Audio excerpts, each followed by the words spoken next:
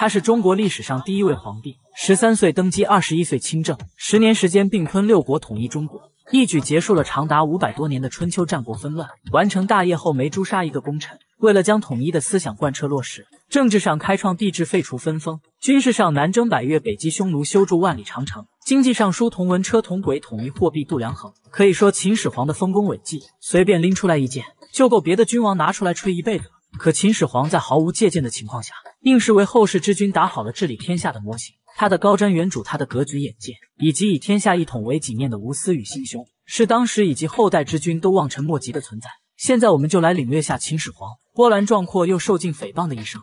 我是嬴政。公元前二百五十九年，秦昭襄王四十八年，嬴政在赵国的邯郸出生。小嬴政出生的时间有点尴尬，正是秦赵长平之战打完。赵军被坑杀四十万，恨秦人恨得牙痒痒的时候，赵国重金贿赂范雎，骗秦王嬴稷撤兵。事后赵国爽约答应的城池不给了，秦昭襄王嬴稷不愧是战国大魔王，敢骗我就往死打你。于是发兵猛攻赵国邯郸，打不下继续打，不行就继续派兵。小嬴政的曾祖父嬴稷是打爽了，可嬴政的老爹嬴异人就惨了，在邯郸为质的嬴异人，随时可能被气急败坏的赵国杀了泄愤。天使投资人吕不韦见破城在即，留下年幼的嬴政和赵姬当诱饵。自己深夜带着嬴异人意图逃出邯郸，守城门的将士曾受吕不韦大恩，再加上吕不韦以性命相逼，最终将士打开城门放吕不韦一人出城，而嬴政和赵姬则被深越护卫，在邯郸城中不断躲避追兵，逃出升天的嬴异人见城门紧闭，此时才知吕不韦真实用意。夫人与正儿如何出城啊？啊，赵姬和正儿能否出城？待公子平安抵达咸阳，诸事安排妥当，我定会想办法接他们。赵王要是知我回秦，定不会放过他们母子。嬴异人弃车要返回邯郸，宁可被赵王杀了，也要保住妻儿。吕不韦劝嬴异人不要感情用事，此次是危机，却也是转机。公子至赵八年，于秦是大功，太子最得宠的华阳夫人又无子嗣，已经同意认你为子。你只要回去，就是太子嫡子，就是大秦未来天下的继承人。可这些根本阻挡不了嬴异人担忧的心。吕不韦见王权打不动嬴异人，于是只能使出杀手锏。公子若想死，杜维。陪你赴死，今日一同踏出此步，你我命运相连。可公子若被赵军擒住，死的是你全家。你若逃生，他们倒有可能有一线生机。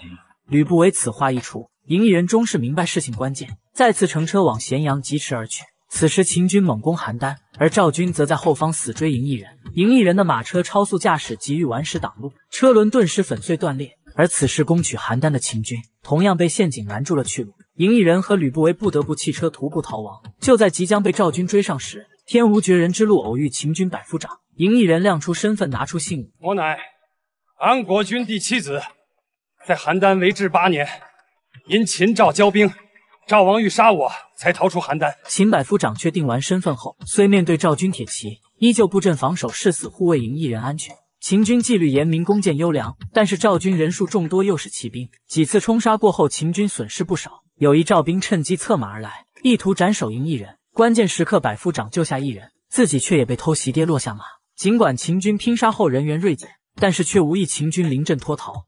就在赵军觉得秦军螳臂挡车，想要尽情收割时，秦将王和带大部队顺利赶到，这才逼退了赵军追兵。嬴异人感谢了王和将军后，王和派嫪毐驾车送嬴异人回咸阳。本以为会顺风顺水，不料路途再次遇到袭击。秦国长公子嬴系担心嬴异人夺自己储君之位，派杀手暗中刺杀嬴异人。幸亏吕不韦提前安排人手接应，嬴异人才躲过一劫。吕不韦也从射向自己的箭中猜出刺杀端倪。秦剑何以见得？放眼天下，只有秦剑统一大小重量、剑羽、剑杆、剑足三者损益，可再做配用。先生对秦国兵器也了然于胸啊！秦剑射我何意？吕不韦明白，咸阳有人不想让嬴异人回来，为了嬴异人的安全，穿便衣伪装进了咸阳城后，便将嬴异人安排在咸阳狱躲避。而赵姬嬴政母子处境也很艰难，在邯郸东躲西藏。这个女人的嫡子将是大秦未来的王，可惜她肚子不争气，未有一个子嗣。岁数不小的她再次虔诚占卜，可卦象却仍和之前一样。华阳夫人纵然心生不甘，也只能认命了。生子无望的华阳夫人。为了保住自己未来的权势地位，只能寄希望于认子。这时，天使投资人吕不韦请求华阳夫人见见嬴异人，并将其中利弊关系和盘托出。秦法嬴姓宗室无功不受爵，公子一人为秦至诏八年，夫人若推举公子一人为嫡子，大王会认为夫人为国举贤，安国君日后也定然更加倚重夫人。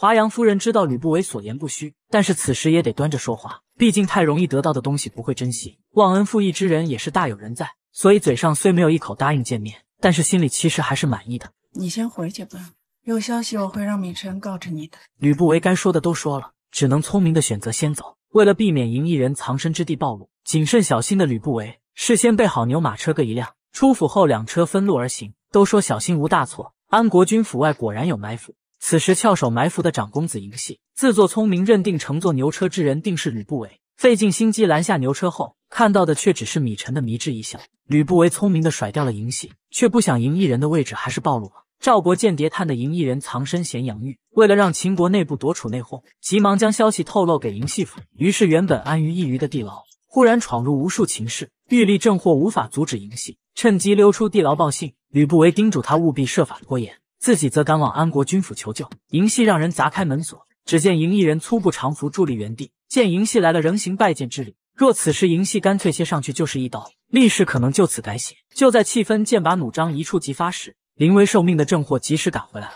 先是以大秦律法恐吓嬴系，随后又以索要好处为由，对嬴系展开纠缠，争取时间。嬴系不堪其扰，允诺以前换人。到府中去吧。哎，公子那可不行，今日不得钱财，谁也不能把他带走。公子西闯狱，给我拿下！郑获绝对是尽力了，就这么一会功夫，头已经被刀斧架两次了。银系逼退郑获后，将嬴异人挟持出狱。关键时刻，救兵杨全军赶到，银系身手了得，不肯放人。杨全军再狂也不敢伤王氏血脉，将银系拉到一旁，摆明利害关系。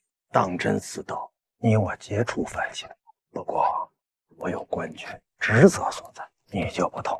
只怕今后再也无缘太子嫡子之秦法对私斗的惩处之言，请参考第一部《大秦裂变》。嬴系最终只能眼睁睁看着米晨带走嬴异人，如同行尸走肉般回到自己府邸，承受着老师世仓的怒斥。你不过只是以嫡子之位失之交臂，你失去的是大秦的王位呀！啊世仓对嬴系错失机会痛心疾首，但是也无济于事了。嬴异人趁此机会面见了华阳夫人，吕不韦也是深谙讨巧之道，特意让嬴异人穿楚服唱楚辞楚曲，感动的华阳夫人泪光闪动。华阳夫人当即决定认下嬴异人，并且给他改名叫子楚，但是却也提了一个要求，那就是娶韩王女儿韩妮为妻。不料嬴异人不但曝光自己在邯郸已有妻女，还执拗的不愿再娶儿子，不能不愿再娶。阿姐倒是个重情义的男儿，那就等他明白过来。再谈认子之事吧。就在此时，安国君嬴柱回来了。嬴柱早知华阳夫人认子之意，于是将嬴异人带到偏殿考教学业。嬴异人对答如流，对战事颇有见解。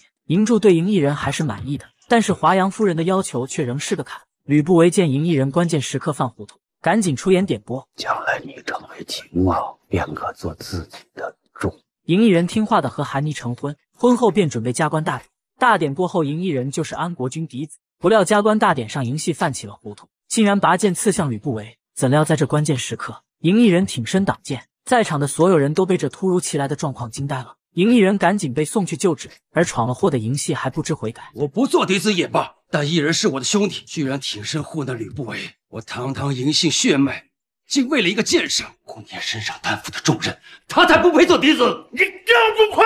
手足相残可是大罪。关键时刻，世仓拄着拐杖赶来。为嬴系揽下所有罪责，嬴柱明知世仓是舍身护主，但终须有人为此负责。死了世仓总比死了儿子强。最终这件事以世仓被绞死，嬴系被逐出咸阳，发配边关为卒而结束。而吕不韦感动嬴异人挺身而出的同时，也劝谏异人以后万不可如此冒险。为了防止再生变故，嬴异人拖着伤痛完成了加官大典。自此，嬴异人嫡子之位确立，嬴异人是嫡子了，嬴政也就有了角逐王位的资格。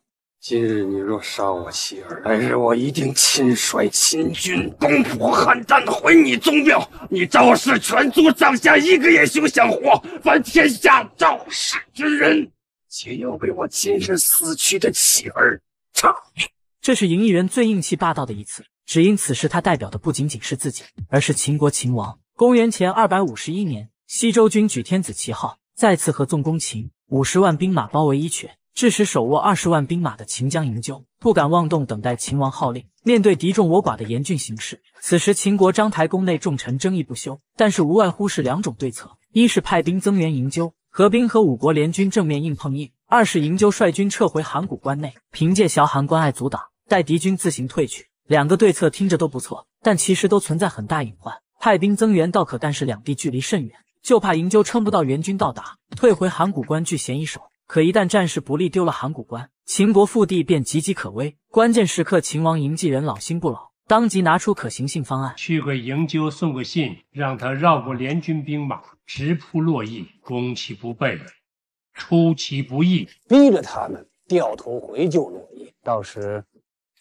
是战是和，尽在秦军掌控之中。吕不韦足智多谋，竟与嬴稷的想法不谋而合。最终，嬴稷指派嬴柱与嬴纠共同领兵，巧夺周王姬反客为主。和纵攻秦之举虽已破解，但嬴柱近来身体不适，难以忍受军旅之苦。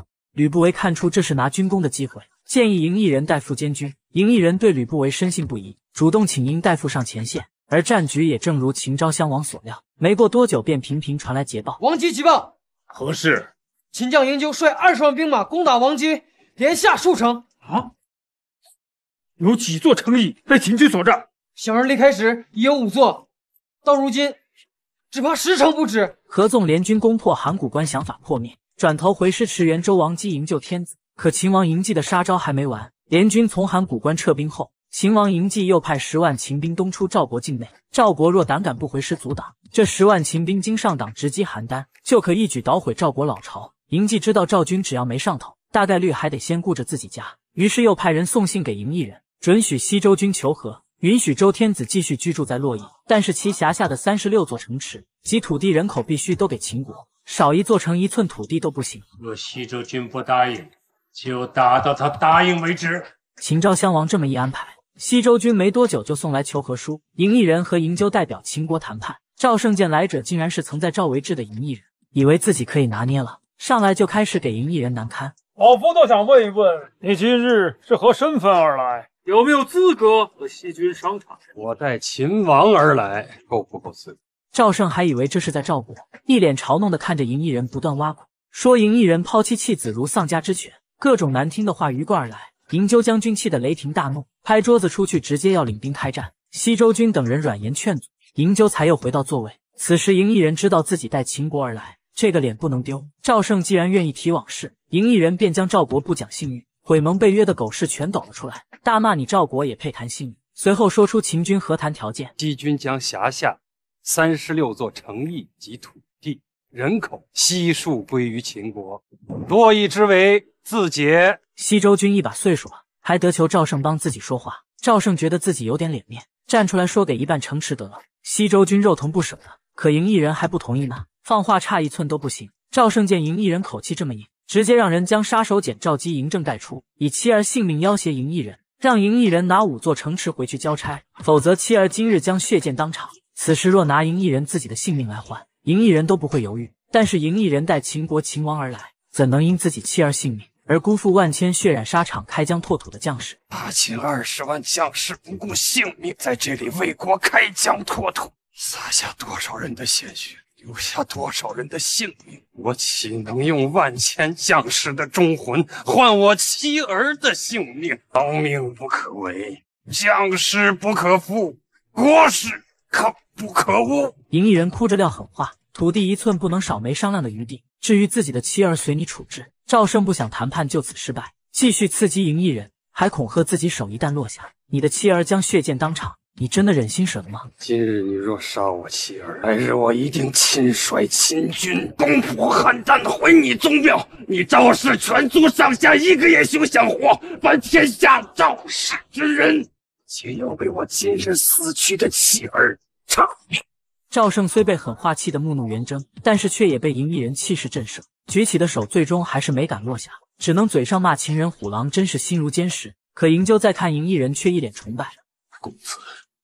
真乃是我大秦好男儿，有公心，有血性。来日你若为王，我大秦幸甚呢？赵胜能做的都做了，如今秦人心如磐石，没商量余地，只能劝西周军认命了。谈判最终以三十六座城池皆归秦落下帷幕。赵胜带着赵姬、嬴政返回赵国，嬴异人骑马相送。赵姬恨嬴异人不顾自己性命，让小嬴政背朝嬴异人。嬴异人追逐解释，却被赵胜一箭射在马下阻止，最终只能黯然看着母子离去。秦嬴，你这个养马的家奴！这是周朝最后一位天子周赧王姬延，此时他正气得仰天大骂秦国开国之君秦嬴秦非子，殊不知造成今日亡国局面，全怪自己爱凑热闹。周赧王本能好好在周王姬潇洒，结果听信楚考烈王的撺掇，以天子名义合纵六国出兵伐秦。周天子这个老东西，竟然糊涂至此，敢与我大秦作对！你去吧，对他呀，不用太客气。秦昭襄王嬴稷见周天子都这岁数了，还看不清局面，被当枪使。二十万大军直扑洛邑的同时，又派十万大军东出赵境，逼迫赵军不得不回师。这一套组合拳下来。合纵联军顿时土崩瓦解，各顾各。周天子还梦想着各国前来救援，结果等来的却是惊天噩耗。陛下为何眼见弃我而弃赵主，又不肯为天子与秦人死战呢？周赧王也是倒霉，临了还被列国利用坑了一把。如今别国拔腿跑路不管了，周赧王顿时傻眼了。西周军哭着说：“秦国这把撂下狠话了，天子辖下的三十六座城邑土地。”还有三万多人口都要归秦，九鼎也要迁入秦国，否则就毁咱宗庙。周赧王被这晴天霹雳雷懵了，要城要地要人口，连象征王权的九鼎也要，那自己不就是光杆司令了吗？大周这是要亡国了呀！不忍大周王在自己手中的周赧王，抱着最后一丝希望追问西周君：天下诸侯乃是我先祖所封，难道他们要坐看孤，被秦人？取而代之吗？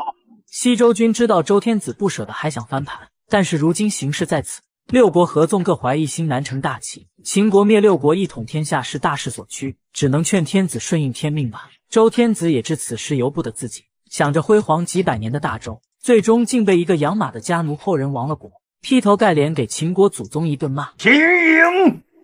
你这个养马的家奴！骂归骂，但是也改变不了现实。于是，公元前二百五十六年，秦昭襄王五十一年，西周军被迫将王姬三十六亿及三万人口尽数献给秦国。同年，周赧王郁愤而终。这个长达八百余年的周王朝，在这一年其实也算结束了。秦灭周后，秦王嫡孙嬴异人与秦国大将嬴纠运九鼎回秦国咸阳，到泗水时突遇狂风巨浪。嬴异人和嬴纠所乘之船先覆，船上的玉舟顶落入水中，嬴异人和嬴纠也突然疾病，秦将不敢逗留，抬着二人和其余八鼎速回咸阳，将情况禀报秦王嬴稷。嬴柱本想将缺的玉州鼎打捞出来，可秦王嬴稷觉得鼎乃神物，必有灵性，既然天意让失，就不要复取了。于是下令将其余八鼎迁入太庙。秦王嬴稷虽得到了心仪的禹王鼎，但九鼎缺一，再加上大将暴毙王孙病重，让秦王嬴稷脸上实在是笑不出来。想着也许是天意示警，秦王嬴稷生命的最后五年中，秦国再也没有向山东六国发动大规模的战争。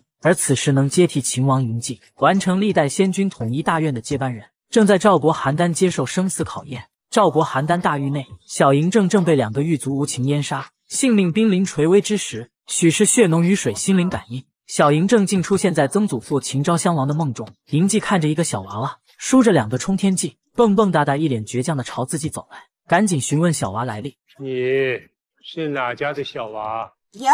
老秦王一听，赢这不是自己家姓吗？平时被列国骂作虎狼之君的秦王，此时一脸和蔼的让小娃上来。小嬴政利落的上来后，老秦王嬴稷在脑海中搜索了半天，也没瞧出这是自己哪个后代，只能再次出言确认。你刚才跟我说你是哪家娃？赢啊，问你呢。和你一样，赢。小嬴政被嬴稷带着的王冠吸引。上来就摸王冠前的冕旒，还脆生生的说自己也想要一个。这是何物啊？喜欢吗？这是王冠，我想要一顶比这个还大的。小嬴正说完，便跳出梦境，而秦王嬴稷也从欢笑中醒来。嬴稷见此梦真实，意有所指，赶紧传太卜来给自己解梦。太卜禀报自己夜观子宫星象，云气旺如鸡雏出，育子孙之气盛，这是亘古未有的天子气象啊！百年前太史丹统一的预言，恐怕就要应验了。秦王嬴稷听此开心不已。这就是说，是天下宁夷之人将是我嬴姓的后人，秦国将得天下。恭贺大王！他现在降生否？太卜指出赤黄之气如此充盈，此人定然已经降生。老秦王听此，眼中不禁泪光闪动。毕竟秦国几代君王为了统一，背负了太多，付出了太多。听到天下宁一之人终于出现，老秦王又岂会不激动？老秦王为借秦统一大业后继有人，可在赵国邯郸的小嬴政就惨了，被狱卒按在水里，处于濒死状态。幸亏此时赵胜命人前往牢狱接出赵姬母子，才阻止了狱卒继续行凶。秦公子一人，妻儿在何处？赶紧去把手腕露出来，把他们两个拿下！来人误以为孩子没气了，只能放赵姬出来收尸。赵姬失魂落魄的抱着小嬴政走出赵国监狱大门，门外等待的赵胜本想将赵姬母子接回邯郸，使秦无功赵口实，亦可备日后之用，竟不曾想会出这等意外。自以为天意的赵胜只能认命返程。就在众人都以为嬴政死了时，见多识广的申月及时赶到。申月探知后发现嬴政上有气息，只是处于假死状态，当即展开急救措施。在申月不断的拍打下，小嬴政呼吸道中的积水终于吐出，人也随之苏醒了过来。而此时因运送九鼎，天降异象突然重病的嬴异人，也从昏迷中逐渐苏醒，就像是冥冥中自有天意一般。小嬴政苏醒后，被赵胜安排在赵国邯郸。时间匆匆五年而过，尚且不到十岁的嬴政，这个头却比同龄人高不少。赵姬看着练剑的嬴政，感叹：“我正儿长大，一定比他父亲强。”未来的天选之子身体日壮。而老秦王嬴稷也走到了人生尽头。秦王嬴稷对自己一生未能灭一国深感遗憾，叮嘱嬴柱和嫡孙嬴异人回去后务必交代各自子孙。大秦男儿勿忘东出，兴我大秦一统天下。老秦王猛然想起自己做的梦，询问儿子嬴柱是否还有未加官的子嗣。嬴柱大脑一顿搜索后回复：最小的儿子都加官了，属实没有。父王为何如此问？老秦王便将自己的梦境说了出来。还将小娃的长相、年龄描述了一番。嬴异人一听和嬴政好像啊，果断站出来认领，自己的儿子嬴政就是这个年龄，是自己回秦之前和赵姬所生。当初情况危急，未能将他们带出邯郸，至今不知情况如何。邯郸，大秦国的东北方向。嬴政，速速派人把嬴政给我接回咸阳。诺。老秦王交代完人生最后一件事，接回嬴政，便哼唱着秦国战歌崩逝了。公元前二百五十一年秋。在位五十六年的秦王嬴稷去世了，终年七十五岁，谥号昭襄。秦昭襄王就像一座巍峨大山，压得六国后期喘息都费劲。如今崩逝，六国自是欢欣鼓舞。殊不知还没笑几年，更厉害的灭国操盘手秦王正上线了。国王，老秦王死了！什么？老秦王死了！战国大魔王秦王嬴稷崩逝的消息，让被打出阴影的赵王丹比中了一千万彩票还开心。想着长平一战被杀的四十万赵军，想着秦国多次猛攻邯郸，自己那些担惊受怕的日日夜夜，赵王丹觉得秦国王位更迭是机会，瞬间血脉觉醒，两眼放光，要报仇雪恨。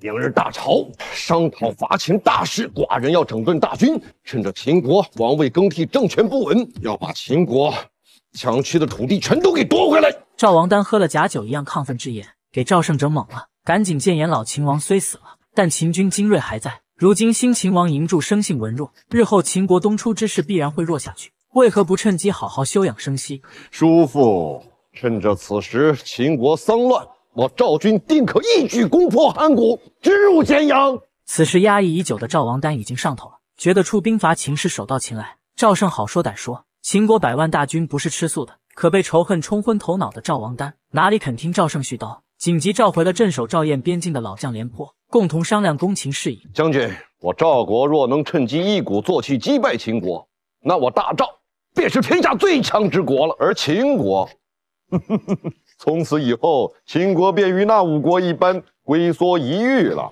赵王丹想得很丰满，廉颇的一番话却让赵王知道现实有多骨感。廉颇对秦军一通分析后，给出结论：要想达到大王的预想，除非赵国能拿出百万之兵。百万？寡人举国之兵也无百万。廉颇怕赵王丹以为自己胡说，一顿解释这百万大军都用来干啥。可赵王哪有这么多兵，只能提议再次合纵五国。可廉颇却一针见血地指出，合纵呼啦啦一大片，看着人不少，关键时刻各有打算，心不齐，反被秦军个个击破，白折腾。要想打，还是得自己来。赵王丹没想到收拾秦国如此困难，但血海深仇在前，赵王丹不愿意放弃机会，仍要攻秦。廉颇从边境回邯郸的消息被密探报告给了吕不韦，吕不韦足智多谋，猜出赵王企图。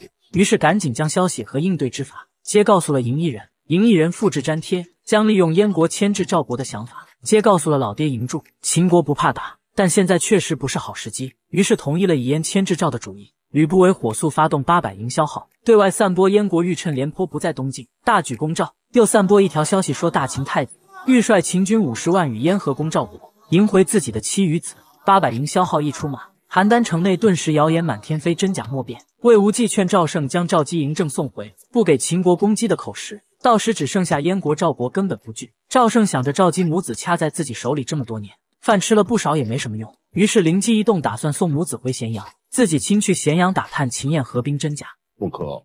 叔父乃赵国丞相，即能屈尊亲自为使前往秦国呀？不可。赵胜劝赵王丹打消攻秦之念，可赵王丹决心已定，攻秦的粮草都开始往前线运了，不想掰扯的赵王丹转身要走。赵胜当即追问廉颇：若攻秦，燕军趁机从背后偷家，到时腹背受敌，两面开战，如何应对？那就派人去探明燕国的动向。若燕国当真出兵，则打消攻秦之念，任由叔父前往秦国。好，如此甚妥。赵王丹还以为谣言是假，结果燕国真的出兵了，形势瞬间逆转。之前还叫嚣一雪国耻的赵王丹，此时不得不一面应对燕国，一面让赵胜委曲求全去稳住秦国。赢一人的妻儿，叔父要带就带去吧。赵姬嬴政得知要回秦国。赶紧收拾东西，准备启程。赵王儿子赵衍和郭开英和嬴政打过架，当晚带着杀手要杀了嬴政。杀手众多，申月寡不敌众受伤。生死时刻，申月教导嬴政如何处理险境。正儿，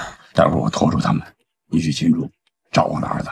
以后记住，遇到群狼围攻的时候，先打头狼。一、二、三，走！中箭的申月干倒一人后，携此人之身拦住冲上来的杀手。趁机一刀斩了四人，得出空隙的嬴政以迅雷不及掩耳之势拿住了赵衍，以赵衍性命要挟杀手不可妄动。双方僵持时，得到消息的赵胜赶到，嬴政才算彻底躲过此劫。但是嬴政的启蒙老师申月却不行了。正儿，申月只能陪你到这儿了，记住你该做的事。记住了，都记得，我都记得。教习嬴政学商君强国之道，灌输嬴政王者之心的申月，最终死在了邯郸城。而嬴政带着老师的剑与嘱托，和母亲赵姬返回了咸阳城。此时的赵王丹自是想不到，秦昭襄王嬴稷猛虎崩逝，更厉害的大秦祖龙嬴政将脱困而出。嬴政赵姬可是连咸阳城的门都进不来。嬴异人因为是华阳夫人认的嫡子，华阳夫人为了掌控嬴异人，先是逼嬴异人娶了韩妮，后来听说嬴政赵姬要被送回咸阳，害怕未来失势的华阳夫人，逼迫嬴异人必须立韩妮为正妻，杜绝嬴政继承王位的资格。等到你决定了立韩妮为正妻，我再让他们母子进咸阳。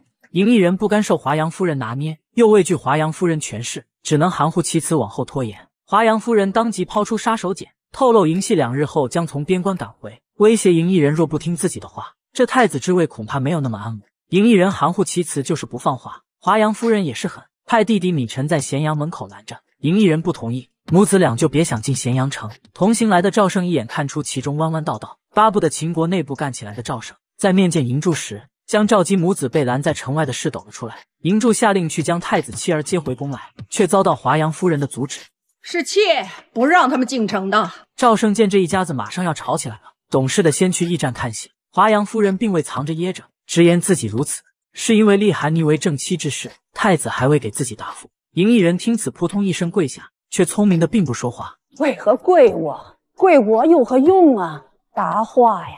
到底哪一个是正妻啊？嬴异人抗着压力不吱声，就是想逼老爹替自己解围。最终嬴柱还是开口下王诏，让赵姬嬴政即刻入宫。此时在咸阳城外的嬴政拿出嬴氏王族玉佩表明身份，可米臣就是不让他进去。赵姬硬闯也被军甲直接推了回去。就在这时，嬴系恰巧回到咸阳，被风情万种的赵姬一下迷住了。即使后来知道她是异人妻子。也要替美人出头。正巧这时王诏也到了，米晨才不得不放赵姬母子进宫。嬴系好人做到底，送佛送到西，直接将母子二人带到章台宫。嬴异人看着多年未见的妻儿，让二人给长辈见礼。赵姬歌女身份没见过世面，礼行的怯懦不已，奇奇怪怪。可嬴政却一脸自信的竞走向前。嬴柱开心的将嬴政拉自己身边，知其在邯郸受尽磨难，却依旧眼神明亮，英气不凡。纵然心不甘情不愿，但也没办法。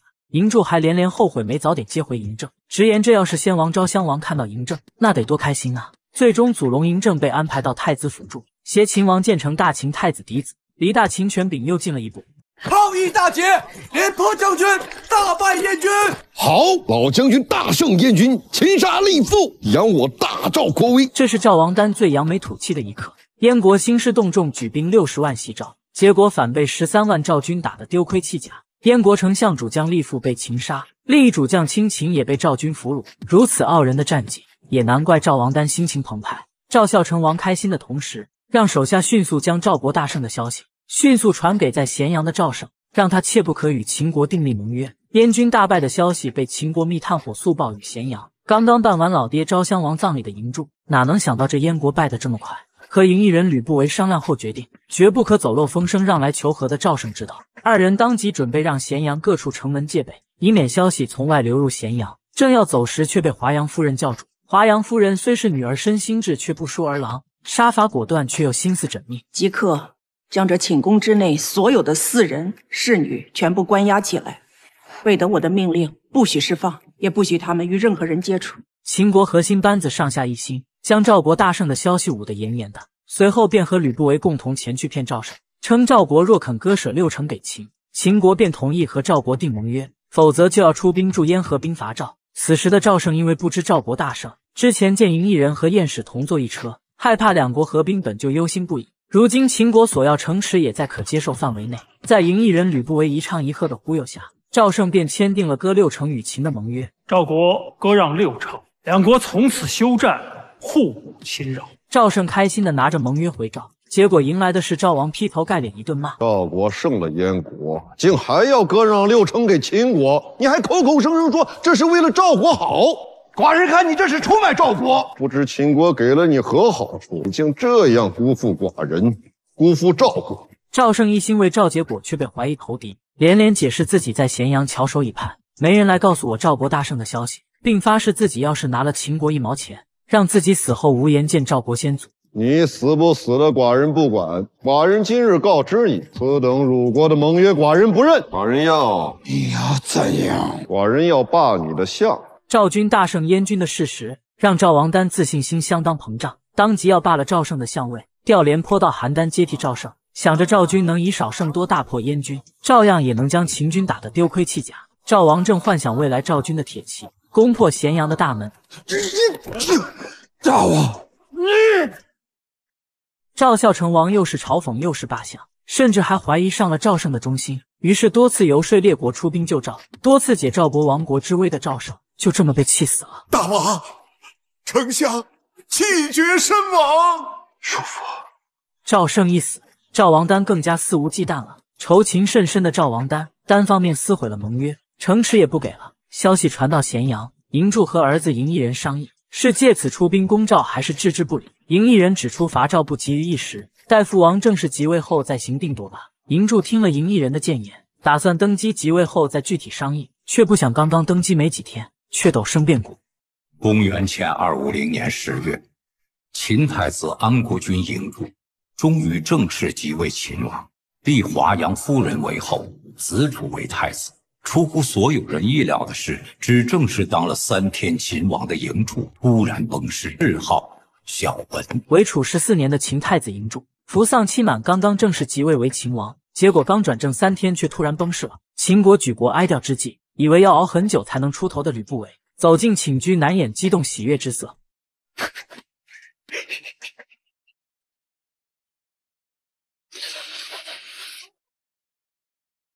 发泄完心中抑制不住的欢喜后，吕不韦迅速恢复那副道貌岸然，为秦孝文王嬴柱的葬礼忙前忙后。三日内，两代楚军交替，为秦国江山社稷安稳。华阳夫人拥立嬴异人尽快登上王位，但也暗示嬴异人立米臣为相。嬴异人不愿继续受制于华阳。索性擅作主张，立赵姬为王后，入住后宫。赵姬如鸡毛飞上天一般，暴发户气质瞬间展露无遗。来人呐，把东西给我搬进来！以后这个章台宫全听我的。立赵姬为王后只是其一，丞相之位，赢异人也不想妥协。三十二岁的赢异人在登基大典上，直接下诏命吕不韦为大秦丞相。太子父吕不韦有定国之功，今日起擢升大秦丞相，封文信侯。赢异人上来就一步到位，将大秦最位高权重的位置给了吕不韦，不但让华阳太后震惊侧目，满朝大臣也是议论纷纷。这官升的也太快了！杨全军、米臣见相位被吕不韦夺去，愤懑难平，站出来唱反调。启禀大王，吕不韦乃一商人耳，何德何能，可当我大秦之丞相？赢异人刚要掰扯一番，不料华阳太后却抢先一步，言辞呵斥米臣的同时，表示自己也想听听吕不韦凭什么能坐上丞相之位。诏书中说的明白，定国之功还不足以吗？赢异人的违逆让华阳很不满意，米臣更是出言不逊，当众劫难。没有华阳太后认你当嫡子，又岂会有今日的大王？话里话外都在谴责赢异人忘恩负义。华阳和米臣的言辞劫难，满堂文武的嫉妒与不解，让赢异人不得不当众陈明缘由。自己任命吕不韦为丞相，不是因为私姻关系好，根本原因是吕不韦却有乾坤之才。如今大秦一年之内连丧两王，秦国军心民心急需振作。先王一致大秦男儿勿忘东出，吕不韦之才可助大秦实现东出之志，所以自己才鼎力支持他，并拿王位给吕不韦担保。寡人以秦王之位担保。吕不韦绝不会负寡人，也不会负我大秦。若他行事有误国之处，寡人这个秦王也不当了。不得不说，赢异人确实是给力。平常看着温顺，略有畏缩，关键时刻原则的事那是寸步不让。不管朝臣脸色，当即拍板定下此事。早就想一展抱负的吕不韦，听此自是不会辜负赢一人信任，放话明日一早开府理事，自己在丞相府恭候诸位。吕不韦当上秦相，大秦统一天下的步伐加快。可华阳夫人却依旧怒气未消，当众点拨百官和吕不韦作对。既是这般，那就都散了吧。明日有谁愿意去参见新任丞相的，就去吧。骤然之间，剑商吕不韦一跃成为秦相的事，成秦国乃至天下奇闻，百官乃至天下都觉得秦王疯了。于是吕不韦按规制开府理事时，酒菜宴席准备不老少。可等到晌午了，丞相府依旧门可罗雀，朝野上下无一人登门。就在吕不韦食之无味之际，嬴政突然前来捧场。公子这是？嬴政他来恭贺先生荣升大秦丞相。嬴政毫不客气地拿起筷子开灶。恰巧此时密探来报，东周军派使臣欲和纵列国攻秦。吕不韦请教嬴政有何想法。嬴政不假思索，直接点破擒贼先擒王的道理。此番东周欲合纵列国攻我大秦，不亦会群狼围攻，而这东周便是这挑事的头狼。若大秦能在合纵成事之前打残或先灭掉这头狼，合纵自然土崩瓦解。吕不韦这边丞相虽当上了，但是却依旧受到百官轻视。李臣仍不甘心，骂赢异人过河拆桥没良心，妄图游说华阳太后重新辅佐新君，结果被老姐一巴掌抽过来，警告他休与赢异人作对。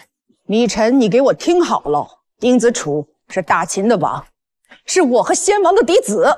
你若还想继续当大秦的阳泉君，最好休与王作对。华阳夫人想掌控权势不假。但是做事却也很懂分寸。米臣被打得不敢说赢异人坏话，开始吐槽见商吕不韦。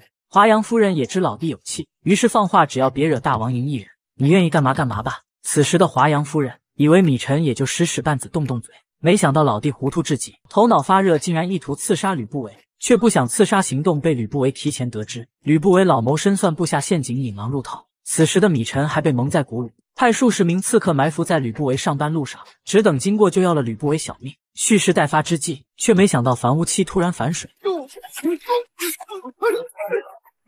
樊无期，原来你是个细作。樊无期早就是吕不韦的人，就是在等刺客出手抓他个现行。如今收网时机已到，吕不韦几十门客轻松解决刺客，送他们集体领盒饭轮回去了，一秒都没耽误吕不韦上班打卡喝奶茶。此时杨全军府邸，一脸笑意的米臣还以为万无一失，却不想自己和吕不韦根本不是一个赛道。大人，我们失手了。什么？反无期是个细作，他们早有准备。吕不韦将刺杀事件禀报嬴异人后，嬴异人勃然大怒，意欲严惩米臣，却被吕不韦进言阻止。吕不韦指出，米氏在秦国根基很深，若是一直暗中撺掇朝臣反对大王你我，咱们做什么事都将步步阻碍。如今米臣刺杀当朝丞相，与其治罪，倒不如留有米氏把柄在手。可以震慑，让其有所收敛，不敢妄动。还有就是大王毕竟刚刚即位，应该以笼络朝臣为主。嬴异人对吕不韦的能力谋略深信不疑，于是和吕不韦商议后决定，吕不韦去敲打华阳太后，嬴异人则去拉拢宗室之首嬴系。君臣二人各自展开行动。吕不韦主动拜访华阳太后，隐晦说明来意，并将刺杀过程进行一番添油加醋，而且重点指出已经握有铁证。好在查得清清楚楚，查得清清楚楚。太后，此罪依刑法。必连坐全族，对吧？臣记得。刑法早就没有刑不上大夫这说，胆敢刺杀秦相，还被拿到证据。即使华阳以太后身份能无恙，但是米氏一族可够呛了。被捏到把柄的华阳话也客气了，还给吕不韦赐座了。吕不韦深谙为人之道，手中虽握有米氏一族把柄，但是却并没有得寸进尺、趾高气昂，反而倒了一番苦水，将当初散尽家财、九死一生才助赢一人反秦称王的事都说了。意思就是这秦相之位不是天上掉下来的，是自己苦心经营应得之力。随后便给华阳夫人画大饼，以天下伟业来提升华阳的格局。杨全军有能力助大王成为全天下的王吗？当大王成为全天下的王，吕不韦成为全天下的丞相，太后必定是全天下的太后，名留青史，受万世敬仰。吕不韦今日谈判进程很有节奏，华阳虽精明的知道吕不韦的手段心思，但把柄被别人捏着，只能默然同意。但是却故意让人上来一碗热蜜浆，想吓一吓吕不韦。吕不韦端起热蜜浆的手都有点抖，就怕华阳一时糊涂下毒。但是刚才说的那么慷慨激昂，胸怀天下，现在若畏畏缩缩也太打脸了，于是只能心怀忐忑喝下去。预想的刺痛没有袭来，吕不韦才终于放下心来。太后赐的蜜浆，好甜呐！吕不韦走后，华阳夫人当即给老弟米晨一个旋风大耳刮。刺杀丞相，这等事竟然还瞒着我！若非是大王和吕不韦忌惮于我，米姓一族都会跟着你遭受池鱼之殃。米晨不知悔改，指出王后、丞相、王储都是人家的，不出手抢夺，你是在秦国如何立足伸展？华阳夫人就一个字忍，忍到赢一人吕不韦一人倒下，独木难支，到时一举扶成交继承王位才是上策。现在只能忍耐蓄力。李氏虽不甘心于此，但是短时间内还是不敢妄动。而赢异人这边不计前嫌，以家宴名义邀请嬴系，打算赐予嬴系要职四车庶长，并袒露自己想东出须有心腹在侧。无论过去恩怨几何，可咱们毕竟是血亲手足，打断骨头连着筋，大哥你得帮我呀！嬴系本就不是心胸狭隘之人，赢异人话都说到这份上了，最终同意领职上岗。蒙大王不弃，嬴系自当为宗室效力，为大齐尽心。大王放心，银溪知道该如何去做了。赢异人见银溪同意站在自己身后，开心的向老哥敬酒。兄弟二人喝得正酣，赵姬突然要单独敬银溪一杯。我要单敬大伯一觞。赵姬此话一出，让银溪险些惊掉酒具。可此时的嬴异人明显没多想，以为赵姬是感谢咸阳城外出手之恩，于是，在君臣的同心同力下，李氏一族暂时被按压住，嬴异人也得到了嬴系背后宗室的支持。而吕不韦下一步要做的，就是向天下证明自己的实力，以赫赫军功让文武百官臣服，如此才能畅通无阻的坐灭六国铺排。而东周军和纵攻秦，正巧给了吕不韦机会。东周军携百官出城投降。眼前这个素衣赤膊口韩愈，携百官出来投降的就是东周军。东周军兵马没多少，跳的还贼欢，竟然胆敢派使臣游说六国攻秦。此时一跃成为大秦丞相的吕不韦，正急需军功为自己证明，东周军这大善人就送上门来了。吕不韦当即向嬴异人主动请缨出征，打算在列国合纵成功之前。就将挑事的头狼东周拿下，破合纵之势扬大秦国威。嬴异人同意吕不韦所请，并点拨事成，关键在于上将军蒙骜。丞相要劝说的不是寡人，丞相若领兵出征，上将军蒙骜会第一个站出来反对。吕不韦出任丞相，深知自己根基尚浅，考虑到还需借重上将军蒙骜之力，于是亲自前往将军府邸拜见。结果不但被蒙骜拒之门外，还被蒙恬、蒙毅两孩子一顿嘲笑。你就是那个剑商吕不韦吧？是上将军叫你们出来瞧我的。是我和弟弟偷偷溜出来，看看被祖父大骂之人长何模样。吃了闭门羹难堪不已的吕不韦，知道自己的面子敲不开蒙府的大门，于是灵机一动，朝营一人借用公子嬴政。怎么了？吕不韦再度登门拜见蒙骜，蒙骜想都不想让下人轰走吕不韦，不料下人禀报这次不能轰。因为吕不韦带来了贵客，贵客是大王之子公子正，看来父亲不得不见。吕不韦是一介剑商，老夫断难相应。可他的身侧是大秦的储君。蒙骜虽刚直，但也不是傻，未来储君自是不能得罪了，于是只能出去相迎。吕不韦借嬴政的身份进入将军府，和蒙骜老将军推心置腹的交谈后，终于说动蒙骜同意自己带兵伐周。有了蒙骜的鼎力支持，嬴异人当庭下达诏命。丞相吕不韦率五万兵马征讨东周，大将军蒙骜全力协助。吕不韦接下兵符，领兵出征。赵王丹在得知秦魏派出强将，反倒让一介剑商吕不韦领军，不禁大为喜悦。秦国亡了，秦国要亡了！赵王丹以为吕不韦是个草包，见列国也都没有支援东周，不想赵国白白损耗兵力，决定暂且搁置出兵，待秦与其他诸国鹬蚌相争之时。赵国在坐收渔翁之利。此时东周上空乌鸦盘旋不休，五万秦军已经压境，六国却依旧没有支援消息，这可给东周军愁完了，只能不断派使臣催促各国来援。就在这时，韩国五万兵马抵达东周附近。诸位，韩国已经出兵了！得到消息的东周军开心不已，因为根据合纵的大数据推测，只要一国肯出兵，其他列国大多会跟上。果然，没一会功夫，魏国大军也已经开到东周境内。魏国也出兵来救了，哈哈哈哈！太好了，快去，快去，再探。看一看齐、楚、赵三国的消息。以为有了援军的东周军豪气万丈，站在城头颇有指点江山之意。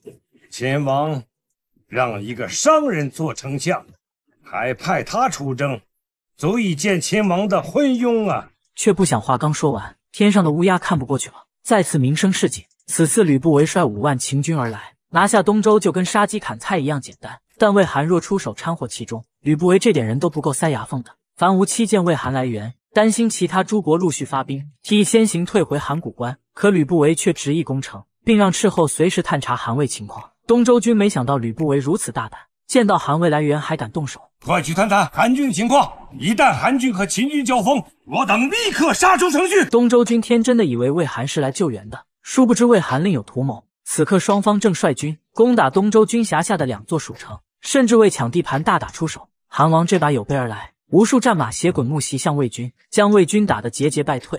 你居然想跟本王争地盘！哼！大王假意救援，实则攻城的仆人，果然高明。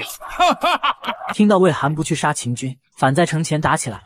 东周军此时才明白魏韩包藏祸心，可为时已晚，蜀城已经被韩军攻下。韩王正要进城接收城池，不想唐王捕蝉黄雀在后，秦国上将军蒙骜带兵杀来，而这正是吕不韦的铺排。吕不韦深知列国轻视自己。于是这次故意只带兵五万，让魏韩产生虎口夺食之念。结果魏韩果然中计了，秦军战马嘶鸣，卷起烈烈尘土。韩王本来对秦军就打怵，再加上蒙骜在外的赫赫威名，吓得仓皇撤兵往韩国跑。于是这城池就白白给了秦军，被蒙骜接手了。东周军见魏韩被打跑，蜀城也被拿下，自知无力回天，只能出来投降。公元前二百四十九年，东周军素衣赤膊口韩愈携百官出来投降，秦灭东周。再次向天下宣誓一统天下的决心，而吕不韦的个人地位也在秦国及天下人面前得到确立。第二年，秦国又接连攻克赵、魏、韩三国多座城池，建立三川郡、太原郡，秦国势力进一步向六国扩张。东方各国深感威胁，又一次的合纵之势开始逐渐酝酿中。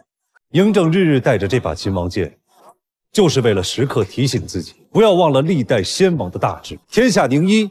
也是嬴政的毕生之志。嬴政各方面太过优秀，引起华阳太后忌惮。为了扶持听话的成交即位，华阳太后买通四人给嬴政下毒。十三岁还是孩子的嬴政毫无戒备，正准备将毒汤喝下，幸亏冬儿恰巧赶来。冬儿闻着汤的味道不对，奇怪，鹿茸汤不是这气味。嬴政听此，转头望向盛汤的四人，见其神色慌张，一脸做了亏心事的样，瞬间明白这汤有问题，喝了它。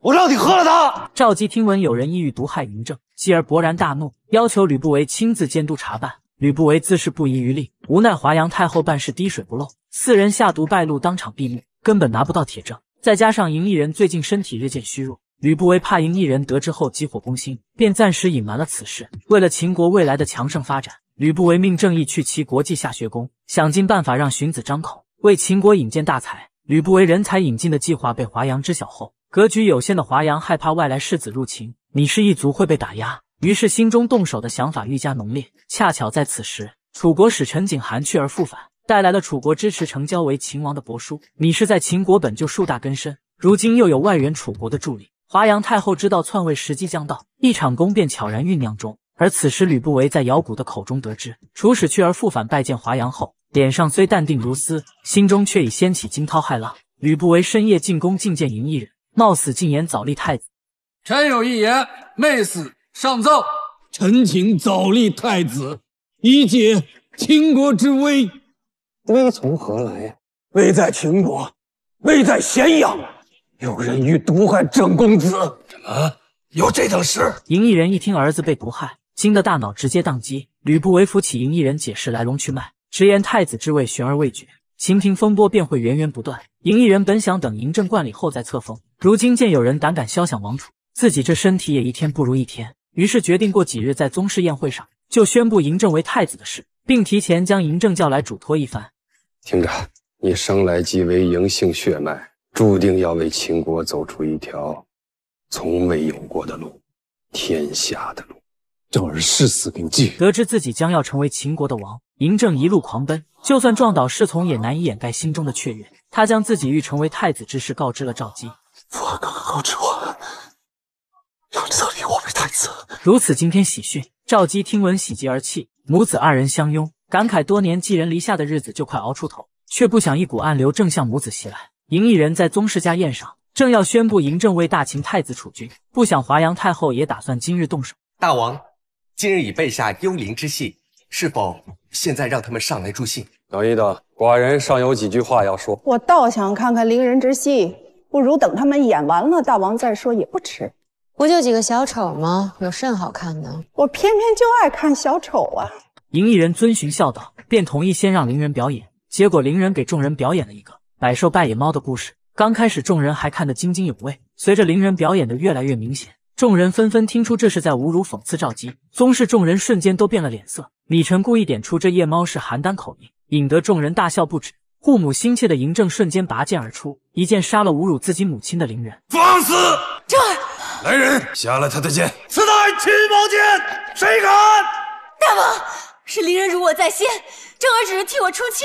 华阳太后就是故意逼嬴政出手。十三岁的嬴政正是血气方刚，哪能看着母亲被侮辱？于是便中了华阳太后的奸计，嬴政当众杀人，嬴异人只能依秦法将其先拿下。愤怒不已的嬴政手持秦王剑不肯交出，僵持时嬴系站出来解围，替嬴政保管秦王剑。嬴异人下诏将嬴政押到省司殿，凌元官起来听候审问。还有王后，教子不严，也该责罚。王后暂入雪宫。嬴异人不想如此，但秦法严格，若王都无事，百姓又如何遵守？只能忍痛将妻子关押。但嬴异人也被这突来的变故。怒气攻心，吐出一口老血。被扶到侧殿休息的嬴异人知自己时日无多，火速派人去宣城向吕不韦。不想此时王赵已经出不了宫，整个王宫已经被华阳太后控制。一场蓄谋已久的篡位行动正要上演。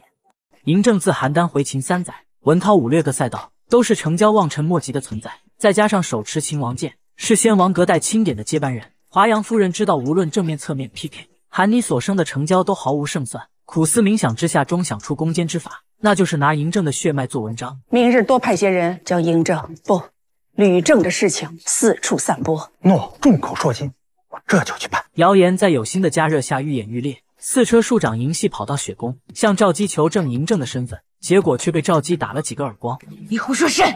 政儿当然是大王的亲生骨血。当真？嗯，你问一遍，我打你一遍。谣言传到宫外，嬴姓宗室一时也懵了，毕竟那时没有 DNA。根本无法确定嬴政血脉，头大的嬴氏族人不知该信谁。有人提议立嬴系为王，这样血脉肯定纯正，咱们宗室的获利还最大。可关键此时嬴系正在赵姬那，找不到人的宗室一时急得如热锅蚂蚁。而当吕不韦听到谣言的那一刻，心中顿时停了半拍。吕不韦看出此计歹毒，也知嬴异人生死攸关，火速下丞相令召见文武百官。结果宗室一个都没来，但这并不是大问题，因为吕不韦之前筹措秦军阅兵，嬴异人将虎符给了吕不韦。兵符和上将军蒙骜站在吕不韦这边，吕不韦不惧芈姓叛乱，他就怕嬴政嬴异人被杀害，他们没有嬴政嬴异人的支持，说白了就是师出无名白费劲。现在关键就在于嬴政是否能脱困。此时在醒思殿的嬴政还不知外面发生何事，蒙恬兄弟二人悄悄的来见嬴政，告诉嬴政，现在外面都是华阳太后的人。从蒙毅口中，嬴政得知了现在关于他的传言。宫里的四人都在传你不是大王的儿子，而是。丞相和王后的私生子。嬴政听后气急败坏，要去见母后赵姬。他穿上了蒙恬的衣服，悄悄地离开了被囚禁的地方，来到关押母后赵姬的雪宫。结果看到嬴系竟然也在这里。嬴政想着外人在场，问也问不出什么，于是便打算出宫去见吕不韦。一是告知他章台宫变，二是询问自己的身世。蒙恬、蒙毅是通过侍卫白让运作偷进宫来。嬴政此时只能让白尚想办法将自己等人带出宫去。白尚将嬴政藏在一个隐秘的地方，等到天快黑了。才带着嬴政离开，却还是遇到了秦兵。何人车驾？白尚不惧生死，策马带着嬴政闯过第一波秦军。不料米臣还有准备，无数弓箭射向嬴政车驾。策马的白尚身中数箭，奄奄一息。嬴政见此，将白尚拉回车内，自己亲自持将驾马冲出包围圈。嬴政驾马车直抵相府，第一时间询问自己身世。我生而为人，不能连自己的父亲是谁都不知道。公子是秦王子楚之子，孝文王之孙。赵襄王之曾孙，嬴姓嫡传长子。实话，不要听实话，这就是实话。吕不韦虽一再解释以死明志，可嬴政却依旧未能释怀，跑到大雨里发泄自己的情绪。吕不韦紧追嬴政身后，以秦国社稷安危与天下统一大业劝阻，终是让嬴政清醒了过来。此时华阳太后正在逼迫嬴异人立成交为储君，可嬴异人却宁死不同意。嬴异人深知成交上位就是傀儡，掌权的华阳定会对付外来客卿，培养重用芈氏一族，秦朝唐到时就会动荡不堪。秦国还谈什么荡平六国？嬴异人这边抵死不下册立诏书，而吕不韦这边已经确定明日辰时，蒙武率一万秦军开道，随百官进攻秦王护驾。嬴政本想跟着去救出父王母后，但因太过危险被百官劝止。第二天辰时一到，吕不韦率百官闯宫救驾，魏魏不肯放行。此时按耐不住的嬴氏宗亲也来了，要求魏魏开门放自己等人请见大王。魏魏依旧不给面子，末将奉王命，无诏不能放一人入宫。关键时刻，蒙武一万秦军开道，随着蒙武一声声号令，守门之人也没之前那么装了，只能不断后退。紧接着，文武百官和嬴姓宗室迈着六亲不认的步伐往宫内挺进。秦军攻城锤几番锤击，终于敲开了宫门。华阳见重兵入城，让老弟前去顶住，自己则派人去杀了嬴异人。就在嬴异人以为难逃一死时，趁着百官和米臣对峙，潜入宫内的嬴政救了老爹嬴异人一命。嬴政背着老爹去救老娘，结果正巧碰到老娘和嬴系赶来。嬴系本想自己做王的，后来被赵姬劝了两天两夜，醒悟了，便赶来救援。伯父，快随父皇和我去广场。不然章台公会血流成河。诺。此时章台宫前，双方人马剑拔弩张，双方之间的战斗一触即发。你等再敢上前一步，我就不客气了。我等要面见大王。弓弩手准备。无数秦军弓箭对准百官，百官这边不管文武也拔剑要殊死一战。就在重武器不断被抬上来时，嬴系及时出现喊停了众人。王驾在此，持刃者杀。嬴系带着嬴政嬴异人往人群走来。此时，米臣见嬴异人还活着，吓得瘫坐在地。一场血雨腥风被及时制止。事后，华阳太后因弑君谋反被幽居华阳宫，吴王命不可出宫，米臣被流放，米氏一族也被发落。这是秦王嬴异人第一次阅兵，没想到也是最后一次。大秦上将军蒙骜拜见大王，我大秦瑞士已集结完毕，请大王宣誓。诺。阅兵开始！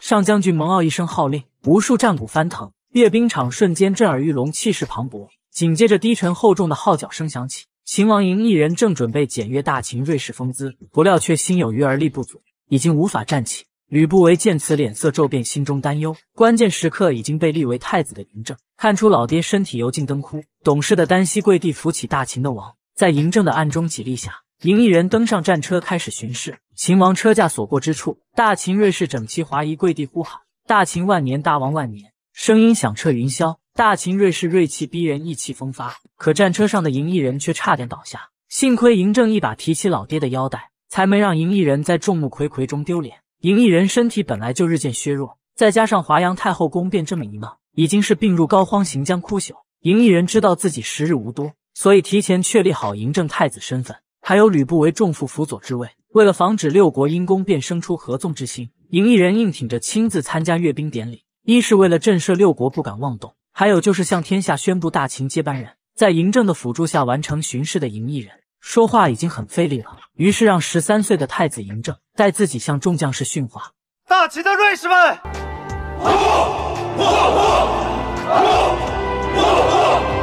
这毕竟是嬴政第一次在将士面前训话。”将士铺天盖地的回应，让嬴政有些紧张和激动，随后便找回状态。嬴政指出，天下纷乱五百多年，我们的父辈兄弟流了太多的血，难道我们还要让子孙后代也过这样的生活吗？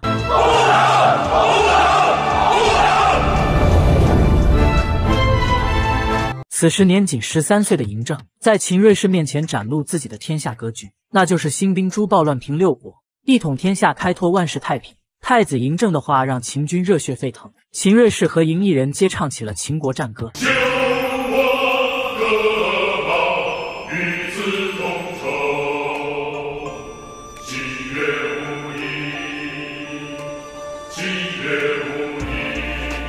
这个战歌就像是有魔力一般。此时，整个阅兵场以及秦人百姓皆跟着唱了起来。本来想离开咸阳的李斯，听到嬴政统一天下的大愿。见到旁边老秦人眼中燃起的信仰之火，再加上秦瑞士那一往无前的使命感，李斯第一次切身感受到秦人的团结与伟大。而嬴异人也在此时放心的闭上了双眼。嬴政见此，果断下令回宫，直到进入咸阳宫内，秦王嬴异人的身躯才倒下。于是，公元前二百四十七年五月，在位三年，只有三十五岁的秦王嬴异人骤然崩逝，谥号庄襄。太子嬴政顺利即位秦王。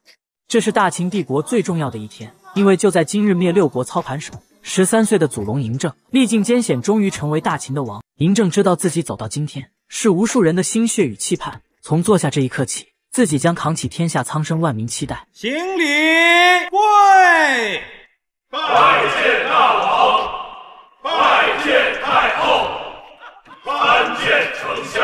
嬴政落座后，御史便开始宣布先王遗诏。嬴政生母赵姬为太后，居甘泉宫；孙文信侯吕不韦为相邦称仲府，与太后相助，共同处理朝政，直到嬴政亲政之年。其余有功之臣由丞相进行封赏。嬴政十三岁当秦王的消息被在赵国的赵衍、郭开知道后，顿时极度的发疯啊！你说这嬴政怎这般好命？你说他这般小就死了父亲，还继承了王位，这老天爷，你太不开眼了你啊！和嬴政从小有仇的赵衍对着树叶发泄怒气，一遍遍吵着要杀了嬴政，结果却被郭开拦下。郭开竟言嬴政都当王了，以后咱们都不是一个赛道了，见不到面怎么杀呀？郭开的一句话点醒了赵衍。胸中的滔天恨意让赵衍有了也想当王的想法。啊，当王，我也要当王。可是这不是说到就能，我说到就能到。你要是能助我当了王，封你为丞相。郭开一听当丞相，两眼放光，赶紧询问赵衍此话可当真？赵衍放话说到做到，反问郭开要是做不到又如何？郭开为了丞相也是拼了，放话做不到，公子一剑杀了我。于是，在嬴政的刺激下。赵衍和郭开便燃起了夺王之心。郭开绞尽脑汁想扶持赵衍上位的办法，结果智商有限，还是未能想到。但郭开知道毛遂游说六国见多识广，于是建议赵衍去找毛遂询问办法。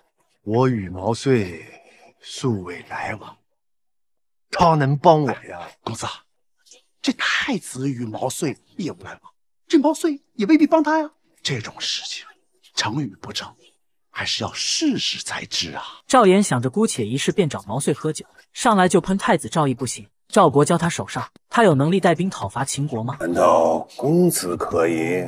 非是夸口，本人年少有志讨伐秦军，而且现在秦国立了个少年为王，我更有信心。此时的赵衍觉得嬴政能当秦王，自己凭什么不能当赵王？当初小时候打架，自己可一点不惧嬴政。说完便举杯请毛遂帮忙助自己。毛遂对赵衍的名声早有听说，当初不顾反对，非得娶个昌女，可把赵王气坏了。如今自是不想趟这浑水，选择拒绝。赵乙确实无才，大人，你是觉得他比我年长两岁就应该即位吗？而且我们赵国是立贤不立长，所以只要大人你帮我，我一定能当上太子。毛遂低头沉默不语。关键时刻，郭开运用激将法，劝赵衍别为难毛遂大人了。立储毕竟是大事，他能出什么好主意啊？此话没想到成功刺激了毛遂。不是我某某夸口，赵国立储之事，我毛遂一句话他就能。一句话怎样？反应过来的毛遂虽未接着说，但赵衍和郭开都听出毛遂是绝对有办法的。于是赵衍、郭开二人组想尽办法开始撬开毛遂的嘴。这是天使投资人吕不韦的巅峰时刻，秦国四年连丧三王，让吕不韦从卑贱的商人。一跃成为权倾朝野的重富相邦。此时的嬴政尚未加官亲政，赵姬又对老秦人吕不韦言听计从。可以说，此时吕不韦的权势地位吊打秦国历代所有丞相。在秦国国丧还未结束，吕不韦便邀请姚古蒙武商议世职调动。说的好听是商议，实则是独断专权，走个过场。在吕不韦的决定下，王绾成为秦王业者，樊於期为郎中护卫秦王，上卿姚谷为公子成交老师。至于掌管守卫军队的要职魏文。则由嬴姓宗室魏文君嬴生负责把持。吕不韦这番任命也算考虑周全，可紧接着吕不韦就犯了个大错，那就是开始替嬴政做主驾空秦王。吕不韦重金向天下网罗人才，自己提纲挈领，文科按大纲尽情挥洒填补，预著一本千古大作《吕氏春秋》，融诸子百家学说于一炉，以此作为大秦统一后的为政之纲。诸此经典，正是为了作为大秦为政之纲，为天下立大道，为天下立大治。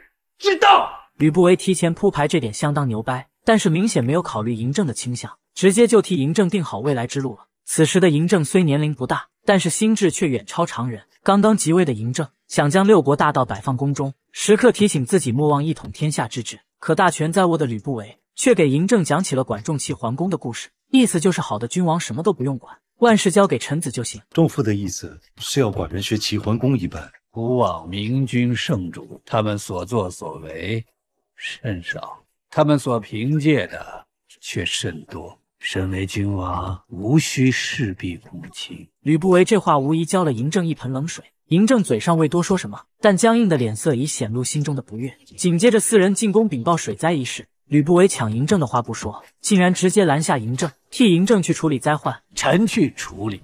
吕不韦办事确实雷霆手段，在吕不韦的有效救灾下，各处的水患都已平定，对今年的秋收也不会有太大影响。如今国库充足，吕不韦告诉嬴政。此时正是东出函谷收复失地之时。嬴政一听打仗，激动的够呛。明日大朝，寡人便命上将军蒙骜出兵。蒙骜标公已到了函谷关，大军集结完毕，即日发兵。大军都开赴函谷关了，吕不韦现在才来先斩后奏，那是丝毫没把嬴政当回事啊！嬴政一时尴尬不已，而蒙恬、蒙毅、王婉凡于期只能默声以待。已然发兵了。蒙骜公召标公攻魏，夺回圈邑，征战之事交给陈馀众将军们。大王请安心。面对吕不韦擅作主张的行为，嬴政无法表达心中不快。最令他为之震惊的，当属吕不韦要求废除斩首计功之法。吕不韦认为商君提出斩首计功，目的是鼓励秦人勇于征战，同时用非常手段震慑敌国。然经百余年磨砺，秦人无需再以刺激兵卒争功，斩首计功之弊已显。所以应改为夺地计功，与其杀尽六国之民，屠胜空城，倒不如让士兵百姓归田耕作，扩充秦国。嬴政虽不爽吕不韦越俎代庖，但也明白废除斩首计功是长远考虑，于是同意了此事。吕不韦颁布了新的计功方式。不久后，秦上将军蒙骜、彪公率领兵马再度东出函谷关，取得了胜利。吕不韦在朝堂上宣布对蒙骜等人的嘉奖，但是彪公斩了敌军首级三万，有违新的法律。吕不韦直接削爵夺回兵权。彪公站出来直言相邦处事不公，自己一生为秦大小数百战，难道就落得如此下场？嬴政刚要说话，吕不韦又抢话：彪公修正斩首济公之法，乃是为了蓄养人口，充实我大秦人丁，明知故犯，该不该罚？众父所言固然有理，可如此大事，事先竟不与寡人商议，彪公可是上将军啊！彪公想让秦王为自己说话，但是赵姬想拉拢吕不韦，于是应允了吕不韦的做法。而蒙骜乃至其他人也皆不敢出声。彪公，你还想让大王被罚吗？速速交出虎符！嬴政本想为彪公说话，可是却抵不住吕不韦大权在握。经过这件事情，秦军再也不斩首计功了。但是从此，嬴政便和吕不韦生了些嫌隙。外交官姚谷下朝后，好心提醒吕不韦，今日朝会罢免彪公。大王隐隐不快，可吕不韦根本没当回事，还说姚谷多虑了。姚谷其实不是提醒吕不韦的第一人。之前吕不韦捧着一小段《吕氏春秋》跟李斯显摆时，李斯就出言劝过吕不韦：虽权倾朝野，秦王尊为重父，但也应该仔细斟酌君臣二字。李斯认为，作为臣子，可以为大王做事，但绝不可为大王做决断。如今相邦欲为秦国做治国之纲，不知秦王知否？允否？李斯、姚贾都是旁观者清，但大权在握的吕不韦当局者迷。吕不韦立下框架，想让秦王嬴政按照他的思路走。殊不知祖龙嬴政那是相当有主见，于是摩擦嫌隙必然产生。没想到大秦新王出力，秦国就迫不及待的大举攻魏，不但夺下魏国权益，还连斩了三万魏族，这可给韩王愁坏了。想着难兄魏国已经被打，自己这个难弟挨打还远吗？于是询问众臣如何应对秦国即将到来的拳头。此话一出，韩廷顿时双打茄子，鸦雀无声。在韩王的步步紧追下，一韩臣提议合纵五国伐秦，结果直接被韩王否了。就在韩王继续苦思存活之法时，秦向吕不韦的求贤令道：“因为秦国多发水患，所以吕不韦向天下寻求水利大才。”韩王看了求贤令，又瞧了一眼水工郑国后，仰天大笑，想出一个皮秦妙计：“寡人有良策了，那就是骗秦国修个三百余里的大渠，到时秦国人力物力都被捆在水利工程上，东出之事只能搁浅，累死八亿脑细胞才想出此计的韩王。”听说李斯与韩非是稷下同窗，于是让郑国入秦后去找李斯帮忙。此时的李斯虽还未到嬴政身侧，但已确定在秦国发展，与秦有益，李斯便答应促成此事。李斯为打消吕不韦的戒心，让郑国以韩使身份同其他五国使臣一起去拜见吕不韦，并叮嘱万不可主动提及修渠之事。这时，李斯去找业者王婉，向王婉透露郑国是水利大才，韩国太小，无法让其施展，若能来秦，定能造福秦国。王婉一听，如获重宝。赶紧向吕不韦点出郑国是水利大家，才能不在蜀郡太守李冰之下，并请求郑国给大家讲讲水利的事。郑国顺坡当即将吸引泾水东注洛水，长达三百余里的水利灌溉计划道出。王婉正想问吕不韦意见，而此时不想暴露想法的吕不韦，只能装睡结束这场宴席。事后，吕不韦便和姚贾、甘罗、王绾一起商议是否要修建大渠。姚贾和甘罗皆觉得韩国狼子野心，王绾却极力支持。这毕竟是需要征调几十万民夫，修建十余年、花费不可估量的大工程。不懂水利的吕不韦一时也难以抉择，于是只能去询问蜀郡太守李冰建议。而得到消息的李斯，让郑国故作姿态，收拾东西，假装要返回韩国。王绾也是怕人才跑了。听闻后，火速来留人。李斯这一招帮郑国洗脱了嫌隙，而这时李冰的回信也肯定了，这是一项能造福百姓上千年的大工程。于是秦国决定在关中修建灌溉工程。目光短浅的韩王得知秦国决定修渠，韩秦边境的大军也已经撤走后，脸上都笑出了花，以为韩国能高枕无忧十几年。众臣也捧臭脚，大呼大王高明。只有韩非急得如热锅蚂蚁。韩非确实是有大才，但却不被韩王重用。此时的韩王自是想不到，大渠修成之日，也是韩国即将灭亡之时。荀子高徒李斯入秦很久了，吕不韦还没有安排正式工作。李斯不想蹉跎岁月，要回老家楚国，可吕不韦却让王绾杀了李斯，以免李斯为他国所用。深知李斯是大才的王绾，赶忙出言求情。吕不韦终是改变了主意，召见了李斯。李斯来了后，吕不韦笑着解释最近忙代码。吕不韦既然没杀李斯，想留下他，自然要给李斯安排个职位，于是便开始考笑李斯的才学。李斯毫无隐瞒诸子百家。自己独宠法家，法家法术是兼备，可望天下。李斯一番精彩至极的申论套餐，让吕不韦拍案叫好。于是拿出指阳令和管理文牍的尚书职位来试探李斯的野心。吕不韦见自己的心思完完全全被李斯看透，也不废话了，拉着李斯指向章台宫方向，想让李斯去嬴政身边当保安。李斯愿。吕不韦明知李斯与其政见相左，仍然让李斯去嬴政身边。吕不韦的胸襟宽广，让李斯敬佩不已。吕不韦也直言不讳，十几年前自己跟先王嬴一人时。做事确实都是为自己考虑，为了扬眉吐气、光大门楣。可自从当上大秦的相邦，一言可安天下，一言可动天下后，心里装的便都是大秦臣民了。只要对秦国有利的事，自己都愿意去做。李斯自此走进皇宫，在樊於期手下为秦王看大门。李斯靠着自己的努力，一步步走向秦王，而秦王也在等他。吕不韦自从当上大秦相邦后，各种事情那是忙得团团转。而此时赵姬觉得自己孤儿寡母没依靠，多次暗示想和吕不韦旧情复燃。甚至还和吕不韦开黄腔。你的厉害，我还不知道吗？吕不韦明白，偌大的王宫就赵姬一个人，定然是孤单寂寞冷。可此时的吕不韦肾亏厉害，再加上一心都扑在设计上，根本无暇旁顾听赵姬絮叨。于是便想选个人为赵姬排忧解闷。吕不韦在门客舍人中一顿搜索加打听，便将目标锁定在嫪毐身上。嫪毐英气俊朗，八块腹肌，善骑马，有战力，还颇有耐力。和他翻云覆雨后的女人都对他赞不绝口，流连忘返。就连眼高于顶的李斯都盛赞嫪毐这身材样貌确实斩女。嫪毐优质的样貌和强悍的硬件设备，让吕不韦当即拍板定下嫪毐，马不停蹄的将嫪毐送给赵姬。明面上说是给赵姬排忧解闷、说说话的，实际上做什么，其实三方都心知肚明。没见过世面的嫪毐第一次见太后，心里自是难免紧张。笨拙的嫪毐将三个橘子扔得毫无章法，哪都是。可赵姬最终还是留下了嫪毐。嫪毐对付女人确实有一套。赵姬和嫪毐第一次良宵，就迅速贯穿赵姬的道德底线。让赵姬流连忘返，不能自拔。吕不韦得知赵姬满意的讯号后，以莫须有的罪名将嫪毐五花大绑，对外说嫪毐所犯之罪应处宫刑，实则早已买通行刑太监，瞒天过海将嫪毐送到赵姬身旁。此时的嫪毐不知好事将近，满脸惊慌，拼命挣扎。收受重金的太监尽职尽责，避免被人瞧出真假，拿着镊子给嫪毐的胡子全拔了，还恶趣味的逗起了嫪毐。嫪毐昏迷前还担忧自己断子绝孙，等醒来时已经睡在软榻，一身红衣的赵姬正朝他走来。嫪毐第一时间确认兄弟在不在。赵姬见嫪毐吓得铁青的样，顿时笑靥如花。心有余悸的嫪毐不忘跪地叩拜太后，而赵姬则亲手给嫪毐递去一杯温水。曾经那个吃高档会所拿不出底销的嫪毐，自此一步登天。而吕不韦自是做梦都想不到，自己不过是找个男宠给赵姬玩玩，不料赵姬就是个恋爱脑，被玩的不是嫪毐，而是赵姬自己。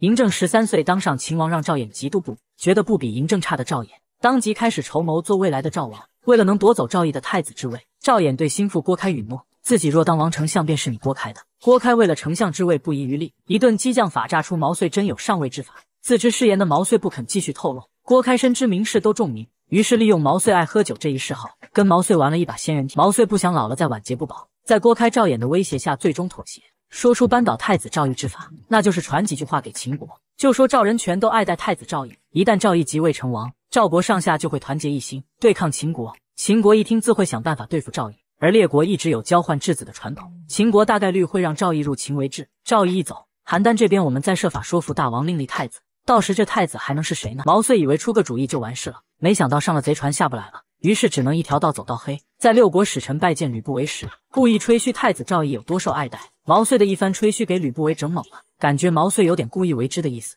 想到嬴政在邯郸见过赵义，便来找嬴政打探赵义的能力。赵义和赵衍谁成为赵王对大秦有利？嬴政指出，赵义若成赵王，必受臣民拥戴。虽能力有限，但只要重用廉颇、李牧，便可保赵国一时无虞。而赵衍生性顽劣，他若成王，定会重用郭开等佞臣，赵国朝堂定会被搅得乌烟瘴气。吕不韦听此，心里有了决断。敌人最懂敌人，嬴政对赵衍明显更了解。此时的嬴政虽对赵衍有血海深仇，但为了秦国长远考虑，嬴政已经会克制情绪，让吕不韦力推赵衍为赵王。心里有数的吕不韦当即派姚贾入赵，要求赵王将太子至秦。毛遂和文官虽建议太子入秦。可武将廉颇、李牧皆不同意。赵王不舍太子入秦，又怕秦国因此发兵，于是便打算派赵衍替兄入秦为质。此时的赵衍还以为计划得逞，正和郭开唱女庆祝。就在赵衍开心不已时，赵王召见赵衍，还以为老爹是要仰仗自己了，结果到了才知是晴天霹雳。赵王竟让自己带赵义入秦，怒意沸腾的赵衍当场拒绝，胳膊拗不过大腿，赵衍失魂落魄的回到府邸。而此时不明情况的郭开和昌女。正准备了乐队为赵衍庆祝，直到赵衍脸色阴沉，一把推翻桌案，郭开和昌女才确定出了变故。就在赵衍以为事情已成定局时，昌女临危不乱，提议去找秦使，让秦国给赵王施压，只要赵俨如此，或可有转。郭开带着昌女和自己全部家当求姚谷帮忙。姚谷本就是为赵俨而来，将郭开的会礼送到秦国密探那当储备资金。第二天，姚谷便带着棺材去找赵王，两条路给赵王：要不让赵义入秦，要不就杀了自己。自己都带好棺材了，赵王当即让人杀了姚贾。挖眼割舍包皮，而姚贾依然不惧谢赵王赐死。就在此时，得到消息的毛遂来了。赵王让毛遂通知廉颇整顿兵马，准备秦国即将到来的大军。毛遂不想将事闹大，劝阻姚贾是秦国四世重臣，一旦开战，秦国不灭，赵国不会罢休，让赵王不可重蹈长平之祸，并立下重誓。赵王一听毛遂说有把握接回太子，再加上也害怕秦国不死不休，于是最终同意太子入秦为质，并让毛遂带上厚礼给姚谷赔个不是。于是赵国太子赵义。在秦王嬴政和赵衍的合力下入秦为质，站在城楼上的赵衍和郭开看着远去的赵义，开心坏了。而赵王自赵义入秦，每日都在后悔不已，却为时已晚。秦王嬴政从秦灭六国大局考虑，在赵王重病缠身之际，力促太子赵义入秦为质，力推狡诈多疑的仇人赵衍为赵王。如今外交官姚谷不负使命，返程在即，赵义入秦已成定局。嬴政想着自己在邯郸受尽折磨，怎么也得先要回点利息，于是恳请吕不韦让他自行处置赵义，欲报乳母杀师之仇。然而吕不韦考虑到秦赵两国刚结盟，不宜再生嫌隙，于是果断拒绝。当天夜里，嬴政回想李斯白日里说的那番话，嬴政愈发觉得自己这秦王当的真窝囊，于是将李斯宣进殿内，反问李斯：如果仇人送上门来，你会怎么做？本以为白天一脸慷慨激昂的李斯会支持自己，不料李斯却给嬴政讲起越王勾践卧薪尝胆的事。李斯的意思就是，大秦不该磨磨唧唧蚕食六国，而该巧取豪夺，大展拳脚。现在只等赵王一死，赵衍尚未赵国大乱。到时秦军就顺势东出灭国，而此时最好不要为难赵义，以免赵王心疼儿子节外生枝。李斯的一番话，让嬴政胸中郁结豁然消散，决定好吃好喝供着赵义。不料嬴政能忍，心疼嬴政受尽羞辱的东儿忍不了。东儿告诉了赵姬赵义来秦的消息。赵姬一直以为欺负嬴政的只有赵衍，结果东儿爆出惊天内幕：当年赵毅约嬴政比剑术，没比过下不来台，就想杀了嬴政。要不是申月及时赶到，政儿就危险了。他们怕你担心，所以一直隐瞒了此事。赵姬一听，这赵毅原来也是道貌岸然狗东西，当即要为儿子出头。第二天上朝，赵姬还没来得及找茬，赵毅自己倒飘了。到了秦庭，不上前拜见秦王。吕不韦出言提醒后，赵毅虽拜见了，却毫无礼数，一脸瞧不起的样子，这给众臣和赵姬气坏了。嬴政替他解围，他还当众咆哮，秦庭众臣不急眼才怪。此时的赵毅还搬出赵国赵王，妄想让秦国忌惮，结果一点没耽误，送他去修陵，还是用牛车送去的。待朝会已了。赵姬才知吕不韦对付赵国的谋划，意识到方才行事鲁莽，斥责吕不韦怎么不提前和自己说。吕不韦深知赵命以下无法收回，只能先让赵毅在骊山吃些苦头，待日后再寻时机完成谋划。天下没有不透风的墙，太子赵毅被发配骊山修陵之事，被赵国密探得知后，火速报给赵王。赵王一听宝贝儿子被送去当劳工，顿时急眼了。李牧谏言太子年轻扛得住，秦国不敢真拿太子怎样？况且多经历磨难对太子来说是好事，可赵王心疼儿子，根本听不进去。赵王自从太子赵义去秦国为止，就无时无刻不在后悔。如今听儿子在秦国受苦，不管不顾就要带兵去打秦国救儿。李牧和廉颇吐露此事出兵太过鲁莽，廉颇无奈表示满朝文武都劝过，大王执意如此，谁有啥招？就连赵岩也忍不住吐槽：可怜天下父母心，重病缠身的赵王顶着无数压力，在冰天雪地的邯郸城外给众将士打了一波鸡血后，便亲率赵军伐秦，准备救回儿子。结果大军刚出去没几步，赵王丹突然从马背上坠下，当场摔得昏迷不醒。众臣迅速抬起赵王喊示意，而赵衍是万万没想到机会来得如此猝不及防。苏醒后的赵王知自己时日无多，第一时间让毛遂接回太子。赵衍劝说毛遂助自己上位，可毛遂不肯，已经马不停蹄去秦国接人。赵衍当即派心腹郭开准备杀手，半路杀了毛遂，嫁祸秦国。郭开为了丞相之位不遗余力，不辱使命，完成了刺杀行动。毛遂被杀的消息传回赵国，满怀期待的赵王顿时崩溃。赵王本就是强弩之末，吊着一口气等着见儿子赵乙，这一刺激直接断气了。于是公元前二百四十五年，赵王丹崩逝，谥号孝成。其在位的二十一年间，始终面临秦国东出的压力，经历了长平之战的惨败，也取得了邯郸之战的胜利，但最终大片领土还是被秦国蚕食。而赵王丹死后，赵衍顺利即位，成为赵王。战神绞杀机郭开也将上线。这是赵国王位更迭、朝政混乱之际。可刚刚即位的赵王衍竟口出狂言，头铁的要和秦国过招，还让李牧拿出个攻秦之法。李牧知此时不宜出兵，又不敢直说逆了赵王的意志，踢皮球称自己只是戍边之将。这时还得靠老将军廉颇谋划。代相廉颇刚正不阿，直言不讳。廉颇以为自己以退为进。赵王衍念自己功高会听劝，没想到赵王衍一秒都没犹豫。廉颇话已出口，只能咬牙交出相印。赵衍吐槽一国之相，相印可真小。随后便直接把相印给了郭开。郭开属实会拍马屁，先是指出廉颇是三朝元老，有畅所欲言的资格，骂臣几句臣无妨受得住。随后表态骂自己可以，但是若敢针对大王，自己第一个不答应。郭开属实是把忠犬护主演绎的明白，于是三朝重臣廉颇被郭开轻松弄走了。郭开一跃成为赵国丞相，廉颇虽失丞相之职，但还是上将军。郭开害怕廉颇日后报复，于是撺掇赵王衍下了他的兵权。赵王衍虽生性多疑，但也知道还要仰仗廉颇。不料这郭开有备而来。当即劝言大王出兵伐秦，好心让将士立功。可那廉颇老匹夫不知好歹，顶撞大王。廉颇不愿出兵，大王若硬要他统兵，就怕他不尽力啊。到时随便和秦军比划两下，说打不下来，外人都会以为是大王你决策失误。郭开见赵衍已经心生疑虑，当即劝言可让乐胜将军替代廉颇。廉颇毕竟是赵国名将，赵衍不想贸然换了。可郭开一顿忽悠，说赵国什么都缺，就是不缺领兵的大将。见赵衍还是不为所动，郭开直接打出感情牌。一把鼻涕一把泪，哭着说自己卑微，没大王的宠爱，自己啥也不是。廉颇跺跺脚，自己就命不久矣。郭开从小就是赵衍的伴读，一路走来确实是出力不少。如今一哭二闹三上吊的样子，赵王衍最终还是同意了此事。赵将岳胜受王命去带领廉颇军权，结果军权尚未到手，反遭廉颇毒打。岳胜解释这是郭开的意思，可暴怒的廉颇哪管这个，拿着鞭子给岳胜一顿抽。岳胜将军感觉颜面尽失，于是离开了赵国。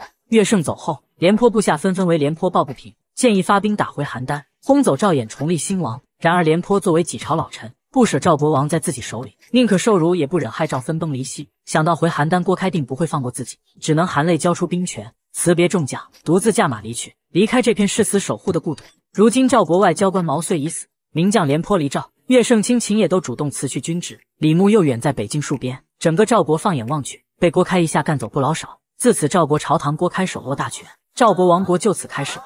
起因是秦王嬴政听了李斯之策，决定利用赵国王位更迭，宁臣郭开掌权，大将廉颇远走，朝野动荡，将士离心之际，东出函谷连燕攻赵。吕不韦怕战争让赵国朝堂再次凝结，觉得时机未到，想再等等，可架不住嬴政报仇心切，于是最终同意了连燕攻赵之事。嬴政见吕不韦答应，就像吃到糖的孩子，开心的和蒙恬兄弟大战了三百回合。秦国连燕攻赵的请求传到燕国后。和赵国有血海深仇的燕国君臣一致同意干翻赵国，燕太子姬丹更是亲自请燕太子日夜兼程赶赴咸阳，想着赵衍当初如此欺辱嬴政，联盟攻赵之事定是板上钉钉。殊不知此时秦王嬴政权力已被架空，相邦吕不韦擅权严重独揽朝政。姬丹入秦觐见那日，吕不韦当着文武百官的面多次打断嬴政说话，后来还是吕不韦想让嬴政说话了，嬴政才终于有机会和兄弟姬丹诉说想念之情。姬丹感动嬴政，未因身份变化就忘了兄弟。嬴政这边和姬丹打了包票，没想到嬴政前脚刚走，吕不韦后脚就变卦。吕不韦本来就不想出兵，如今修渠的郑国张嘴又要十万民夫，修渠与发兵共举，让吕不韦觉得有些捉襟见肘。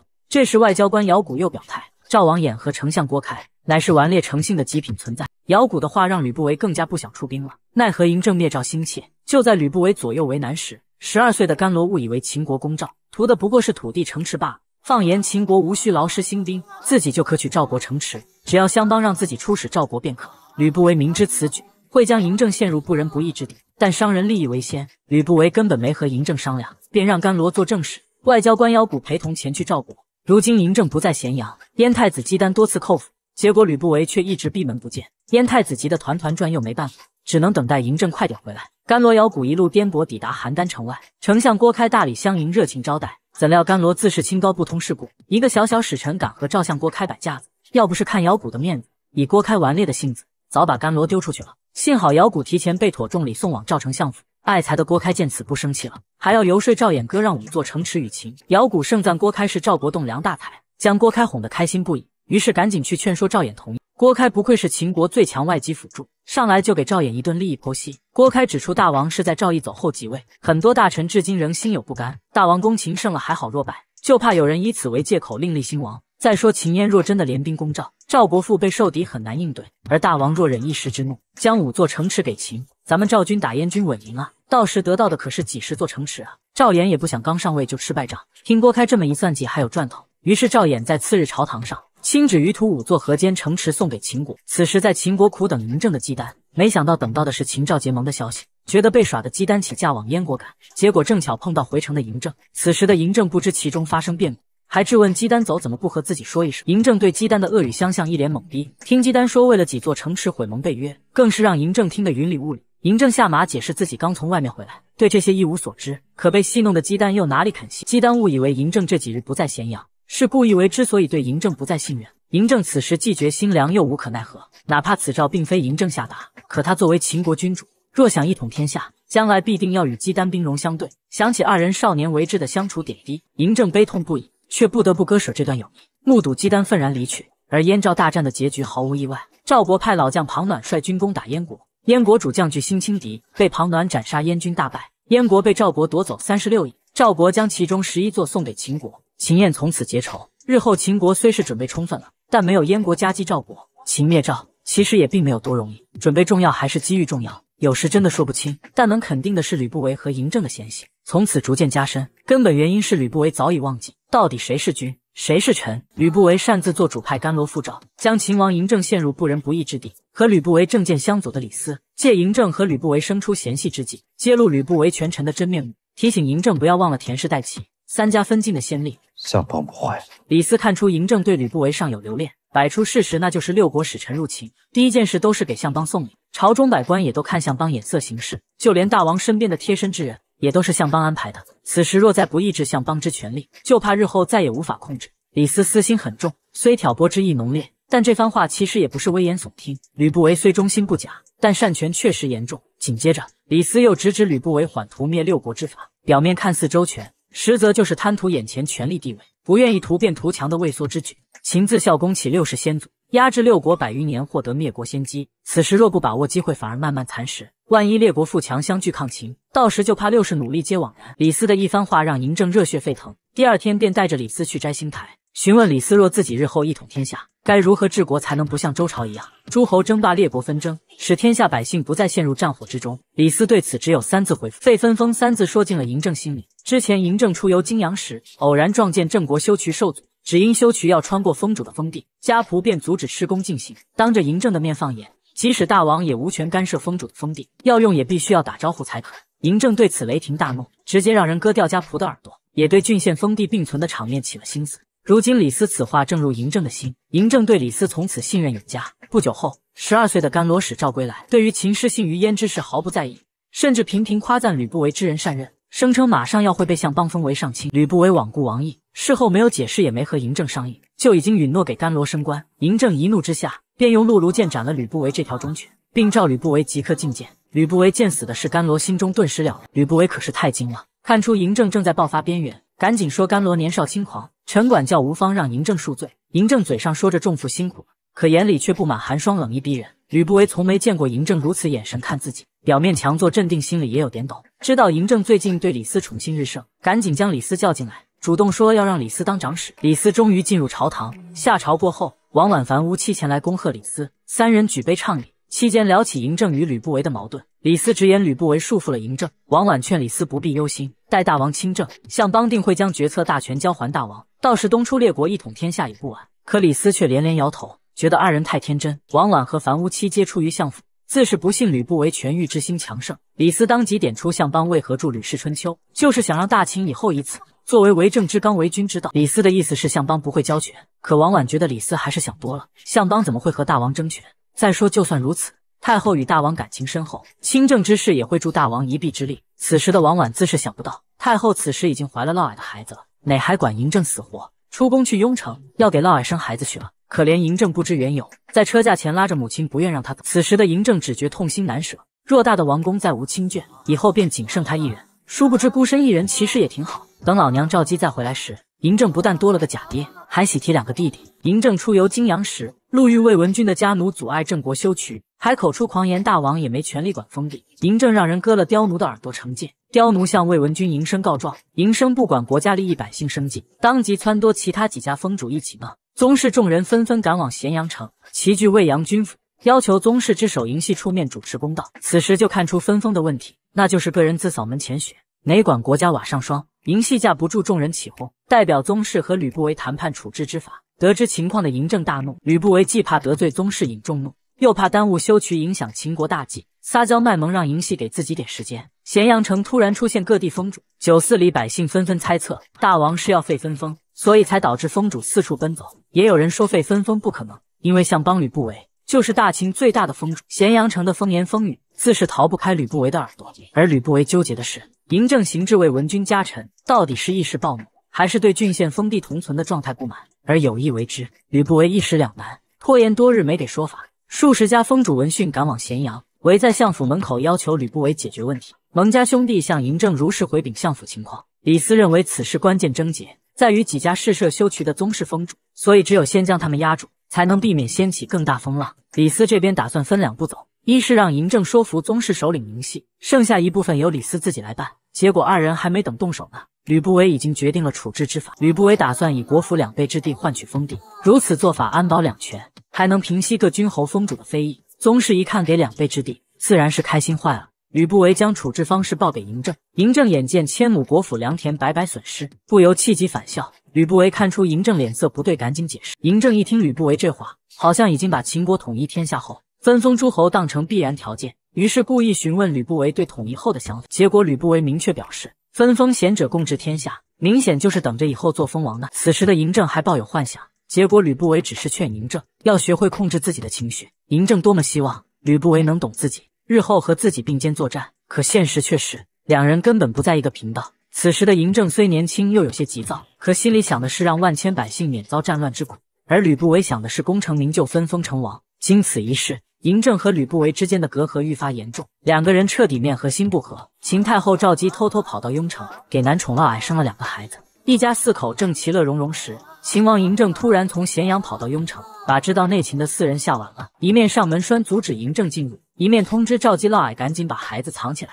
就在嬴政一脸懵圈时，得到消息的赵姬现身相迎。赵姬亲自出门，不是想念儿子嬴政，而是为了拖延时间，让四人宫女赶紧打扫好婴儿房。嬴政对今日的异常之举有些疑惑，但是并未深究，着急和老娘去大正宫叙旧。可赵姬一听去大正宫，脸色骤变，劝嬴政去别处。嬴政一根筋觉得大正宫方便，赵姬怕引起怀疑，只能同意。一面下令让嫪毐去收拾，一面让嬴政走慢点。此时的嬴政还不知自己喜提两个弟弟，正开心的诉说想念之情，还要在雍城多陪赵姬几天。赵姬一听待几天，倒吸一口凉气，当即询问嬴政此来吕不韦是否知晓。见嬴政表态并未告知，赵姬当即以此数落嬴政，怎么可动不动就离开都城？其实就是怕嬴政没事来的突然袭击，他这心脏可受不了。这时嫪毐已将大正宫收拾完毕，赶紧来给情妇赵姬通气。赵姬见安排好了，也不废话了，将嬴政带进大正宫，而且毫无久别重逢之喜，反而一脸寒霜冷意。嬴政当即询问老娘，自己明明给您写了书信，推荐李斯做御史，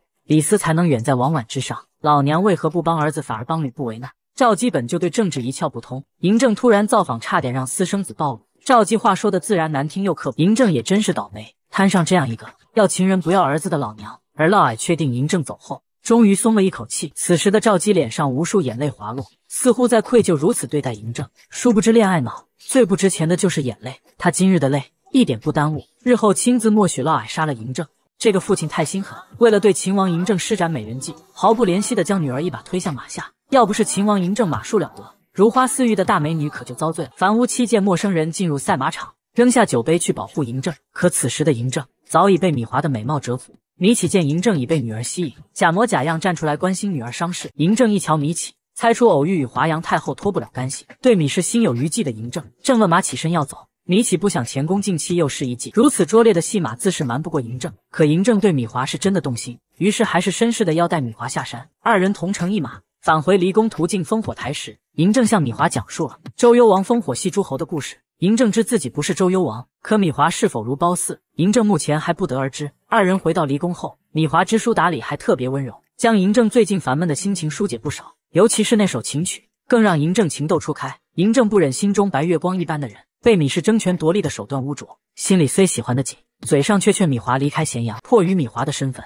嬴政只能放弃。可孤身一人时，脑海中却抑制不住都是米华的身影。嬴政茶不思饭不想的样子。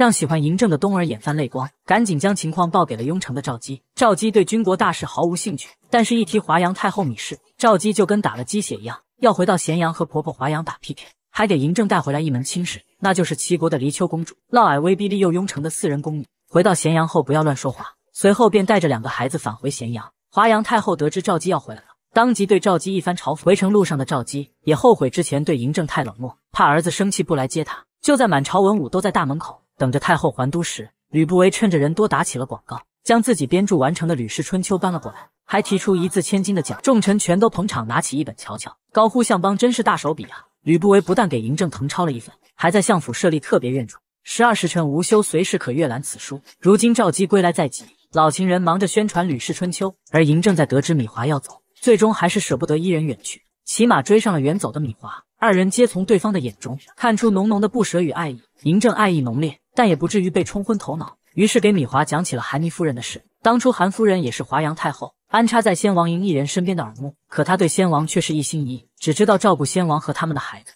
甚至在先王危难之时，也对先王不离不弃。米华本来就喜欢嬴政，听此自是明白何意，勾心斗角、尔虞我诈，本就不是他所愿，他也根本不想沦为妻子。嬴政被米华的告白感动不已，当即决定带米华回宫，娶她为妻。与此同时，赵姬已经到了咸阳城外，见嬴政没有来接自己。赵姬一怒之下要去找嬴政问话，赵姬知两个儿子还在车架里，于是和吕不韦同乘一车去章台宫，嫪毐则带着东西去安顿。就在这时，两个孩子推开箱子站了起来，给嫪毐吓得心脏漏掉半拍，飞速上车将孩子藏好，关上车窗，命车夫加速，给外面的文武百官看得一头雾水。赵姬在车架里询问吕不韦，嬴政为何没接自己？吕不韦对嬴政和处女的事一无所知，最终只能陪着赵姬在章台宫等嬴政。见到嬴政后，赵姬泪如雨下，询问嬴政是不是还在怨怪自己。嬴政表示自己从未有怨念，日夜都在思念母后。赵姬一听，因为处女没接自己，顿时气得七窍生烟。撂下话，正儿想成亲没问题，自己已经安排好一门亲事。嬴政对素未谋面的黎秋不感冒，非要娶处女米华。赵姬等人不想让米氏再起来，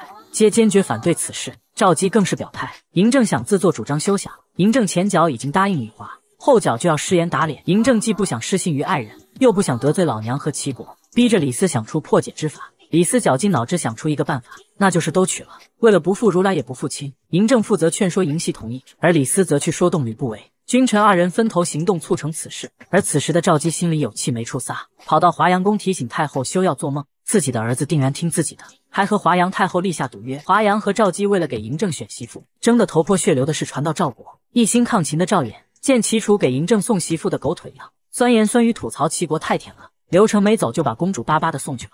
此时，赵相郭开害怕七秦联姻，日后会同时出兵伐赵，劝言赵衍要不也送一个公主入秦。赵衍气得暴跳如雷，差点没把战神郭开掐死。赵国没有派公主入秦搅局，所以赵姬的敌人仍是米华一个。为了让米华当众出丑知难而退，赵姬先使出狐媚手段，说服了嬴熙站在自己这边，以宗室之名举办宴席为离秋公主接风，并特意令米华一同参加。在宴席上屡次羞辱刁难，众目睽睽下不给米华安排正式座位，让米华坐在坐垫上故意敷衍。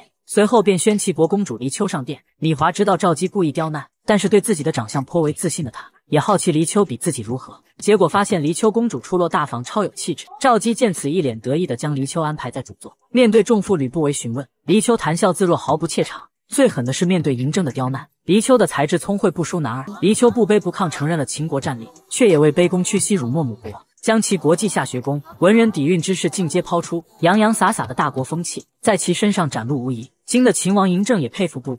吕不韦见此，更是开始打广告，请黎秋日后品鉴下自己的《吕氏春秋》。无论从齐秦联盟的政治因素考虑，还是相貌气度，众人都对黎秋看好不已。黎秋聪颖的知道女人的重点是丈夫，还懂事的主动敬了嬴政一杯酒。嬴政不愿小家子弃饮而下，黎秋的绝对出色，让米华自惭形秽，当场离席跑开。嬴政见此情形，向诸人交代几句，紧接匆忙追去。赵姬担心嬴政在受处女蛊惑，正欲阻拦，没想到吕不韦直接将他拉住。吕不韦的一句话将赵姬惊醒，没有嬴政，他又算哪根葱？此时的米华意欲自刎，免惹麻烦。偏巧嬴政平日里的闷油性子，竟在今时能言善道，哄得米华情深相许。嬴政将米华带回宴席，拉着米华邀请黎秋搭上自己的手，将同娶二女的决定昭告于众。二女都被秦王嬴政的王者气度折服，皆愿意不争名利陪伴终生。此时的吕不韦已经被吕思说通，嬴政又特意套用《吕氏春秋》中的典故，将外戚干政的弊端揭露，以此颁布新法，秦俑不立后，赵姬和姚贾等老臣虽不同意，可大权在握的相帮吕不韦点头。四车庶长嬴系也懂事的投了赞成票，于是这事就定下来了。不日，章台宫如期举行大婚典礼，文武百官各站左右两侧，两位国夫人一袭红衣，美的不可方物。秦王嬴政带着两个媳妇给长辈见礼，赵姬见儿子嬴政大婚成家，眼中说不出的感动。拜见完长辈后，秦王嬴政携着自己的两位新娘，共同接受百官恭贺。自此，秦王嬴政大婚典礼顺利结束，嬴政左拥右抱，抱得美人归。而按祖制，大婚过后的嬴政也即将要加官亲政了。殊不知亲政之路也并不容易。赵毅自从骊山修陵回来后，乖多了。知道老爹病逝、弟弟即位的消息后，一蹶不振，准备在秦国为质一辈子。没想到赵衍上位后倒行逆施，重用佞臣郭开，将赵国朝堂搅得天翻地覆，怨声四起。很多士大夫不堪忍受，想重新迎回赵毅，另立新王。得知消息的赵毅重新燃起希望，开始图谋重回邯郸之事。不久后，秦王嬴政大婚典礼，赵毅以恭贺为名，跑了吕不韦府邸两次。就在吕不韦不知赵毅搞哪出时，得到邯郸密报的李斯透露原因，赵毅是想回邯郸争夺王位。吕不韦知道赵毅有才。但不足以让赵国强大起来。赵义、赵衍谁当王都无所谓。吕不韦只是想看兄弟俩打起来。于是，当赵义再次来相府拜访时，吕不韦便将赵义心思挑明了。赵毅听此，直接摊牌。吕不韦顺水推舟一顿忽悠，给赵毅忽悠瘸了，当即叩谢丞相鼎力相助之恩。赵毅反国之事，吕不韦自是得和嬴政说一声。嬴政觉得赵毅成不了事，但吕不韦既然开口了，嬴政无所谓的表示同意，但是却提出走前要见赵毅一面。赵毅再见秦王嬴政，早已没了当初的嚣张，战战兢兢，怯懦不已，早已被磨掉锐气的春平君，被嬴政轻飘飘的几句话，便吓得慌乱不已，称自己只是日夜思念母国，想回家。嬴政见震慑的差不多了，便准许赵毅归国。赵义宝含热泪跪地叩谢。吕不韦怕赵义半道就被宰了，于是特意派秦军大张旗鼓护送，还骗赵义放心大胆的干。关键时刻，大秦兵马会助你。赵义大张旗鼓回赵的消息被赵衍、郭开知晓后，暴躁的赵衍差点没把郭开掐断气。偷听半天的昌女出来表态，自己有让赵义主动放弃争王、乖乖臣服的办法。但是昌女也有条件，就是此事若成，赵衍要践行承诺，立自己为王后，谦儿为太子。郭开此时定然帮着昌女说话，因为赵王若不同意，必然掐脖逼着他想办法。赵衍为了坐稳王位，只能答应昌女的请求。得到允诺的昌女在回程路上。让侍女将赵毅引到竹林，利用赵毅对自己的好奇心，不断勾引赵毅喝下阳春酒。就在昌女递上最后一杯酒时，赵衍药效发作，意乱神迷，竟冲上前去将昌女扑倒，欲行不轨之事。昌女见赵毅中计，迅速用指甲划伤赵毅的脖子，随后一脸怒意的亮明身份。发现中计的赵毅恼羞成怒，想要活活掐死昌女，却被外面的侍卫拦下。倒霉的赵毅无奈只能听了昌女的话。次日上朝，赵衍虽知昌女得手，但为了万无一失。还是安排无数兵甲在宫殿外面戒备，自己手也一直握着剑。众臣见赵毅回朝，正等着赵毅大骂赵衍昏庸无道，大家好趁势而为，废了赵衍。结果赵毅扑通一声跪下，眼含热泪跪着走向近前。赵衍见赵毅消停的称臣了，松了一口气，放心的将手从剑上拿下。于是，一场宫便还未开始，便仓促落下帷幕。吕不韦以为赵毅怎么也得激出点水花，结果没想到赵毅这么惨。事后，赵王衍也履行了承诺，不顾众臣反对，立昌女为王后。其子赵谦为太子，秦国辅助郭开为秦国说了不少话，奈何赵衍抗秦之心浓烈，想当合纵长。郭开聪明的赶紧转换风向，赵王衍当即派赵将庞暖游说六国伐秦，第一站便是颇有实力的楚国。庞暖游说列国合纵伐秦之事，被秦国密探报于李斯，李斯将六国欲要合纵之事告诉了吕不韦后，相帮吕不韦国尉营系上将军蒙骜三人一脸杀气，迈着六亲不认的步伐进宫和大王嬴政商议对策。按耐很久的蒙骜老将军。根本瞧不起六国联军，当即放眼打他。此时的王婉还看不清形势，劝嬴政收买六国权臣，意图将合纵扼杀在萌芽中。李斯反驳：以前还行，嬴政想将联军精锐全杀了。而吕不韦觉得让联军入关风险太大，嬴系也害怕万一吃不掉，咸阳会成危局，所以同意吕不韦的策略。嬴政对畏首畏尾的打法不赞同，可吕不韦觉得大秦到今天不容易，不愿意冒一丝危险。关键时刻还是李斯打圆场，嬴政见此只能同意。此时咸阳乃至各国酒肆，全是传言嬴政和赵姬不和，吕不韦和嬴政闹翻的消息。仇情甚深的赵衍听此开心坏了。此时的赵王衍已经飘了，要和秦国开始单挑了。而此时楚国在秦国有心鼓动下，屈景昭三家同意出兵伐秦。楚国出兵了，魏王出兵的心开始蠢蠢欲动，但是担心和之前一样被秦按着打。稳了一手的魏王命大臣先去打探韩国出兵意愿，这样万一有事，秦国不至于枉死打魏国，还有韩国帮着顶雷。吕不韦见有阴影的韩魏磨磨唧唧，故意派郑货当街羞辱韩人魏人。吕不韦这一巴掌将韩魏直接扇向了赵国，于是赵魏韩楚燕五国开始誓师大会杀鸡饮血，而齐国再次选择置身事外。赵魏韩楚燕五国代表歃血为盟，以楚国春申君黄歇为合纵长，赵国老将庞暖为统帅。合纵六十万精锐之师，携滔天恨意，浩浩荡荡直奔秦境而来。此时的秦国蓝田大营也热闹非凡，超多重磅人物陆续登场。第一个战马开到牛气哄哄登场的，乃是嬴姓宗室之首国尉嬴系；第二个吕子奇坐马车而来的，便是大秦最高权柄、满腹智囊算计的秦相吕不韦；第三位到场的，则是秦国秦王嬴政。秦王嬴政这排场毋庸置疑，绝对是牛掰中的战斗机。此次五国合纵是秦王嬴政即位以来最大的一场战役。秦王嬴政眼神坚定，似期待已久。利落飒气的将秦王剑别到腰间，随后雄赳赳气昂昂的带着蒙恬蒙毅，火速进入蓝田大营帅帐。吕不韦也知此战至关重要，要亲赴函谷关督战。嬴政自然担心吕不韦安危，没话语权的嬴政此时只能懂事的回咸阳等待消息。秦王嬴政走后，吕不韦便升帐开始兵力铺排。吕不韦将七十万秦军分成三股，四十万埋伏在函谷关外，十万守关，剩下二十万由桓乙率领扎在阴境，以防有变故策应内外。吕不韦的兵力部署传到咸阳。众人都觉得超稳妥，只有嬴政关心王翦在哪个环节。吕不韦因王翦跟他唱反调，让堂堂战神去押运粮草管后勤，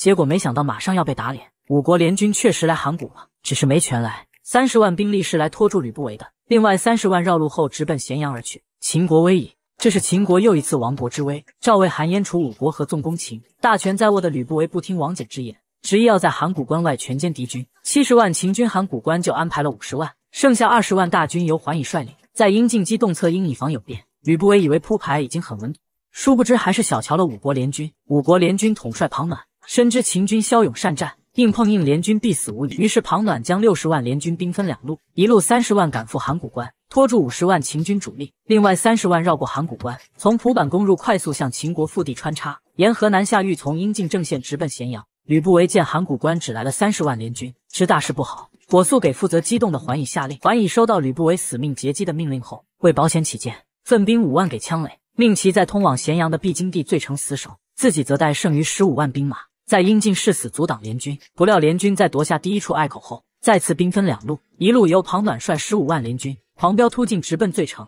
一路由项燕率十五万联军在阴境死命缠住桓乙。项燕死死咬住桓乙不松口，而庞暖的十五万大军。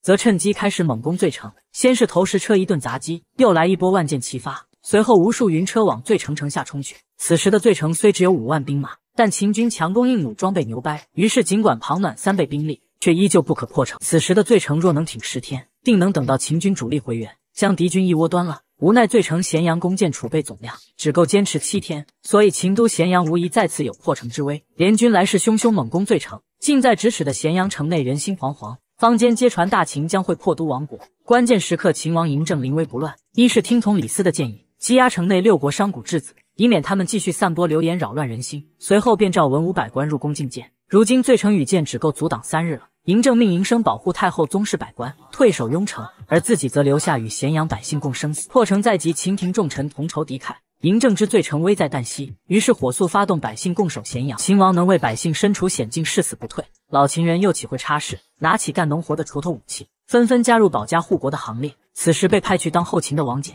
见秦国生死大难，便独自去见嬴政谏言良策。王翦知咸阳根本没多少兵马，于是提议从卸甲归田的老秦人中挑选两万人，再加上自己押送粮草的五千士兵，共带两万五千人，绕过罪城，直击项燕中军，驰援阴晋的桓乙将军。只要桓乙将军。能够趁势摆脱项燕在阴境的纠缠，定可保咸阳罪城无忧。秦王嬴政当机立断，不但应允此事，还将自己的三千郎官全部交给王翦。此时的罪城与剑只够半天了。就在罪城秦军准备明日近身肉搏拼死一战时，黑夜中无数重披战甲的老秦人如鬼魅般快速绕过罪城，往英晋的项燕大军直插而去。此时英晋联军大营兵将正在休息，王翦这波骑兵突然冲进，给项燕和联军都打懵了。趁着联军中军大乱之际，王翦赶到桓乙将军帅帐。请期待所有秦军驰援罪城，自己和两万多老秦人来顶住项燕。桓乙将军知咸阳危机，也不墨迹，火速带兵救援。而王翦则要拖住项燕十万兵马。次日，罪城的羽箭已经全部用完，秦军拿起近身兵器和联军正面厮杀，誓死守卫秦国最后的防线。而王翦面对项燕数倍兵力，老秦人拼死力战，最终也死伤殆尽。最终只剩下王翦和樊於期两人。就在联军大军压上要收割时，秦国主力终于回师赶到。此时的秦军主力携滔天杀意，似黑云压顶般风驰电掣呼啸而来，整个大地似乎感受到猛兽的低吼，开始震战不已。战况形势瞬间逆转。此时即将被碾灭的将是五国联军，而血气冲天、暴力厮杀的罪城这边，秦军终于也等到了桓乙将军的援军。庞暖见再不跑要被全歼，果断下令撤兵。最终关中五国合纵攻秦，虽离咸阳只有一步之遥，但最终上天还是眷顾了秦国。五国联军双打茄子，垂头丧气往回跑。殊不知进来容易出去难，轮到秦军收割了。赵回城路上见百姓议论纷纷，让樊无期去探听下说的什么。樊无期一顿打探后，将流言上报。请命自己前去处置，禁止大家再议论此事。嬴政倒是无所谓，可赵姬听到流言坐不住了，当即将韩妮夫人叫来一顿敲打。韩妮见事情闹大，让儿子成交杀了这匹野马。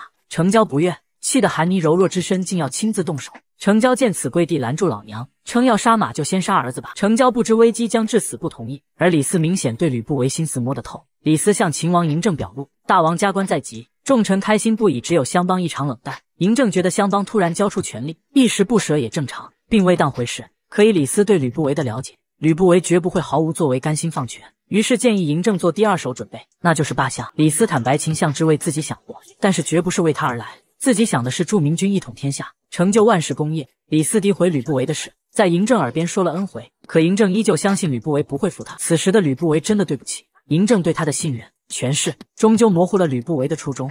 这是秦王嬴政最气愤的一次。自己前脚刚离开咸阳去军营巡查，后脚就背上手足相残的骂名。事情的起因是韩妮夫人想将儿子成交带离权力的漩涡，于是请成交的老师姚贾给出个主意。殊不知姚贾早得到吕不韦授意，姚贾建议成交凭军功受爵得封地，到时母子就可去封地，远离咸阳的是非。至于军功如何拿，只需要夫人与韩王先通气，让韩王打假赛，故意失掉五个城池就可。不知是计的韩妮听此照办。韩王知晓后，当即派人来秦。同意了假打仗的事，而且还要力推成交为秦王。在韩云三寸不烂之舌的游说下，韩尼答应了此事。随后，韩尼便去求见嬴政，将韩国同意献地的事和嬴政说了，请嬴政同意成交带兵出征。秦王嬴政嗅到危机，看出不对，坚决反对成交带兵。韩尼一时糊涂，见嬴政不同意，竟然去求吕不韦、李斯帮忙。吕不韦巴不得成交早点去，但是也害怕事成后嬴政雷霆暴怒。于是特意找来李斯询问意见。吕不韦就是想要借成交金助赵姬，来阻止嬴政加官亲政，自己好继续掌控秦国大权。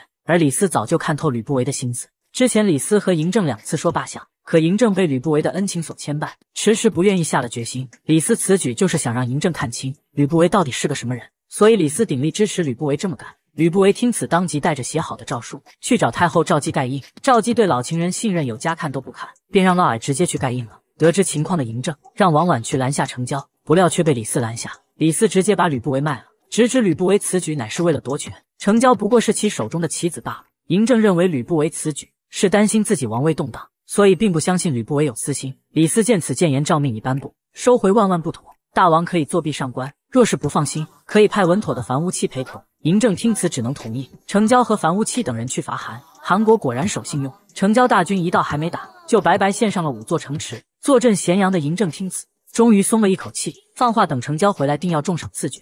随即又当众宣布，将要亲往大秦军营视察，以便知彼知己。吕不韦不想嬴政脱离视线，以大王安全为由，竟然要嬴政等樊於期回来再去。不料嬴政直接让蒙恬暂代郎中，再加上李斯附和提议，最终王翦与蒙恬率三千郎官侍驾。嬴政这边还没来得及走，咸阳便传出流言，说成交欲对秦王不利，城墙上还有成交背刺嬴政之图。嬴政看出这是有人故意挑拨。所以特意给歹人提醒，嬴政亲自去蓝田大营迎接成交，就是想警示众人成交不容伤害。随后更是直接封成交为长安君。本以为事情告一段落的嬴政，放心的去巡视军营，不料咸阳风波再起。此次风波的始作俑者便是赵姬。赵姬从嫪毐这听到咸阳传闻后，害怕成交对嬴政王位有危，当即命嫪毐搜集罪证。隔日秦廷朝会上，头脑简单的成交已经跳入陷阱，请命领兵伐赵。吕不韦正要借此撺掇成交谋反，没想到嫪毐突然站出来了。扬言掌握了韩妮成交谋反的证据，随后便将查获的书信奉上。吕不韦怕赵姬坏了自己大事，赶紧为成交开脱。不料赵姬自以为是，宗室之首嬴系不想成交被冤枉，赶紧站出来为成交说话。可赵姬认准的是，谁也劝不动。最终韩妮被囚禁雪宫，成交被送到廷尉府审问。此时的秦王嬴政正在返程路上，得知老娘竟然把成交下狱，顿时气得吐血，当即带领蒙恬、蒙毅率领轻骑快马赶回咸阳。此时的赵姬正和两孩子玩耍，得知嬴政突然回来了，给嫪毐吓坏了，抱着孩子开始藏。嬴政闭眼睛也想不到自己喜提两个弟弟，所以最终还是未能发现端倪，忙着询问赵姬为何要下狱成交。吕不韦之前已经劝过赵姬，再加上嬴政求情，赵姬最终同意放人。次日清早，成交受诏入宫。韩妮在小叶的口中得知了赵姬和嫪毐的奸情，为了保证儿子以后的安全，以命换命，自枪在赵姬面前，只希望赵姬日后能放过成交。而韩妮临死没想明白的是，赵姬其实也是棋子，想让成交死的是吕不韦。韩妮为了保护儿子成交自杀后，并未让吕不韦动了恻隐之心。此时的吕不韦在得知嬴政请嬴系助力自己快点亲政，好有保护弟弟成交的能力后，当即命心腹樊乌期接近成交，表面上宽慰成交，实则是想诱其反秦。成交因为经历丧母之痛，终对秦庭寒心，索性同意率领一支兵马反秦，意欲报仇雪恨。就在此时，赵国奸细莫弼、赵常站在门外偷听打探，结果被樊乌期当场抓获。樊乌期威胁莫必替成交送信，联络赵、韩两国发动援军。韩王安、赵王衍见此信大喜，自以为稳操胜券，还要拉着魏王也一起干。于是赵、魏、韩三国皆同意出兵。樊乌期恭贺成交的同时，故意提议他尽快说服相邦赠兵。傻呵呵的成交当即跑来找吕不韦，请命自己要领兵伐赵。吕不韦嘴上关心不语，心里早就笑开花了，顺水推舟同意了此事。为了防止华阳太后出来搅局，吕不韦承诺自己可以将流放在上郡的阳泉军米臣派回咸阳。吕不韦堵住了华阳太后的嘴，便召开秦廷会议，将成交出兵伐赵之事提了出来。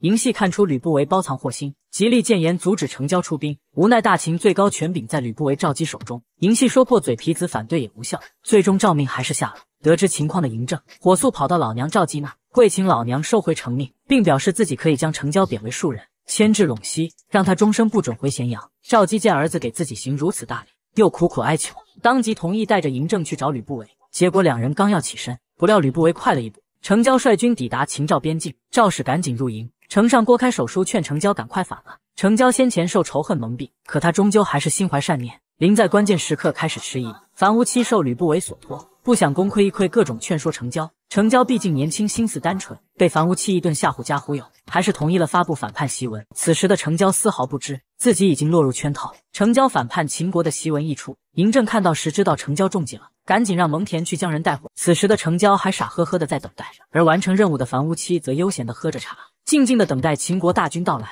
就这么待了几日后，秦将王翦率十万秦军来了。成交见王翦来抓自己，还等着樊无期替自己出手。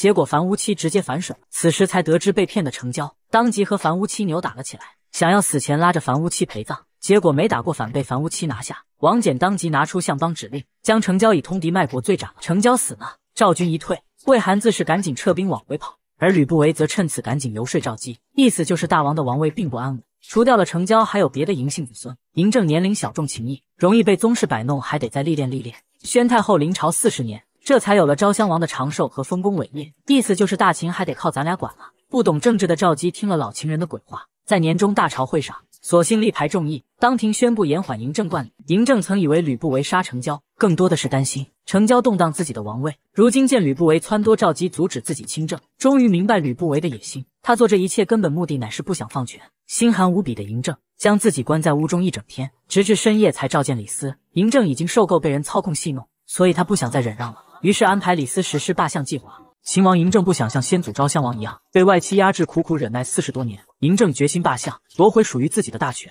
嬴政一方面命李斯寻找扳倒吕不韦之法，自己则来争取华阳太后的权势支持，以此来抗衡赵吕两派系。华阳太后本就是聪明人，早就瞧出嬴政非池中之物，也知道芈氏如今想扶摇再起，只能抱紧嬴政的大腿。于是借着给芈臣接封宴的机会，向芈氏一族表述立场，那就是芈氏日后将支持秦王嬴政。华阳太后对嬴政赞誉有加，笃定他是改天换地、一统天下之人。可芈氏众人眼光短浅，见秦国如今的军政大权皆被相邦吕不韦牢牢握在手中，觉得华阳太后说过了。华阳太后却一针见血地指出要害：吕不韦从一介商贾到权倾朝野，谋略胆识确实都超于常人。华阳太后坚信吕不韦不是嬴政对手，所以特意提醒所有芈氏族人。日后谨记，永远要忠于大王嬴政。而此时的嬴政也确实经得起华阳夸赞，比以前沉稳多了。吕不韦为了还樊乌期又成交谋反的人情，进宫觐见请秦王嬴政同意派樊乌期出兵伐魏。嬴政按耐住情绪，没有暴跳如雷，而是委婉的提出交换意见，那就是命蒙恬为郎中，李斯成为客卿。双方心照不宣，皆同意了此任命。嬴政随后还演起了戏，假模假样的说自己刚刚拜读完了《吕氏春秋》，让吕不韦给自己解惑其中细节。吕不韦一听嬴政看了自己的书，脸上笑出了花，表态自己定知无不言，言无不尽。回家路上仍不禁感叹嬴政的变化。就在吕不韦开心不已时，殊不知已经有弓箭瞄准了吕不韦。无奈黑衣人箭术一般，两箭射下去，吕不韦毫发无伤。黑衣人自己反被吕不韦的保镖追得狼狈逃窜。这个狼狈之徒。就是想为成交报仇的宗室子孙盈余。盈余逃窜中不小心跑到李斯府邸，被李斯府内高手兴盛直接制住。李斯让人拉下面罩一看是盈余，听手下禀报相府正在追刺客，瞬间明白盈余去干嘛了。李斯知宗室是站在嬴政这边的，不想宗室受到嬴余牵连，于是亲自出门应付想进门搜捕的正火。好不容易将正货搪塞走后，便让长子李由把银鱼藏匿在柴房内，命兴盛看守。结果这个人还真没白救，后期还真有点用处。第二天朝会上，嬴政和吕不韦按之前所约，给蒙恬、李斯凡、乌期都升官了。双方你好我好大家好时，大秦朝堂新的一股势力进入了，那就是软饭王嫪毐。赵姬竟然也要给嫪毐封赏，赏赐的名目就是秦法有定，告奸者与斩敌首同功。赵姬以嫪毐举报成交叛变一事，要给嫪毐赐爵。赵姬平常就是无知蠢妇，如今为了情郎，竟然能言善辩。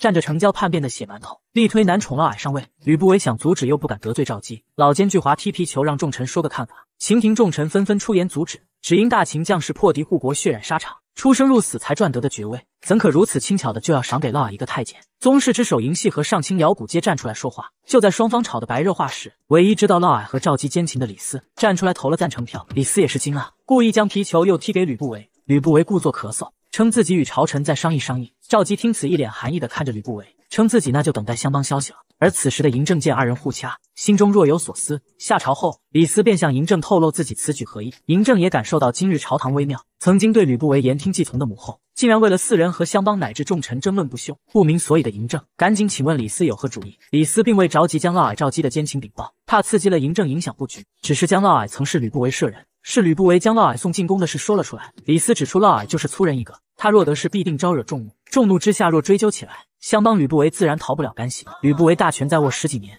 赵姬又对他言听计从，嬴政想夺回权柄，其实并不容易。而李斯确实给嬴政出了个好主意，吕不韦真就栽在嫪毐手里了。嫪毐绝对是吃软饭界的巅峰，堂堂秦国太后甘心给他生孩子不说，还力排众议要给他封侯。此时的嫪毐爵位编制还没下来，人已经飘了。竟然敢和宗室之首嬴系动手了！嬴系身兼国位，拿下嫪毐这跳梁小丑相当容易。但是考虑到嫪毐背后的太后，嬴系为了秦庭安稳，只能忍气吞声。吕不韦得知嫪毐竟然和宗室动手，气得直接扇了嫪毐两个耳光。吕不韦设计杀成交一事，本就让嬴姓宗室对吕不韦不满。如今嫪毐不知轻重，如此狂妄，这不是逼宗室和自己反目吗？吕不韦留下嫪毐罚跪，自己则赶紧去给魏阳君嬴系赔笑脸。此时的嬴系被嫪毐气完了，也没以前好说话了。直接表态相帮有诚意，就提着嫪毐的头来见嬴戏。不知嫪毐和赵姬关系，吕不韦知道又不能说，于是只能说漂亮话，称大王还未亲政，自己执意处罚嫪毐，就怕与太后生出局龉，让嬴系为大局考虑，别计较。吕不韦这是咬碎了牙往肚子里咽。而在宫内的赵姬听嫪毐因与嬴系打架，被吕不韦安排在相府罚跪，顿时心疼枕边人，当即跑来找嬴系。此时的嬴系也是瞎了眼，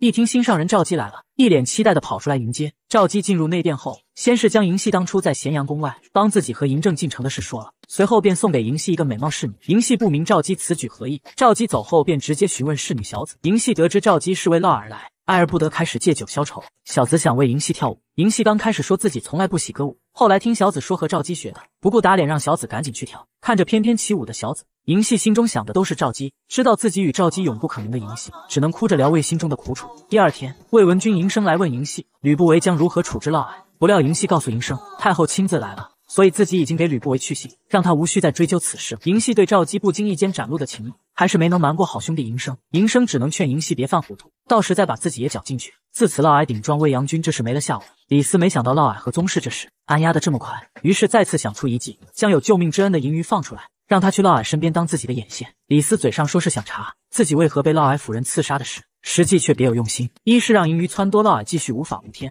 二是想查出嫪毐和赵姬奸情的铁证。只因当初给李斯报信的宫女刚出门就被嫪毐派的人杀了，李斯如今只能再做打算。此时嫪毐俨然是咸阳新贵，毕竟和国位动手还能安然无恙的。除了嫪毐，还真没别人。嬴余被李斯放了后，着手接近嫪毐，因为嬴氏公子的尊贵身份，再加上嬴余有心的奉承，于是很快就和嫪毐打成一片。此时吕不韦府邸管家正火见嫪毐名声大起，气不过在酒楼故意找茬，走前还指桑骂槐给嫪毐难堪。嬴余这摆明是撺掇嫪毐和吕不韦开干，而此时不满吕不韦的还有嬴系。嬴系当着秦王嬴政面挑明了，大秦最大的祸根不是嫪毐小人。而是相帮擅权，嬴系和李斯意见一致，那就是让嬴政罢相。嬴政害怕宗室头脑发热打乱计划，让宗室先沉住气。嬴系觉得宗室在自己手上，被搞得一点话语权没有，很是愧疚。嬴政见此表态，宗室是大秦首领，自己绝不会让宗室落寞。让嬴系沉住气，一步一步来。嬴政这边有了米氏宗室，乃是文武百官多数支持。吕不韦因为嫪毐被搞得一身脏水，嬴政正在逐步收归自己作为秦王本该掌控的权力。为了亲政后开启灭国大战，嬴政提前来视察秦国粮仓军备以及郑国渠的修建情况。嬴政第一项视察的就是粮食储备，结果发现秦国粮储远远超过自己预期。此时的六国百姓很多是吃了上顿没下顿，而大秦府库充盈不说，粮食成色也极好。而这样的大仓大秦竟有千余座，不得不说，吕不韦确实是为秦灭六国攒下不少家底。嬴政虽决心罢相，但却并不代表会无视吕不韦的攻击，当即给相帮吕不韦深深一拜。李斯见秦国粮储如此牛掰，再次劝言嬴政赶紧开启灭国大战。储备牛掰就罢了，还能回收利用。嬴系和李斯皆纷纷称赞吕不韦为大秦攒下足以平天下的家业，秦东出灭六国指日可待。不想吕不韦却表示这远远不虑，经常挨打的魏国见此，赶紧派人给嫪毐送礼，想要通过嫪毐将魏女嫁给秦王，希望因为姻亲关系。秦国能少打几次魏国，为加大魏女嫁秦王的几率，魏王还叮嘱手下给吕不韦也送去一份厚礼，省得一棵树上吊死。而赵国郭开在得知消息后，第一时间派自己的弟弟郭旦去恭贺赵人嫪毐受封，随后便赶紧将好消息告诉赵王衍。此时的长信侯嫪毐府邸集结了六国使臣质子奸细，那真是一个大杂烩。嫪毐对魏国赵国的礼物非常满意，赶紧引众人进屋参加宴席。不久后，秦太后赵姬到场。亲自为情人撑场面。就在此时，载着魏女的车受惊，关键时刻嫪毐驯马技术了得，当即拦下车架，英雄救美。魏女一下被嫪毐迷住了，也忘了初始任务，和嫪毐暗送秋波不说，还将头上的首饰送给了嫪毐。赵姬见秦王和别的女子谈笑风生，当即吃醋了。赵姬见嫪毐没跟出来，更加生气了，不但未帮魏国牵线嫁秦王，还大发雷霆给魏使魏女轰走了。走前特意送上昆山之玉给魏女，说是因为用了魏女的海珠。魏女见定情信物被嫪毐给了太后，自知自己是自作多情了。至此，魏女嫁秦王事情失败。而更惨的是，当吕不韦得知魏国给自己送了礼物，还给嫪毐也送了后，觉得魏国首鼠两端太过可恶，竟然要让樊屋弃伐魏。魏王也是倒霉，送两份重礼，结果反倒挨打了。秦魏大战结局也是毫不意外，秦国轻松先下魏国两城，魏国无奈又得割地求和了。自从魏国元城濮阳已被樊乌期攻占后，嬴政猜测魏国必然会割地求和。此时区区几座城池的割舍，早就入不了嬴政的眼了。为日后扫灭六国考虑，嬴政准备给魏国开出两个求和条件：直到深入魏境，大秦瑞士便可长驱中原；到时秦国借此北灭燕赵，南下基础，游刃有余，那可方便太多了。李斯开心，嬴政看得如此之远，又加了一条求和条件，那就是魏自秦化。李斯虽然私心很重，但是他的想法确实超前牛掰。李斯的一番话让嬴政茅塞顿开，嬴政当即敬了李斯一杯酒。将烈酒一饮而尽，而事情果然不出所料，被打蔫了的魏王迅速派魏国使臣入秦求和。魏使奉命递交国书，吕不韦一瞧才给三座，觉得魏国这是打发要饭的。狮子大开口索要十座城池，就在魏使慌得不知如何是好时，秦王嬴政说话了。嬴政表示魏国不想割地也行，只需答应几个条件即可。魏使知道嬴政这些条件，其实比割舍城池更狠。魏国奸细转身送给嫪毐一个可以白的封地的大买卖。还说以后嫪毐就是魏国的靠山了。嫪毐被魏国诱人的条件吸引，赶紧去找老情人赵姬帮忙。此时的赵姬正愁该听老情人的还是听儿子的，结果嫪毐让赵姬听自己的。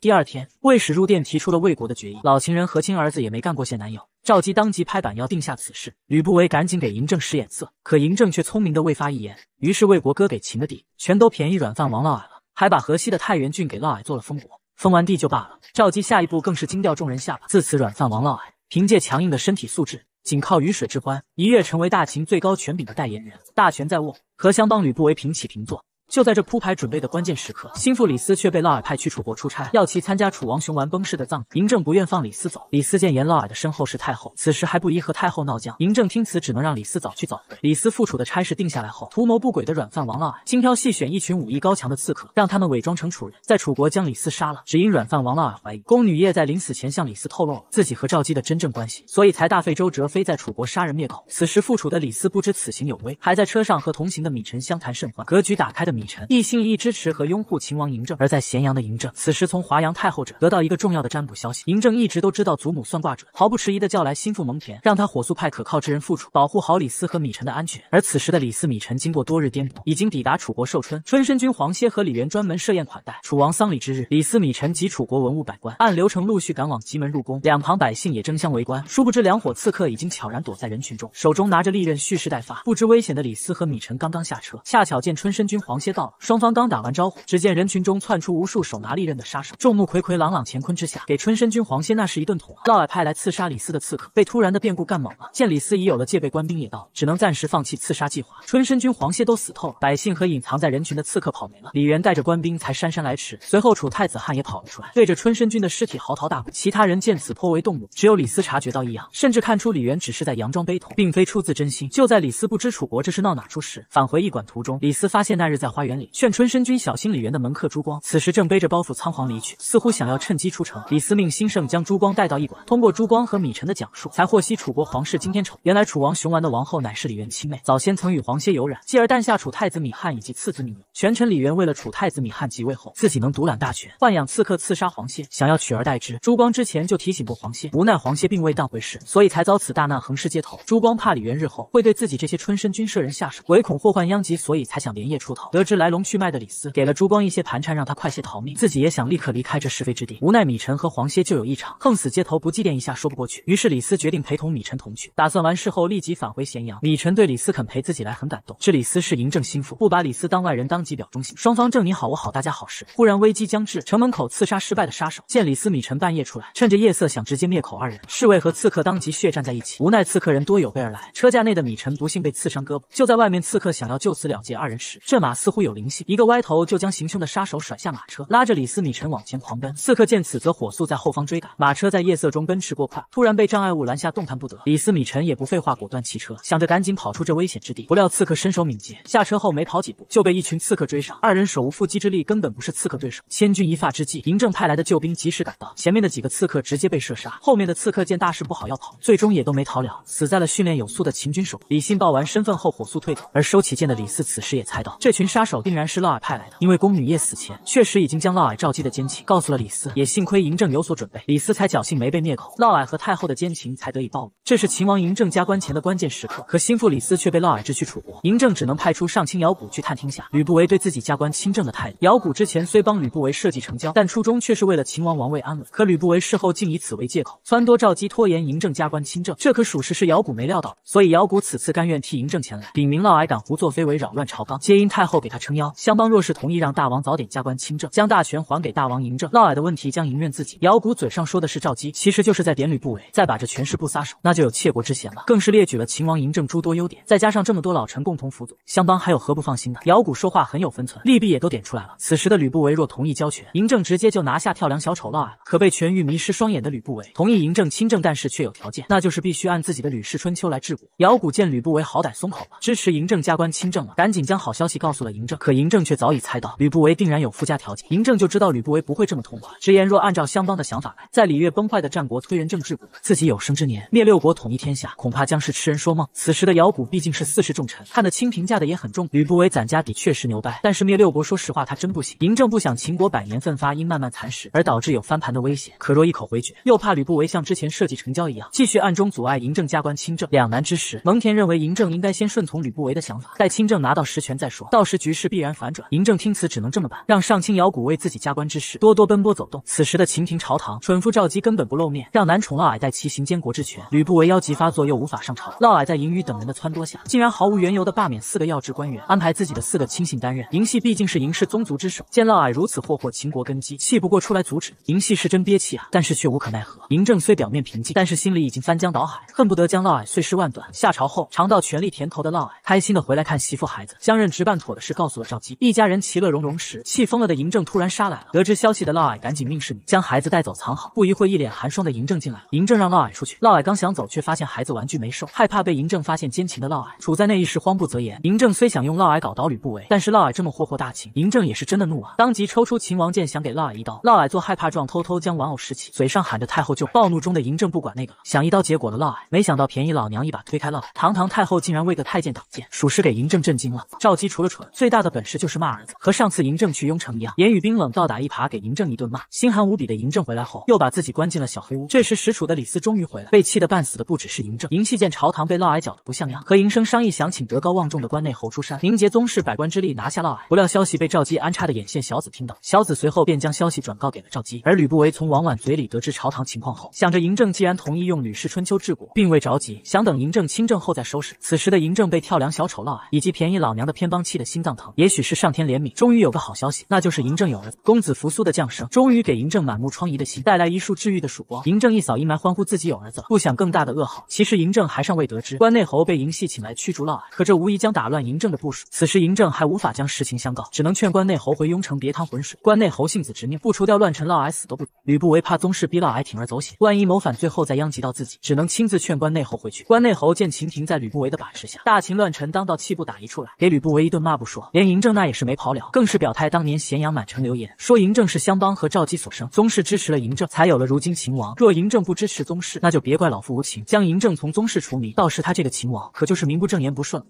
吕不韦劝关内侯不要乱说，当年那事已经定性为谣言，要是还借此栽赃大王，那可是要杀头的死罪啊！关内侯见吕不韦还敢斥责自己，顿时暴跳如雷，提着剑追着吕不韦骂。吕不韦说完话，喘着粗气，撒丫子往家跑。他是真怕关内侯一时暴怒，再给自己一刀，到时那可真是犯不着。吕不韦在关内侯这受了委屈，相府家宰郑货本就瞧不上嫪毐，于是趁着嫪毐外出打猎时，私自重金买杀手刺杀嫪毐。嫪毐本身就有点防身手段，再加上身边有高手为人破保护，刺杀最终失败，而杀手则被郑货安排人灭口了。嫪毐从情妇赵姬嘴中早已知关内侯来咸阳的消息，当即以为这是关内侯为杨军干的，发动狐朋狗友帮着查出证据。嬴余一直帮李斯在嫪毐身边做卧底，结果被不知情况的关内侯除了踪迹。嬴余怀恨在心，想报复，所以向嫪毐提议先去进贤居调查。一峰对刺杀之事毫不知晓，可嫪毐一伙非逼着他说出幕后黑手，嬴余更是蒙着眼睛，故意拿箭射死两个仆人。趁着一封惊慌不已时，恐吓他污蔑嬴系和关内侯两人。在嬴于的逼迫下，一封污蔑是关内侯和嬴系干的。嫪毐火速找情人赵姬为自己出头，赵姬只能给吕不韦施压。吕不韦劝赵姬分清轻重，太后若敢为嫪毐动关内侯，宗室必和太后殊死一搏。大王王位不保，咸阳易主，对他们来说也非难事。赵姬察觉到此事的严重性，也深谙吕不韦的手段，索性同意不再追查刺杀之事。事后，吕不韦得知是嬴于从中挑拨，将嬴于抓到相府审问。嬴于死不承认。吕不韦雷霆大怒，下令要处死嬴于。关键时刻，四人奉王命前来要人，嬴于才得以保全性命。鬼门关走了一遭的嬴于被带到章台宫后，知道是嬴政出手救了自己一命，宣誓誓死效忠大王。可在离宫之后又起了歹意。此时嬴系觉察到关内侯有危险，连夜安排他坐车离开咸阳。嬴于收到消息，立即鼓动嫪毐亲信和自己一起前去捉拿关内侯。管兵马的位位要职被嫪毐安插了自己人，所以关内侯最终被嬴于抓走。关内侯入狱后，嬴于一副小人得志的模样，严刑拷打，逼迫关内侯承认自己和嬴系派人刺杀了嫪毐。嬴于的丑恶嘴脸让关内侯作呕，关内侯宁死不屈，趁机张口咬了嬴于。被咬的嬴于恼羞成怒，立即让狱卒围殴关内侯。年事已高的关内侯经不住这般毒打，当场气绝而亡。嬴于发现关内侯被自己打死了，知道大事不妙，恰巧嫪毐等人正从外面进来，深知自己闯下滔天大祸的嬴于赶紧跑到旁边躲起来。嬴系得到消息，便立即去找吕不韦，两人一起去找嫪毐要人。好不容易来到这，结果看到的却是关内侯的尸首。嬴系发疯般打倒嫪毐，发誓与他不共戴天。嫪毐根本没把嬴系当回事，一脸无所谓的离开监狱。而吕不韦看着远去的嫪毐，眼中迸发的杀意已经掩藏不住。得到消息的李斯赶紧向嬴政禀报关内侯遇害之事。嬴政从未料到会有如此局面，震惊银鱼胆大妄为，但事已发生，只能叮嘱李斯随时留心银鱼，还有就是务必压住宗室怒火。只是可惜了关内侯，他本也是为秦国社稷安稳而来，最终却惨死在狱中。这是软饭王嫪毐最禽兽不如的时刻。明知小子已经怀有嬴系的骨肉，仍是在车厢内将他强行侮辱。被凌辱的小子万念俱灰的回到府邸，决心将嫪毐与赵姬的秘密告知嬴系。嬴系虽震惊赵姬、嫪毐的奸情，但是考虑到关内侯还未下葬，便想着先去处理好关内侯事宜。结果没想到小子将秘密说出后，朝嬴系说了句来生再见，便直接跳进了旁边的深井。等嬴系奔去时，已经来不及了。关内侯那可是宗室元老啊，无故被嫪毐的人抓进大狱，刑讯逼供，围殴致死。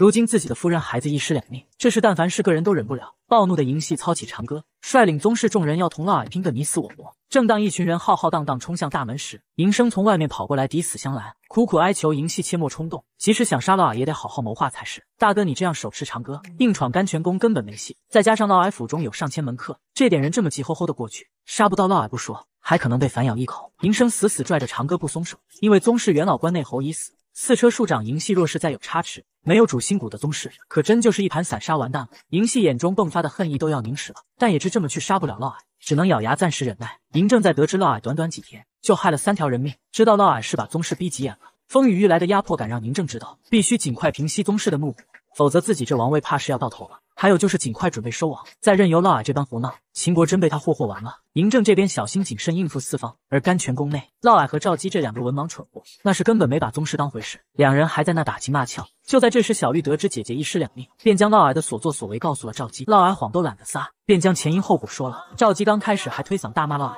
怎么给自己闯这么多祸？后来发现小绿已经跑了，赶紧让嫪毐去杀人灭口。追逐中小绿被两个官兵拦住，最终导致被嫪毐追上杀了。而拦路的那两个官兵也没好下场，被嫪毐一起灭口了。嫪毐毫不收敛，愈发嚣张。李斯知道不能再拖了，该把嫪毐和赵姬的奸情告诉嬴政了，于是便让嬴余去和嬴政说。嬴余虽知禀报此事有风险，但是关内侯死在自己手中，盈余不得不冒险，以攻补过，希望得以保全性命。盈余进章台宫觐见嬴政，请嬴政平退左右后，便跪地将嫪毐、赵姬奸情相告。嫪毐和赵姬的奸情已经让嬴政震惊，随后盈余便抛出更震惊的：太后赵姬当年突然去雍城，就是为了给嫪毐生孩子。六年中，太后给嫪毐生了两子。如今全部密养在甘泉宫内，嫪毐时常以大王贾父自居，臣看他迟早必反，所以将实情相告。盈余顺口溜一般将真相揭露，给嬴政彻底整崩溃了。嬴政颤抖着追问盈余消息来源，盈余并未暴露李斯，将消息推到死去的小绿身上，整个流程说的也经得起推敲。震惊不已的嬴政派人看管好盈余，不许走动，自己则冒雨跑向甘泉宫，想要眼见为实一探究竟。眼瞅着到了甘泉宫门口，嬴政又突然止住脚步，因为他一时不知，若真见到尴尬场面，自己该如何处理应对。于是像多年前那个夜晚一样，嬴政掉头往相帮吕不韦府邸跑，想找吕不韦出手帮忙。可当嬴政跑到相府外时，却再次停住了脚步。秦王正心中的火山，在其即将要喷薄而出的一瞬停住，而这扭转乾坤的力量，正是他内心从未有丝毫松动一统天下的志向。嬴系持刃上殿，意图杀了乱臣嫪毐，曝光嫪毐、赵姬这对狗男女的奸情。不料刚曝光的开头，就被秦王正一刀斩断了胳膊。突然的血腥变故，让朝堂文武百官震悚不已。除了嬴生出于本能一般，毫不迟疑地跑去扶起兄弟嬴系，其他重臣一时间无人敢上前，怕嬴政发疯再给自己一刀。相帮吕不韦素来沉稳支援，但是万万没想到嬴政敢砍四车数斩，被惊得良久，愣怔不知所以。直到李斯宣布退朝，吕不韦才缓过神来，眼见嫪毐已经酿成大祸。下朝后，吕不韦火速赶往未阳军府，称要和宗室合力铲除嫪毐。本以为和嫪毐有深仇大恨的嬴系会毫不迟疑一口答应，没想到嬴政这一刀。反倒给嬴系砍清醒了。嬴系恶狠狠地盯着吕不韦，意有所指的放话：只要大王加官亲政了，无论哪个贼子敢擅权乱国，谁都得逞不了。吕不韦见宗室对自己敌意颇深，为了和嫪毐撇清关系，再次提出铲除嫪毐，匡扶朝纲。嬴系被吕不韦这套说辞整笑了，冷笑当初嫪毐一步步封侯封国，滥用亲信之时，相邦氏一句话都不说。如今这是闹哪出？嬴系虽知吕不韦是擅权贼子，但也并未直接和吕不韦闹僵，因为嬴系想借吕不韦之手来铲除乱臣嫪毐。二人达成一致想法后，吕不韦离开未阳军府，紧急入宫面见赵姬，游说嫪毐削去封爵，远离咸阳，省得日后牵连自己倒霉。怎料嫪毐直接拒绝，不肯将这来之不易的荣华富贵交出。吕不韦见嫪毐还敢巴巴，告诉嫪毐这是在救你的命。嫪毐一听嬴信将军来杀自己了，害怕自己被乱刀砍死，最终只能咬牙同意了此事。而此时的秦王嬴政自然也知宗室的滔天怒火，于是，一面放出嬴余，让他加快步伐撺掇嫪毐谋反，一面亲自去嬴系府邸安抚躁动不已的宗室众人。此时的未央军府内，无数宗室之人在此集结。嬴姓宗室正义愤填膺，要入宫逼嬴政杀了嫪毐时，嬴政自己到来了。宗室众人因嬴政砍了嬴系，心寒无比，见到嬴政都不想行礼。众人的叩拜声吸引了断臂的嬴系。嬴政和嬴系对视了一眼后，便直接掠过嬴系走进室内，随后便和嬴系挑明了自己纵容嫪毐的原因。嬴政先是说出自己的苦衷，随后打了一波感情牌，将当初咸阳宫外嬴系长歌护送自己进咸阳的恩情，以及华阳宫变时宗室力挺自己登上王位的事，全部再次翻了出来，意在告诉嬴系乃至宗室众人，嬴政从未忘记嬴姓宗室之功。嬴政发自肺腑的一番话。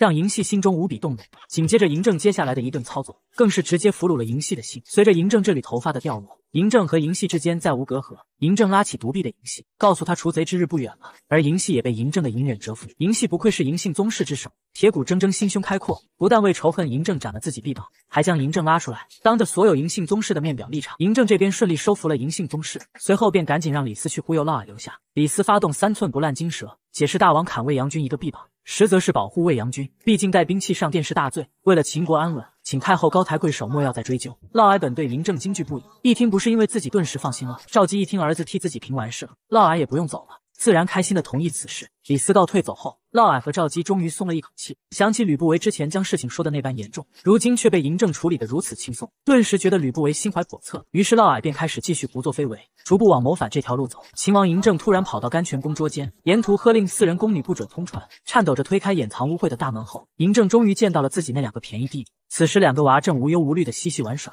明显被呵护照看得很好。嬴政一时心情竟前所未有的复杂。就在此时，嫪毐拿着费尽心思织好的木剑。开心的想给两个宝贝儿子当玩具，结果陡然发现嬴政竟然在这里，嫪毐顿时被吓得呆坐在地。不明情况的赵姬转身见到嬴政来了，也是脸色骤变。嫪毐对嬴政持剑砍嬴系胳膊的事，至今还心有余悸，喘着粗气瑟瑟发抖，可还是不敢违背嬴政命令，乖乖跪地将木剑送到嬴政面前。嫪毐递完木剑便赶紧跪地。嬴政瞧着木剑上的花纹异常熟悉，抽出自己的辘轳剑一比对，竟然真的按照秦王剑一比一山寨的。嬴政冷笑着嘲讽，两个孩子当即拿起木剑。习惯性的跑向便宜老爹嫪毐。嬴政刚才拔剑时，给赵姬、嫪毐吓得半死，害怕嬴政一刀砍死两孩子。见孩子好不容易脱离嬴政手中，赵姬虽浑身发抖，极其惊恐，却依旧竭力保护两个小儿子，害怕嬴政做出伤害之举。嬴政一步步的走向嫪毐，将嫪毐吓得连连后退。此时的嬴政心已彻底凉透，当即呵斥嫪毐出去。正殿仅剩自己与赵姬二人，跑出来的嫪毐见东窗事发，再无回旋余地，索性找来心腹卫尉赵杰，打算趁机绞杀嬴政，取而代之。起初赵杰尚有犹豫，毕竟此乃谋逆大罪。可当嫪毐答应事成后封爵赏地，富贵险中求的赵杰当即要干票大的，率兵和嫪毐包围了甘泉宫，只等嬴政一出殿门便立刻斩杀。嫪毐本以为计划将会万无一失，结果却被宫女言路过听见。此时和赵姬谈完话的嬴政关上门正要往出走，恰巧赶到的宫女言赶紧跪地示警。心中烦闷的嬴政并未多想，刚要抬脚离去，情急下宫女言只能开口提示，小言轻微的摇头，并朝外面瞥了一下。嬴政略一思索，便猜到外面定然已经布满杀机。嬴政本能的想拔剑拼个出路，可马上便否决了这个想法，因为嫪毐既然胆敢埋伏动手，定然是做足了准备，生死攸关之际。秦王嬴政脑子转的也是快，返回殿内拉着老娘赵姬和自己一起往宫外走。嫪毐本想嬴政出门便下杀手，万万没想到嬴政拉着赵姬一起出来，嫪毐一时不敢妄动，而嬴政嘴上和老娘赵姬追忆当年在邯郸的往事，可眼神却时刻扫视着四周，以防突然出现变故，好及时出手。直到宫内巡防的侍卫们到来。秦王政才总算松了一口气，松开了老娘赵姬的手，脱离危险的嬴政和赵姬告退。结果赵姬竟然在此时恳求嬴政放过刚刚差点弑君的嫪毐，许他携嫪毐与两个儿子返回雍城。嬴政自然不可能答应。待嬴政离开后，赵姬回到甘泉宫内，将意图行刺嬴政的嫪毐一顿责备。赵姬给嫪毐撂狠话：三个儿子都是自己的亲生骨血，谁敢伤害他们其中一个，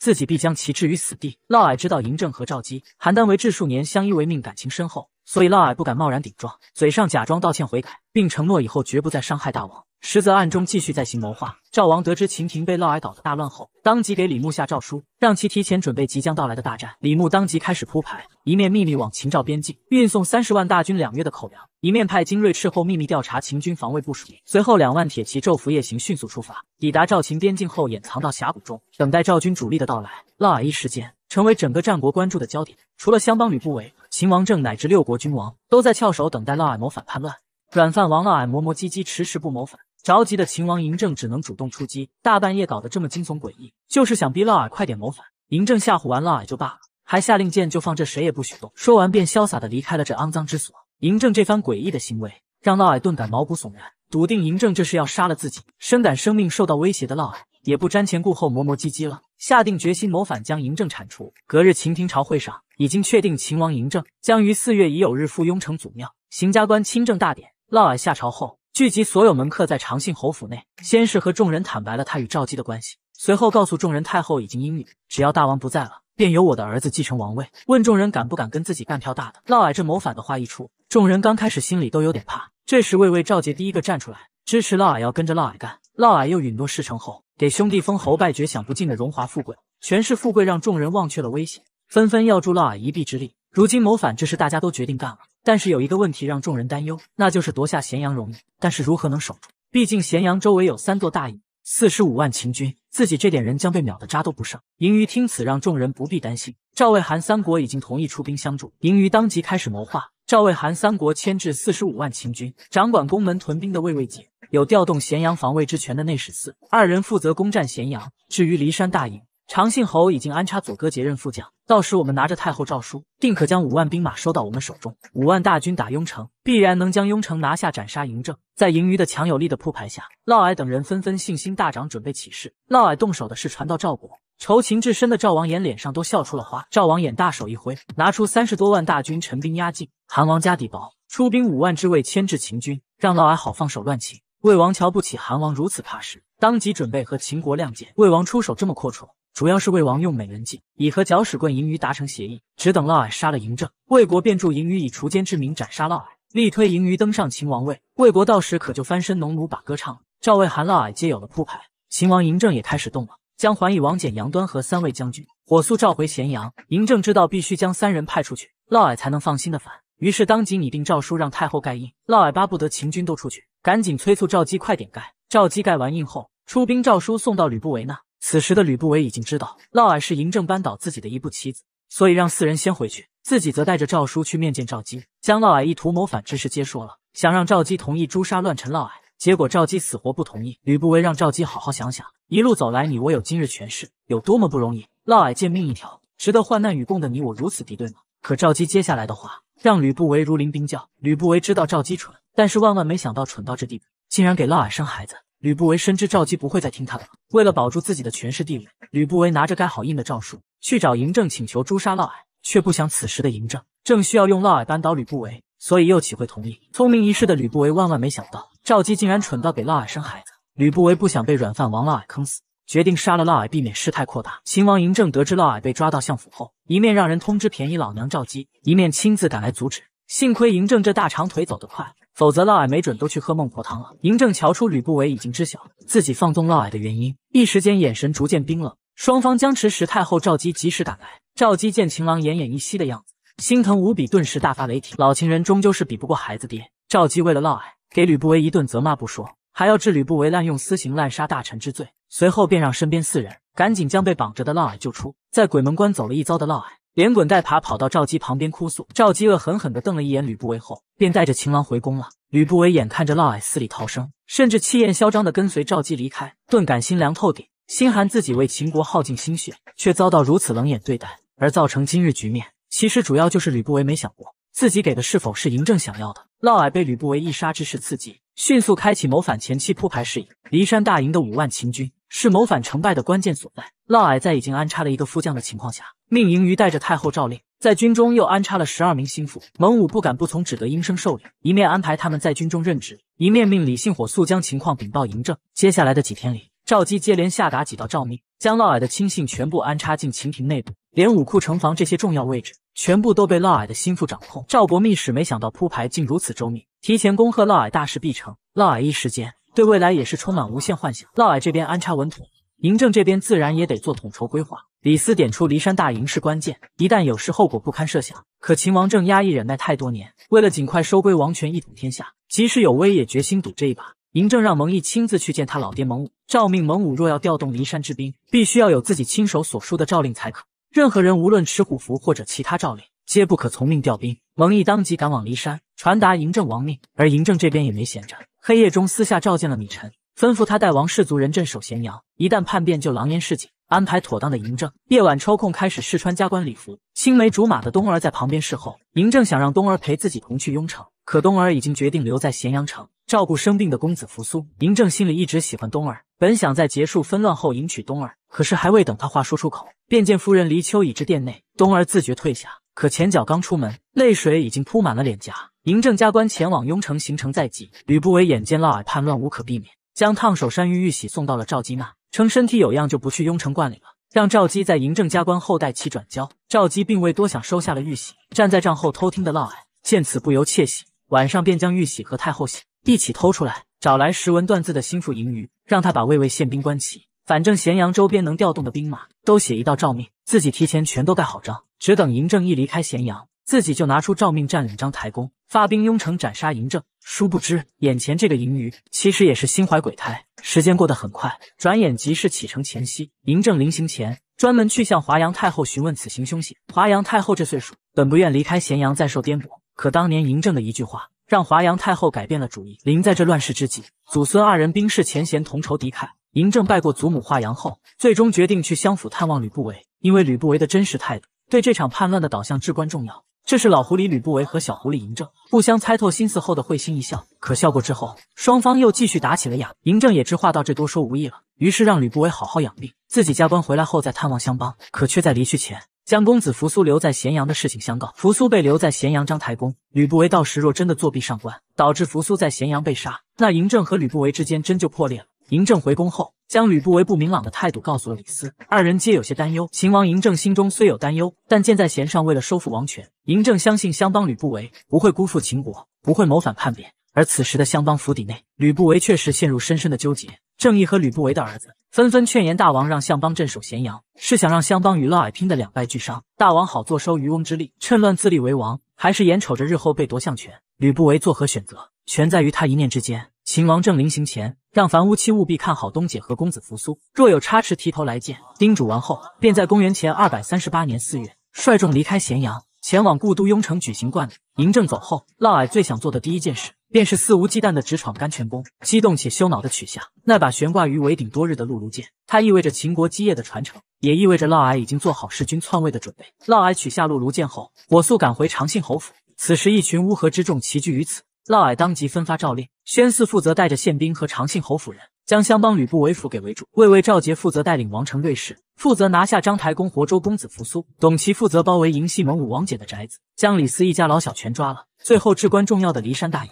嫪毐将虎符交给了嬴余，嫪毐这群乌合之众当即开始各行其事。魏魏赵杰手持太后诏令，想要接管章台宫，听王命的郎官不肯奉诏，被赵杰无情砍杀。赵杰仗着兵多，继续往章台宫挺进，而嫪毐和宣嗣则带着诸多宪兵甲士包围相府，意欲擒住吕不韦。结果吕不韦早有准备，提前在府内安排了弓箭手。一声号令，数以千计的箭雨从天而降，将嫪毐这边人马射死一大片，吓得嫪毐一时不敢妄动。而负责斩杀宗室的董齐，没想到嬴姓宗室皆埋伏在未阳军府，一时间反倒将嫪毐这边杀得伤亡惨重。得知消息的嫪毐当即又派三千兵马前去帮助董齐收拾宗室，整个咸阳顿时乱成一锅粥。阳泉军米臣见此情形，赶忙点燃草垛狼烟示警，正巧被嫪毐这边的反贼撞见。米臣带领众人死战叛军，拼死保护狼烟。咸阳狼烟一起，附近各地紧接着狼烟示警。翘首等待的蒙恬见狼烟已起，火速将消息禀报嬴政。秦王嬴政等的就是这一刻，当即召集众臣准备收网。不料其中竟出现惊天变故，在雍城得到狼烟示警的秦王政，火速召集众臣大政宫议事。在得到便宜老娘赵姬不情愿的表态后，嬴政当即宣布两道自己手书的诏令：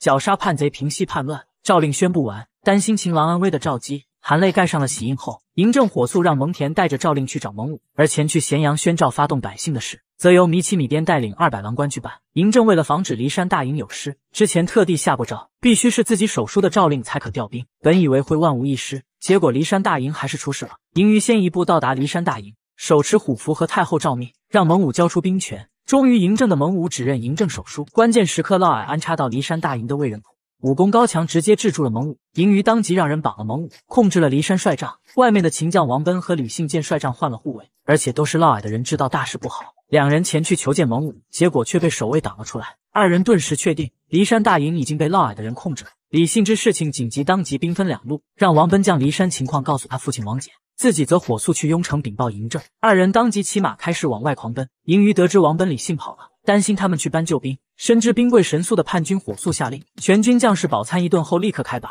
此时的咸阳城内，嬴姓宗室正和嫪毐叛军死命厮杀。慌乱中，嬴系得知章台宫即将陷落，公子扶苏在宫内性命攸关，嬴系当即让族人血战突围，准备去救援公子扶苏。嬴姓族人为了扶苏，那是悍不畏死。而此时章台宫确实快顶不住了，因为嫪毐心腹提前占据了武库城防，兵力武器上的巨大差距，让章台宫的郎官根本难以阻挡，只能退回大殿防守。章台宫内血流成河。而宫外的情况反，而此时丝毫未察觉到攻守一行的嫪毐，还不知死活的命人扛着攻城锤，正要敲开固若金汤的相府大门，而门内的一幕让嫪毐这群叛贼彻底傻眼。还未等叛贼反应片刻间，无数箭雨像不要钱一般朝叛贼射去，将叛贼射倒一大片。叛贼被这波猛烈的攻势吓得狼狈往后撤退。而这时以秦国安危为重的吕不韦，终于开启了他的猎杀时刻。在吕不韦的号令下，相府上千门客将嫪毐这边的废柴。杀得毫无招架之力，只能狼狈往章台宫逃窜。结果嬴姓米臣刚刚清扫完章台宫叛军，见嫪毐还敢来送死，当即提刀朝嫪毐这伙叛贼杀去。嫪毐留下一群倒霉蛋挡刀，自己则带着兵马迅速转移。结果被追来的吕不韦正巧堵住，在宗室和吕不韦的合力绞杀下，嫪毐一党基本快被屠杀殆尽。可嫪毐却还嘴硬说自己没输。嫪毐带着零零散散的手下开始逃命，吕不韦趁势要去追捕，结果却被嬴姓宗室拒绝。咸阳城内刀光剑影，血流成河。而在雍城的秦王政，此时正在举行加官亲政大典。咸阳叛乱的大局虽然已定，可嬴政的危机并没有解除，因为骊山大营的五万锐士正被叛贼控制往雍城杀来。此时叛军距离雍城不足三十里，嬴政拔出秦国历代相传的秦王剑，接受上天的赐福。从此刻起，二十二岁的秦王嬴政终于手握权柄，加官礼毕。赵姬则按祖制归还监国王玺。随后，嬴政手持秦王印，颁布了自己亲政以来第一个诏令，国书火速被传往边境以及咸阳。赵魏韩根本不敢妄动。只能寄希望于在咸阳作乱的嫪毐能成事。结果最终还是让列国失望了。嫪毐在咸阳被杀的狼狈逃窜，而被叛军控制的五万骊山锐士，在奔向雍城不到二十里时，被战神王翦的一万骑兵反超了。战神王翦当即据险设伏，王翦这边埋伏好后蓄势待发。当银鱼带着兵马驶入陷阱范围后，只见一块巨石从天而降，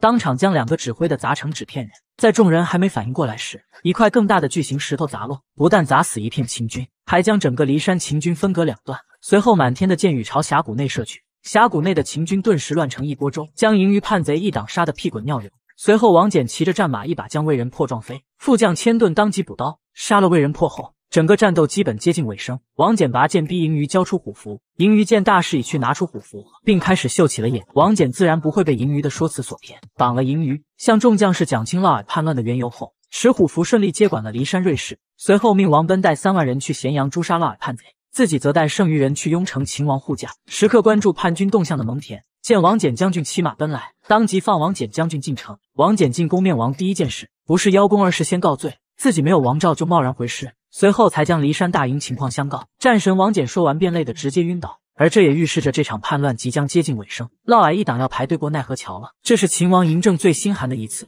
雍城告急自己生死攸关之际，太后赵姬一句担心宽慰的话都没有。如今一听秦王嫪毐被追杀。鼻涕一把泪一把的求嬴政放过嫪毐，无视几近崩溃的儿子嬴政，拔出秦王剑抵在自己脖子上，意图以此来逼嬴政妥协。嬴政见到这一幕，更是心底哇凉。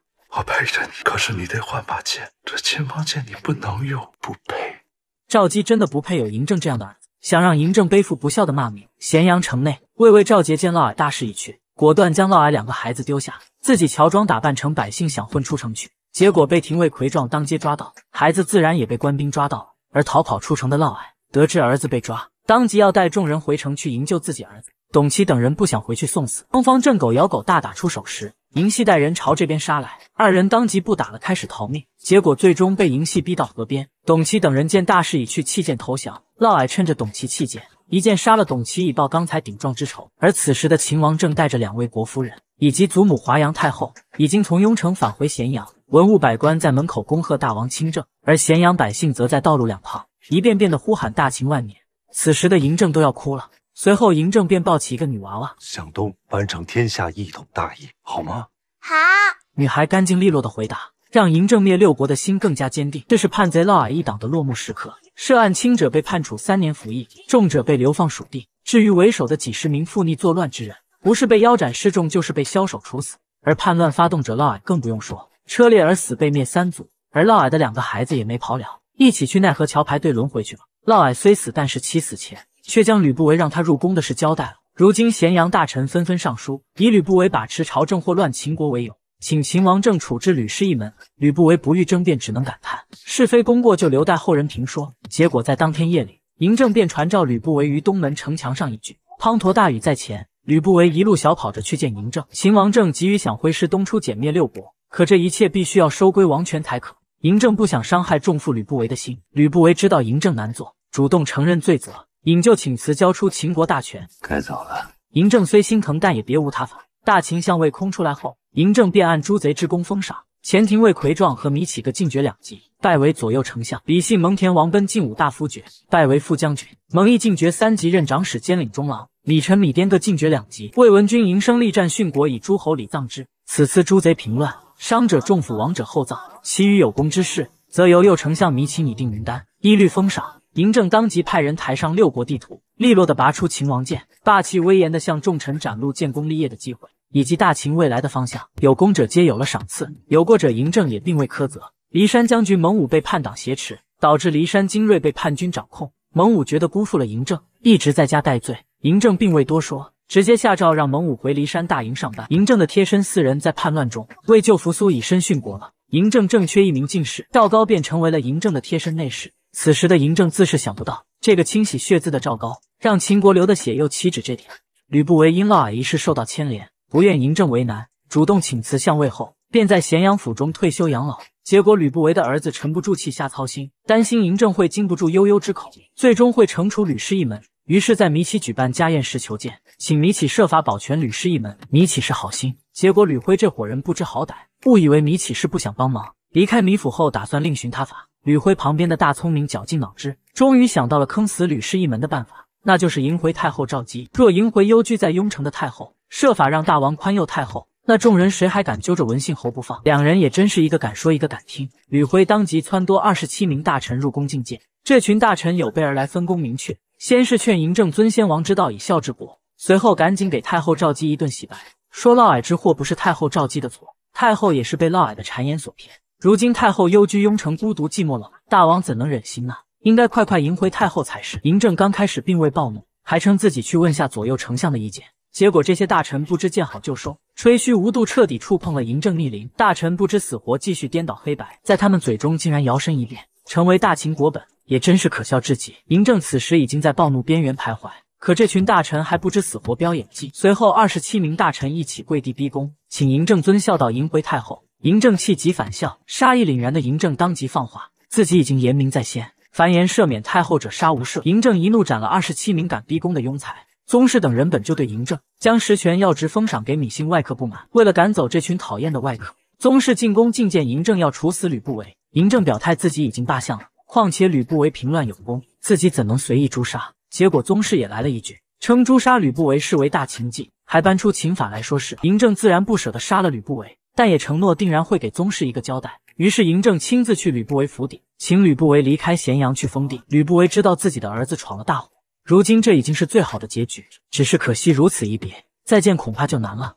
嬴政一脸落寞的称文信侯，不日即将返回封地洛阳，日后自己若想再当面求教，将再无可能，自己身边将又少了一个可以相知相敬的良师。嬴政知华阳太后是芈氏的主心骨，所以毫不避讳的袒露，自己即位秦王后，每一日都是如履薄冰。如今我大秦东出灭国在即，自己身边若没有一个大度筹谋之人辅佐，万千的重担全在自己一人身上，难免会纰漏百出，难免会事有不达。嬴政随后将六国聚集郢都，商议合纵攻秦之事，告诉了华阳，让身为楚人的华阳太后给自己举荐一个干才。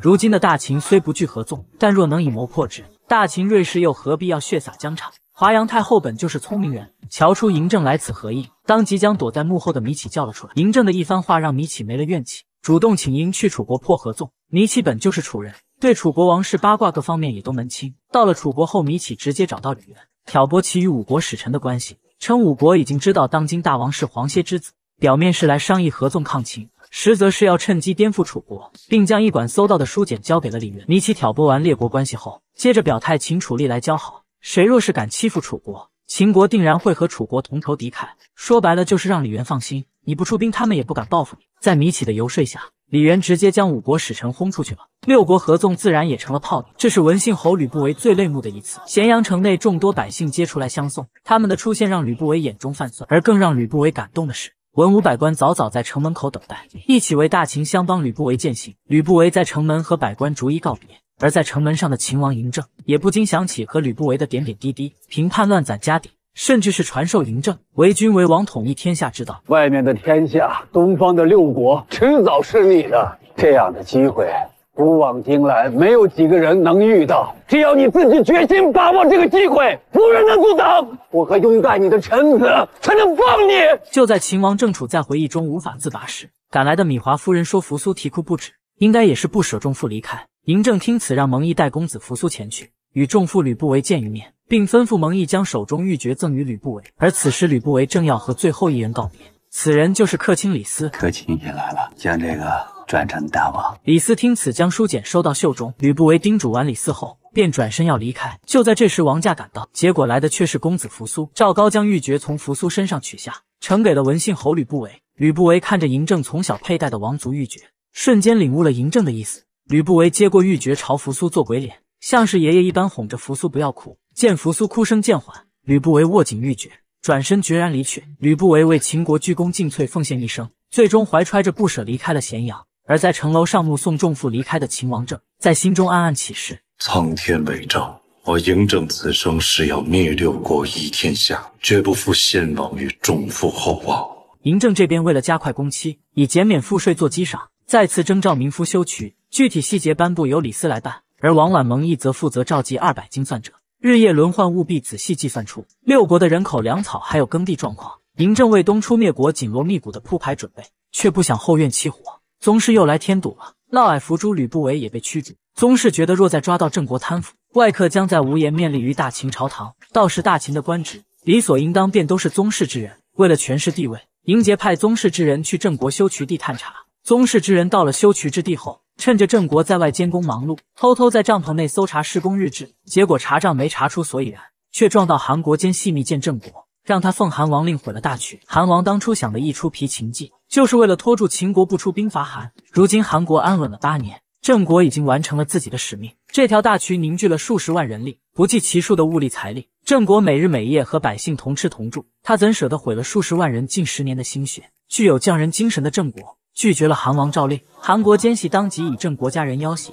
就在郑国两难之时，碰巧客卿李斯叫郑国前往咸阳讨论修渠之事。韩国奸细见此，给了郑国三天时间，称三日后在咸阳等郑国回复。而这一切皆被躲在一旁的嬴姓宗室听到，二人当即将郑国是韩奸的事禀报了魏阳君嬴系。此时的郑国在咸阳商讨完修渠细节后，深夜去找韩国奸细求情，请韩王放过自己，放过辛苦八载的数十万民夫。韩国奸细见郑国不开窍，劝郑国修渠时多丈量几尺，让民夫少挖几尺，这工期就能拖他个三年五载。没人能察觉到你动手脚，我也好向大王交差。不料郑国还是不同意。就在双方僵持、互不退让时，魏阳君嬴系派人来捉奸。屋内听到声音的二人火速撤离，可宗室之人就是奔他俩来的。于是郑国和韩奸全被抓了。魏阳君将郑国是韩奸的事禀报了秦王嬴政。李斯深知郑国脾性，替郑国说尽好话，可嬴政却仍有担心。嬴政见李斯以性命作保，于是亲自去大狱内见了郑国。最终嬴政选择相信郑国，结果却遭到宗室众人不满。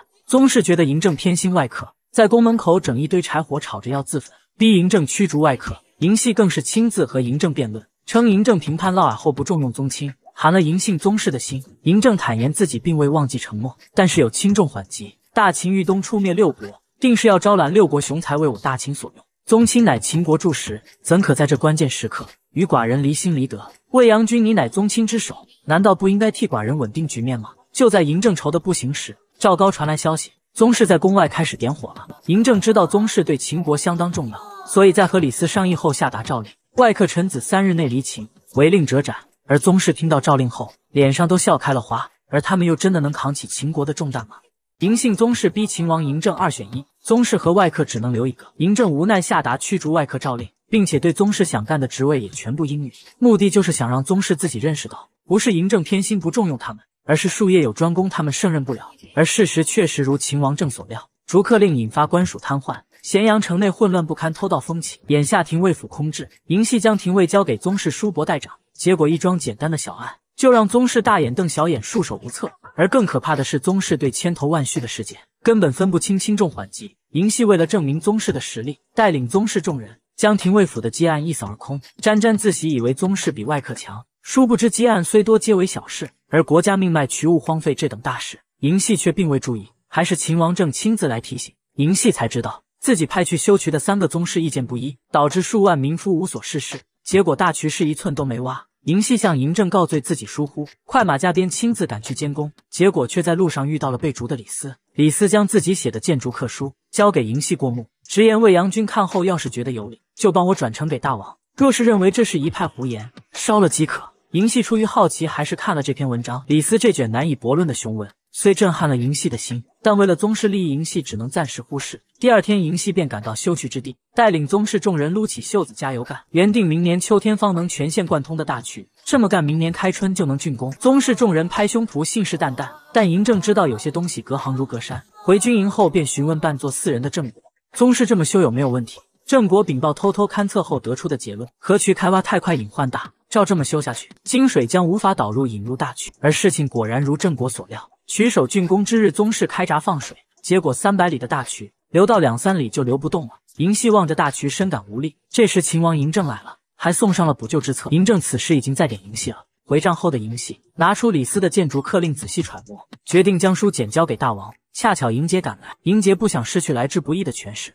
伙同其他宗室众人。劝嬴系万不可将书简交给大王。嬴系知道宗室为大渠付出很多，嬴系最终将李斯的书简投进火炉中焚。不久后，一场大雨突然来袭，嬴政亲临教场鼓舞士气，怎料突然传来噩耗：秦国因暴雨导致大渠决口，百姓良田受损严重，宗亲们既无解决办法，也不想承担事故责任。嬴系大失所望，深觉愧对先祖。就在此时，嬴政带着郑国来见嬴系，郑国拿出一份补救绝口之策。而这时，嬴政又适当的帮着说话。术业有专攻，专业的事就得让专业的人去做。嬴系接过郑国的补救之策，此时终于理解了嬴政的为难，也明白了嬴政的良苦用心。返回大帐后，便将虽烧毁，却早已牢记在心的建筑课书默写了出来。转呈给了秦王政。如今宗室之首嬴系已经醒悟，而秦国更重要的就是如何让被驱逐的外客反秦。郭开在得知秦王政下诏驱逐外客后，火速将好消息禀报给赵王爷，于是聪明的要将被逐的外客全部拉拢到赵国上班。赵国声势浩大，招揽人才，而此时的秦国也在想应对措施。秦王政不是真心要驱逐外客，只是为了让宗室明白，所以嬴政一面等待宗室自行悔悟，一面在下诏后便命蒙恬在函谷关留人。如今从函谷关离秦的外客基本都被劝下，可还有一部分外客东渡大河离秦，行踪不定，根本无法阻拦。最终，李斯和姚谷商议后决定，并劝说外客归秦，而李斯则坐镇函谷关，想办法对付重金求贤的赵王衍。李斯确实聪明，将计就计，特派陈池秘密入赵，从而瓦解赵国招揽。陈池不负众望，开始搅动风云，刚到赵境就频繁闹事。率领一帮随从吃霸王餐、住霸王宿，就是为了搞臭秦外客的名声，让赵国以为来的都是混钱的。就在此时，赵国丞相郭开再次助秦国一臂之力。郭开眼热秦外客一来，便给百金之资，于是暗示负责登记的人给一半。登记的官员使了个眼色后，负责发钱的顿时开始减半赢钱。郭开连连夸赞二人聪明。就在此时，来找茬的陈池来了。陈池报上官职领取百金，发现里面竟然只有五十金，当即开始大做文章。陈池对赵国所使计策已见成效。邯郸城内百姓对外客抱怨连连，外客们也因赏金减半颇为不满。这时陈池又烧了一把火，买通一百外客去给丞相郭开送礼买官。相府内的郭开得知这么多人找自己，明面上让管家赶走众人，暗地里将相府的小门告诉外客。郭开甚至还为自己的聪明沾沾自喜。郭开收完礼物后，陈池第二日便在龙台宫发动人员，将郭开收礼卖官事曝光。郭开怕事情闹大，让人将闹事者就地驱散，结果这直接刺激了众人。众人直接将赵王摆的黄金台扒了。就在这时，毫不知情的赵王爷打算招来几位在秦庭处要职的外客，打探点情报为己所用。郭开唯恐事情败露，连忙向赵衍推荐一家新开女驴，才勉强糊弄过去。然而隔日清早，顿若与赵毅二人双双入宫，皆向赵衍举报丞相郭开克扣外客赏金、收贿受贿，让赵国名誉大损。郭开为了给自己洗去嫌疑，诬陷在赵的秦外客都是名利之徒，还特意找来邯郸商户为自己作证。二人咬牙切齿。举报秦外客骄奢无度，不给钱。赵衍见二人吐槽的这么真，顿时半信半疑。郭开又趁机指出这些秦外客在门外胡乱妄议赵国国政，还亲自引赵王衍去听。赵王衍趴门口一听，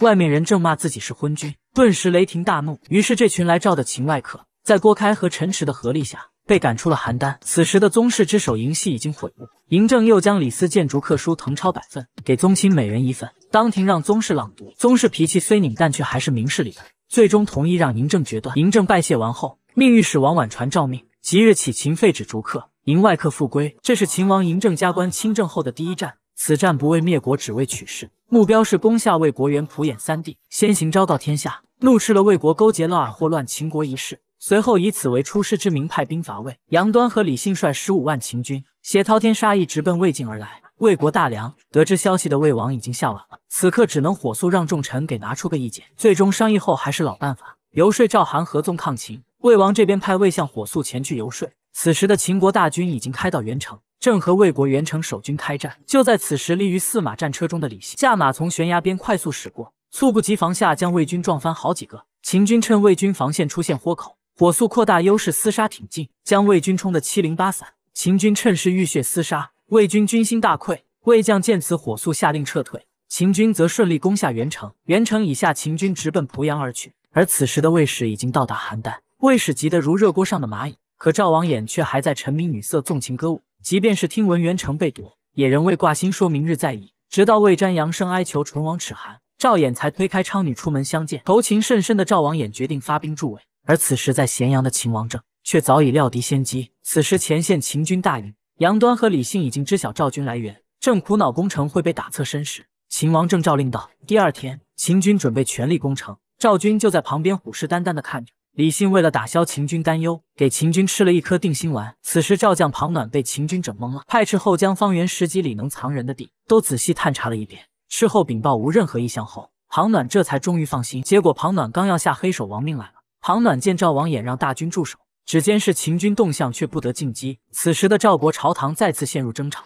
赵义指责赵王怎可坐视秦军横扫魏地。赵义见赵王衍担心邯郸有失，表态自己已书信李牧做好出征准备，只要大王首肯，李牧将军率军即刻南下护卫邯郸。庞暖将军放心对阵杨端和即可。就在此时，赵王衍发话。赵义见赵王衍不听自己的，当庭甩袖子告辞走了。赵王衍气归气，不忘办正事，让郭开派赵聪去大梁。告诉魏王，派的能臣出使齐国。如今元城濮阳已被秦军攻占，赵王衍不想自己独抗秦军，派赵聪入魏，说动魏王派使臣入齐韩。秦王政得知此事后，不愿徒增事端，当即派廷尉李斯上清瑶谷，分别出使韩齐两国，挫败赵魏合纵之计。李斯抵达韩国后，次日李斯进宫面见韩王。李斯深谙游说之道，索性摆出强势之态，不但不拜见韩王，反而一脸傲慢地质问韩王两件事。韩王不敢惩戒，怯生让李斯直言。李斯第一问便是韩国是否暗中支持嫪毐。韩王以为秦国是来兴师问罪的，称韩国都是被魏国逼迫的，韩国没有乱秦之意。李斯听此便抛出第二问。韩相见此赶紧替韩王解释，称先王当初也是受小人蛊惑，请秦使明察。李斯一顿恐吓加威胁，韩王顿时被吓到了，不敢出兵。而此时上清瑶谷已经到达齐国，瑶谷送上十车齐丸给齐相，可齐相却狮子大开口，十车金饼齐相也是真敢要。瑶谷嘴上说定会让齐相满意。转身便将秦国在齐的大商人全找来，决定发动经济战。姚谷当即放话，这些货款都不用给了，齐丸也都暂停进购。齐秦通商已久，且互相交好，秦商可是齐国 VIP 大客户。秦商突然暂停收购，撤资不给钱，齐商顿时炸了。秦国也是狠，人家准备完货了，你不要了。齐人拿不到钱，那还不闹？齐相听此，赶紧去请秦使，劝齐王驱逐赵魏使臣。至此，齐国也被拿下，合纵失败。赵军想打，却孤掌难鸣。赵江、庞暖只能眼睁睁看着秦军攻占偃师。如今韩国拒绝出兵援魏，齐国再次重申和秦国盟好。赵江、庞暖退守邯郸，前锋与秦东郡之军对峙。秦王正在确定了前线粮草足够后，剩下的便交给杨端和与李信。在李信的建议下，秦军火攻兖城，最终兖城轻松被秦军拿下。如今元普兖三个关键位置拿下，断了六国合纵之计。而秦王政下一步要做的，就是敲定好先灭哪国。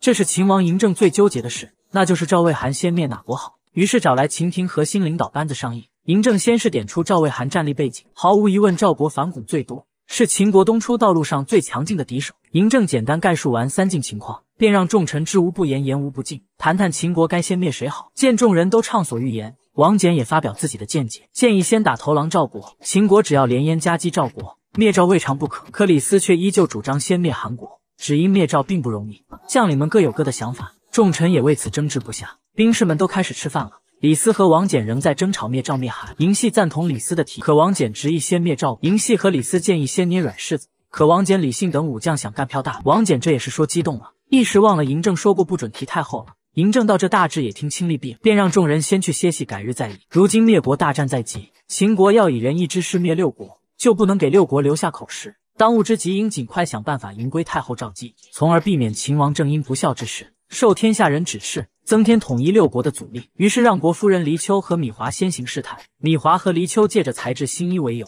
趁机提起赵姬试探嬴政态度。没想到嬴政闻言大怒，当即命令不许任何人在他面前提起赵姬。旬日过后，秦王政和几位心腹大臣再聚大殿，让李斯、王翦说下面韩灭赵具体规划。嬴政听此知道灭赵铺排巨大，而且风险变故颇多，于是再次陷入沉思权衡中。如今灭国大战在即，必须迎回太后，以免孝道有失。猜测秦王政心里还是在乎太后的，正苦思派谁去游说比较好。能言善辩的毛娇便出现了，李斯当即请他帮忙谏言，迎归太后。几日后，秦廷朝会上，米起借口起使毛娇与陈池争议不决，请嬴政召见。嬴政听此便宣毛娇觐见。本以为毛娇是来争辩货款的，却不想毛娇话锋一转，竟敢主动提及太后赵姬之事。太后赵姬是嬴政的逆鳞。嬴政一怒之下要烹杀头铁的毛娇，毛娇当即拦下行刑之人，称自己今日横竖是死。大王敢不敢让外臣说个痛快？嬴政听此，给了毛娇个机会。毛娇洋洋洒洒说完，请求入鼎被烹。没想到嬴政竟然准了。毛娇听此丝毫不惧，毛娇二话不说，当着众人的面便开始脱衣服扔腰带，俨然已经做好随时入鼎被烹的准备了。李斯不能看着好友被烹，顶着杀头危险出言劝谏。如今若杀毛娇，大王将背负杀中之口实，冷落太后将会背上不孝骂名。李斯三寸不烂之舌，再加上秦王政心里还是在意太后的，嬴政最终还是有了抉择。嬴政这边让人抬走毛娇，李斯一番谋划帮秦王政打开心结。嬴政带着大部队去雍城迎回太后。殊不知此时的赵姬已被赵国盯上，秦国兵强马壮，君臣又同仇敌忾，戮力同心，让仇情甚深的赵王衍深感绝望。就在这时，唱后提出自己有兵不血刃，就可让秦王政跪地求饶的办法，那就是将幽居雍城的赵姬绑来。到时秦王政即使不乖乖听话，也得忌惮赵国三分。赵王衍火速派人去雍城办事，结果两个卧底潜伏了许久。连赵姬的面都没见到，赵王衍见此，果断派出赵相郭开。郭开确实是有点聪明，先是乔装成齐国商贩混进雍城，随后想方设法请来守城官兵，称自己和太后赵姬是邯郸旧识。郭开这边重金欲入大正宫未果，于是灵机一动，在宫城边附近开了一家邯郸风味的糕饼铺子，以此掩饰身份，守株待兔。结果皇天不负有心人，太后赵姬竟然真的来吃糕点了。郭开果断派人绑了赵姬跑路。就在此时，听取毛娇谏言的秦王政一路颠簸中到大正宫，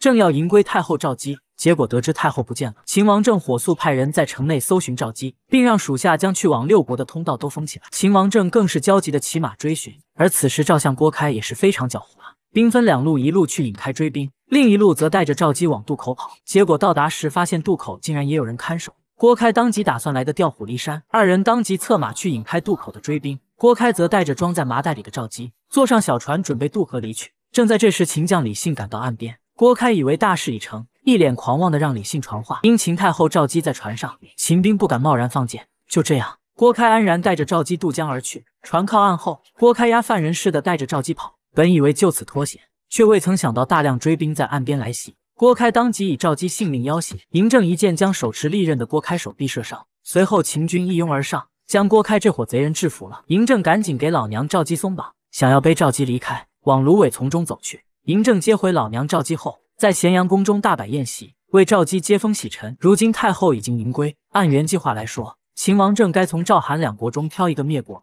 可赵相郭开的被俘，让秦王政有了别的主意。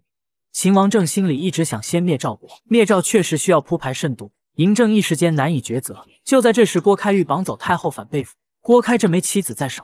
让秦王政决心先灭赵国。秦王政想要郭开为己所用，所以火速命人审讯郭开。郭开一听车裂，顿时被吓破了胆，误以为嬴政这是铁了心要杀自己报仇泄愤，索性抵死不服软。李斯无奈将情况禀报嬴政，秦王嬴政决定亲自来会会老朋友。见面之前，嬴政先让狱卒将郭开的同伙拉出去斩了，给郭开增加精神压力。秦王正见火候差不多了。便现身来见郭开，郭开燃烧 CPU 大脑一顿搜索，郭开才恍然惊悟眼前之人是谁。郭开本能的往后退，随后为了小命赶紧甩锅。秦王正一出手，郭开就跟话匣子似的往出说，称此计都是赵后谋划的，跟自己那是毫无关系啊，都是赵后出的馊主意。要不自己为何好好丞相不当，好秦国这受苦啊？嬴政瞧郭开不似作假，被打晕的郭开苏醒后，见李斯带人要处决自己。郭开搬出嬴政，称大王昨晚来见我。李斯当即给郭开套上刑具，押解到刑场。随后官员当众宣布，赵人郭开、李瑶劫掠太后，处腰斩车裂之刑。随后李瑶便被拖上刑台，只能眼睁睁看着李瑶被腰斩，血淋淋的场面吓得郭开差点瘫倒。结果下一个就轮到自己，触碰到死亡的照相郭开，心理防线被彻底击溃。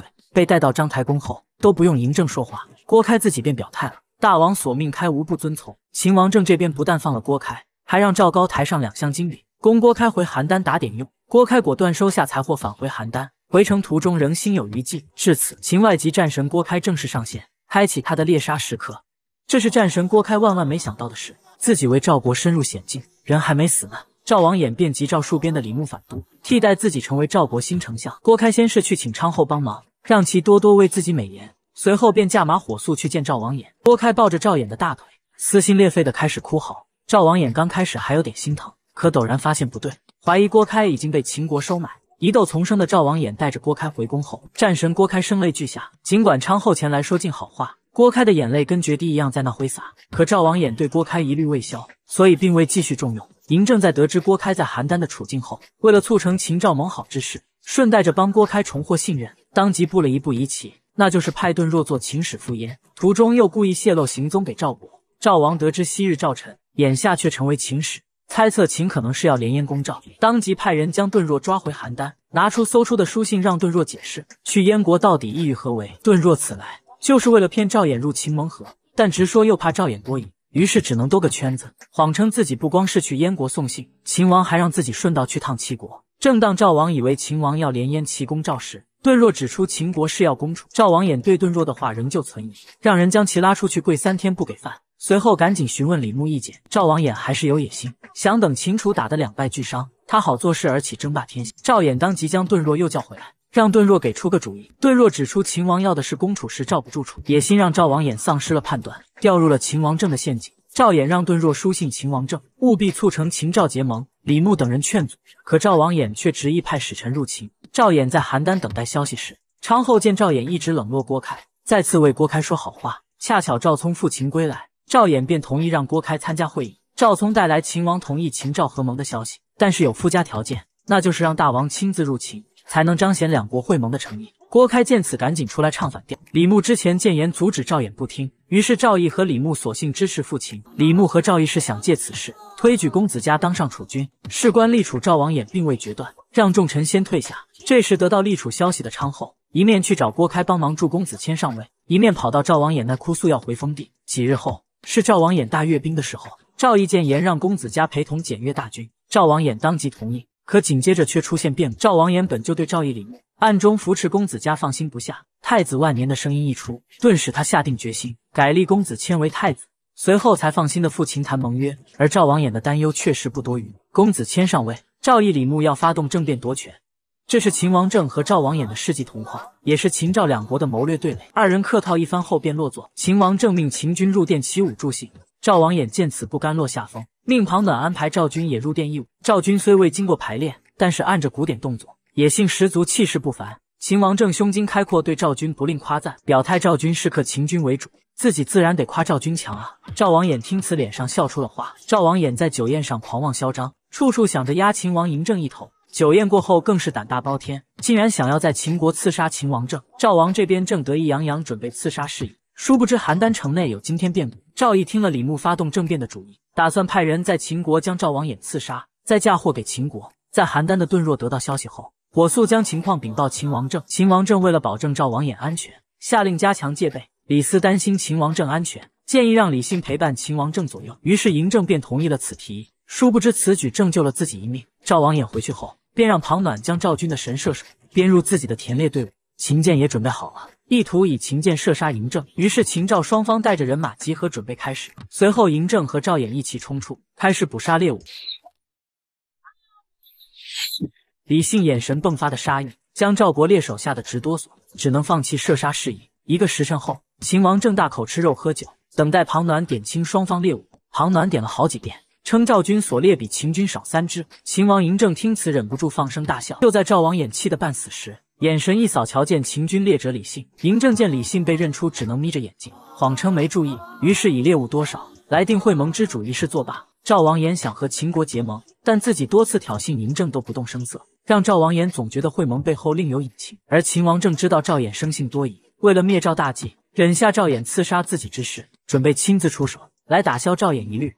自从赵王衍入秦后，处处争强好斗，却只字不提盟约之事。秦王政知道赵衍生性多疑。为了让赵衍中计，先是忍下赵王衍派人刺杀自己之事，随后开始固布疑阵。结果在行动时却陡然出现两个变故：一是邯郸的赵义趁着赵衍入秦，派人刺杀赵衍，意图嫁祸秦人；第二个变故便是燕太子姬丹。燕国担心秦赵盟好之后无后顾之忧的赵国会起兵伐燕，所以派姬丹前来阻止秦赵结盟。李斯提议让嬴政见姬丹，并且要大张旗鼓的见，务必让赵衍得知姬丹父亲。嬴政顾念儿时情谊，不忍姬丹有险。让魏阳君嬴系将其送出咸阳，可姬丹非要见嬴政死活不肯走。嬴政无奈，只能将姬丹软禁在魏阳君府邸，自己这边则加紧打消赵衍疑虑。嬴政这边故意让大军开始调动，时刻盯着咸阳的赵王衍。果然得到了消息，赵衍一听嬴政要准备大战，顿时腰不疼了，要出去走走。嬴政自然不能拦着他，于是赵衍在出游时再次得到一个重磅消息：秦国王武官运粮食，明显是奔着楚国去的。可赵衍生性多疑，觉得自己刚出游。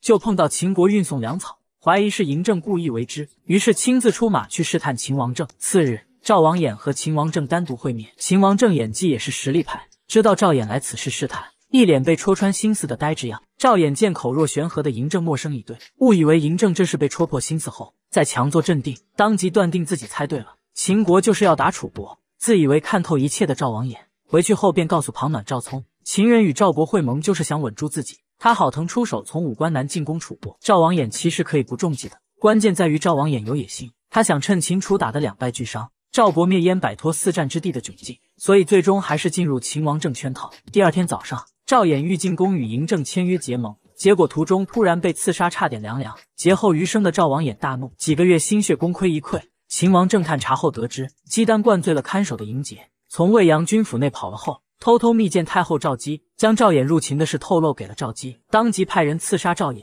如今刺杀失败，竟然来找嬴政，命令嬴政派人杀了赵衍。此时的赵姬都有点精神失常了。嬴政只能让人扶走太后。嬴政看着疯癫的老娘，心力交瘁。但是为了秦统一大业，只能再次和众臣商议，看有没有补救办法，把赵衍再骗进圈套。嬴政之前煞费苦心打消赵衍疑虑，赵衍正要入宫签订盟约之时，赵姬突然派人刺杀赵衍搅局，让秦王政几个月的心血打了水漂。如今赵衍限嬴政三日内交出刺杀之人，嬴政不可能交出太后赵姬，也不忍让姬丹去送死，对赵国的催促只能选择避而不见。这可把赵王衍气坏了，行李装车，明日便启程。秦王政不想几个月的辛苦白费，火速召来心腹智囊商议。最终李斯给出可行性意见，那就是利用赵王衍的多疑。嬴政听此，当即准备分两步走：一是让米启代自己向赵衍致歉，行刺他的人乃是我大秦太后；第二步便是利用姬丹让赵衍疑心。米启这边奉王命，将赵姬派人刺杀的原委告诉了赵衍，可赵衍却并不相信。米启知道上杆子不是买卖，说完毫不迟疑，转身就走。米启走后。赵衍询问庞暖、赵聪怎么看？赵姬一个幽居深宫的妇人，行刺自己可能吗？庞暖和赵聪见米启说的恳切，觉得可能真是这么回事。可赵衍却脑子转得极快，嬴政不肯交出行刺之人，赵衍自然咽不下这口气。第二天准备启程，却发现门口冷冷清清，没一个秦臣来送，好似已经彻底放弃秦赵合盟了。赵聪吐槽秦人真没礼数。赵衍带着赵军欲出咸阳，返回邯郸，结果在路上碰到了嬴杰和姬丹，赵王衍顿时疑心大起。怀疑刺杀一事可能是姬丹干的，当即停车称要与秦王政告别。二人见面后，嬴政一脸生无可恋的表情，称出了刺杀一事，自己百口莫辩，还怎么有脸提盟和？赵衍听此称自己可以不计较刺杀之事。二人当即个怀鬼胎个笑个，笑完两人带着双方大臣开始参加秦赵会盟仪式。赵王衍确实是精明，既想秦赵结盟，又想断了秦燕联合的路，于是，在签约当口让赵聪提出看到了姬丹出入魏阳军府邸，称嬴政包庇邯郸旧友的行为。让人寒心。随后带着赵国人马就要走。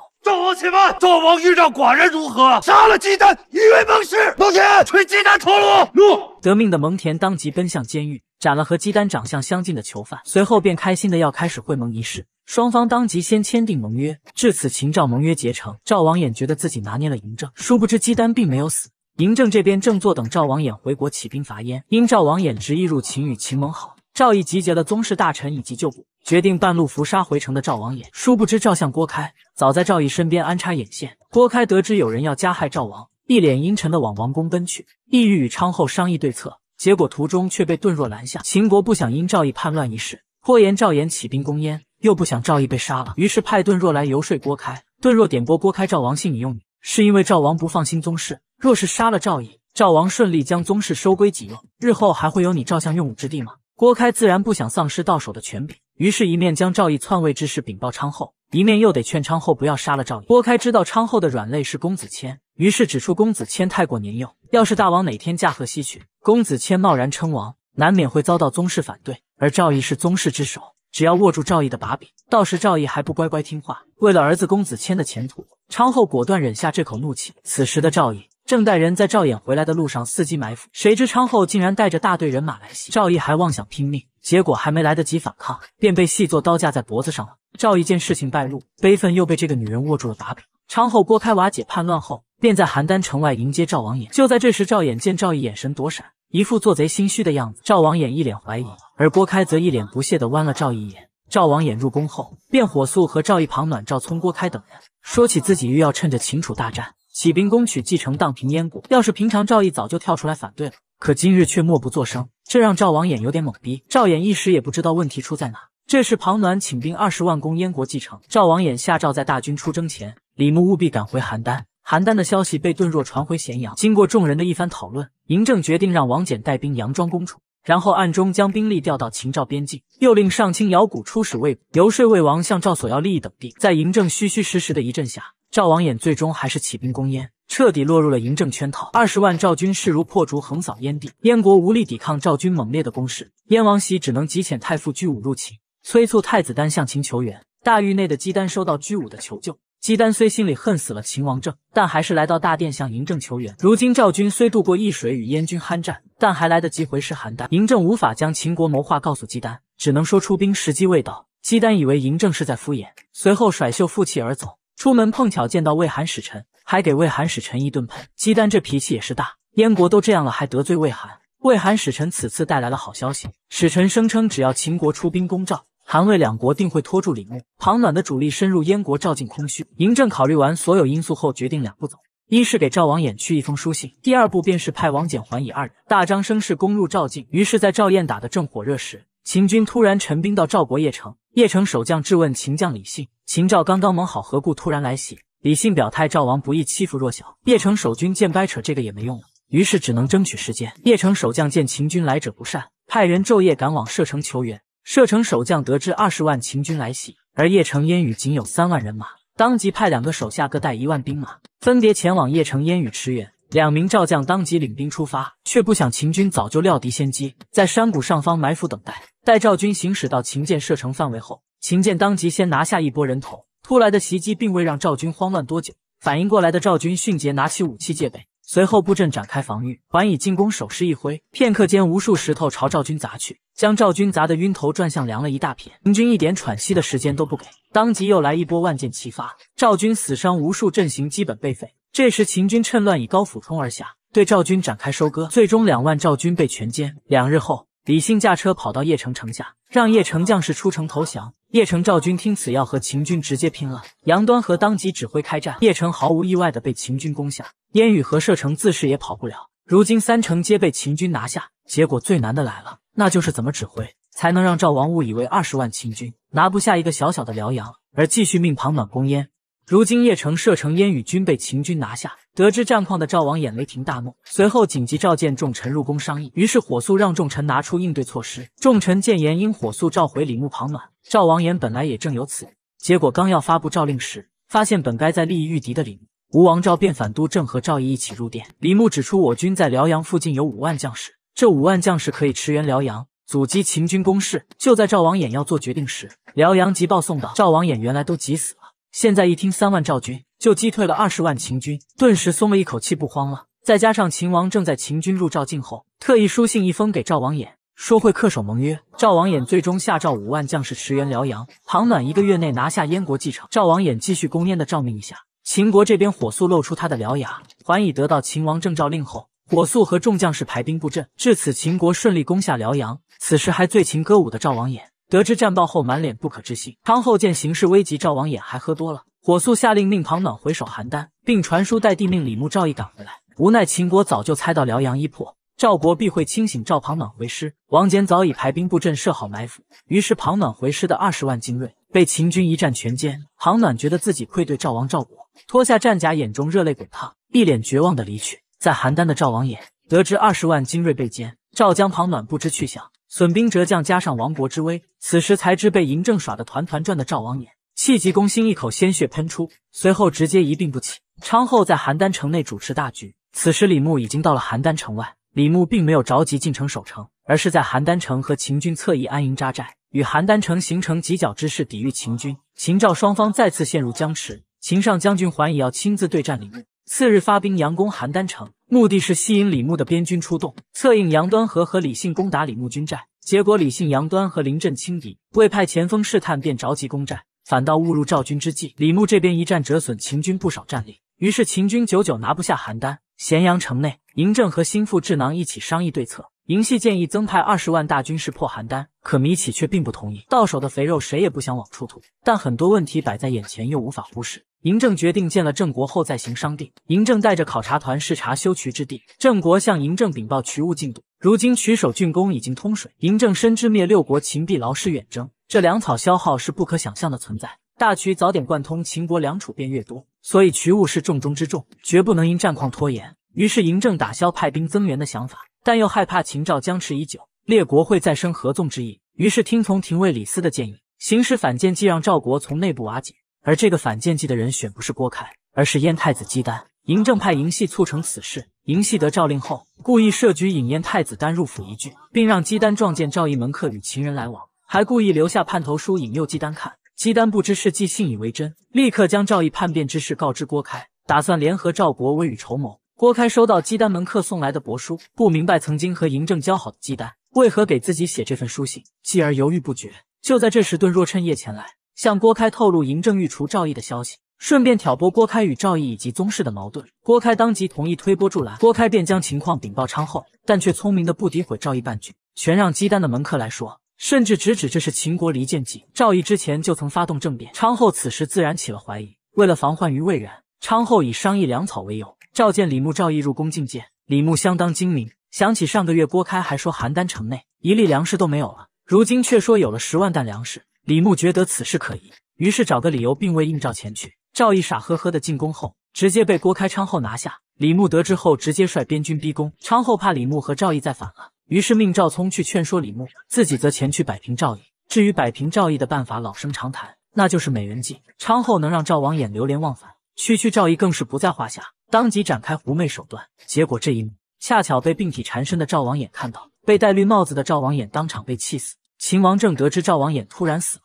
一时有点措手不及。更不明白的是，赵毅不但没趁机罢黜太子谦，扶持公子家上位，反倒主动劝退了带兵入城的李牧和集合闹事的宗室。让秦王政一时想不明白，这是战神郭开又一逆天手段，凭借三寸不烂之舌，再次坑死了十万赵军精锐。赵王衍突然崩逝后，郭开为了尽快扶持自己的势力，命护哲率军对阵秦上将军桓乙。赵将护哲胡乱一出手，便轻松夺回赵国邺城、燕于两地。原来护哲能夺回两城，不是他牛掰，而是秦国故意阳退送他的。护哲误以为自己行了，轻敌冒进，最终导致十万赵军精锐被全歼。赵聪、郭开得知战况后。火速将形势禀报昌后，突然的噩耗让昌后慌了神。反应过来后，火速召宗室众臣入宫商议对策。可宗室对昌后将赵毅贬为庶人不满，皆不愿奉诏入宫。眼见虎狼秦军仍盘踞在赵境，赵国岌岌可危。赵聪提议该命春平君复位，启用李牧方可保邯郸无虞。昌后听此，只能亲自去找赵毅，请他出山主持大局。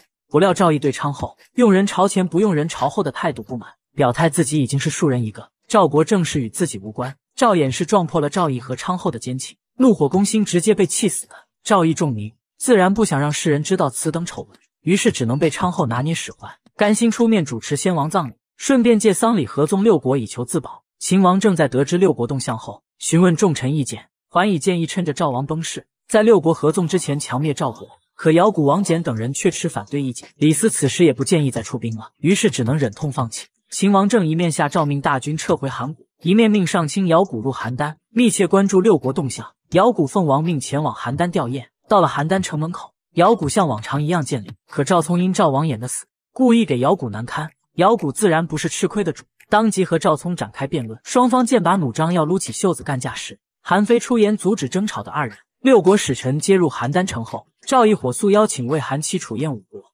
秘密商议合纵抗秦之事。赵毅的口才有限，但韩非游说能力牛掰。韩非深知秦若东出灭六国，韩国不是第一个就是第二个。于是，在韩非的强有力说服下，五国使臣皆同意回去后，就劝说各家大王合纵抗秦。而单单没被邀请的姚古，闭眼睛也猜到赵毅在忽悠五国抗秦，但不知各国对合纵的态度。于是以韩相故交的身份，私下邀请韩非进士宁腾，代劳给列国使臣送礼，实则是想从他那里试探四国是否支持合纵。当姚古从宁腾嘴上得知几国使臣欣然收下礼物后，对列国合纵的态度顿时了然。韩非在得知侍从替姚古跑腿后，大骂宁腾中了秦人奸计。姚古将六国合纵态度传输咸阳，嬴政对齐国也参与其中，很是另眼相看。如今合纵的关键在于齐国。就在这时，李斯提出一策，将六国合纵可一剑刺破，那就是利用刚刚修订完成的秦传。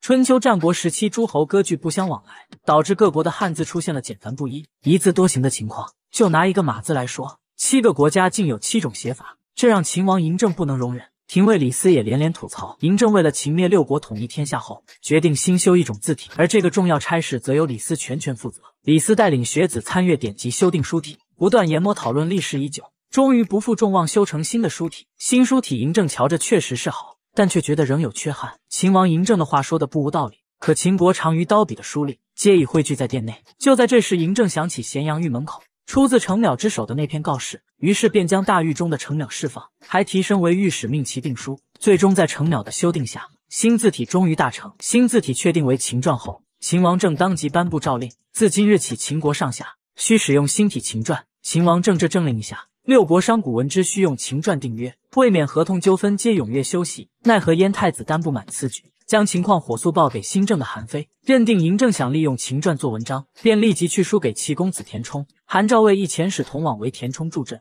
田冲收到消息后，跑到秦国给姚谷一顿骂。姚谷一听，顿时笑了，直言书同文用秦传写合同，对齐秦双方商贾百利而无一害。齐商皆欣然赞同。田冲不信姚谷所说，屁颠屁颠跑到齐商那边，称秦国非要用秦篆写合同，这不是逼迫羞辱大家吗？你们能忍吗？本以为齐商会一起吐槽抵制秦传，没想到齐商皆甘愿使用。齐商觉得方便，皆不搭理田冲。田冲仍然誓不罢休，带着赵魏韩使臣跑到章台宫，指责嬴政强行推行秦传太霸道。秦王政对田冲也是无语了。下朝后，嬴政建议李斯入齐后从稷下学宫入手，胜了稷下学宫，李斯有自信。可有一人却让李斯担心，那就是才能远在他之上的韩非。结果韩非真的入齐了，李斯和韩非的 PK 开始了。李斯奉王命出使齐国。本想利用秦传绝六国合纵之势，齐国稷下学宫的祭酒便不请自来，上来就数落秦国强推秦传太霸道，顿时了然这是被田冲拿来当枪使的。于是放眼里不辩不明道不辩不清。稷下学宫一变，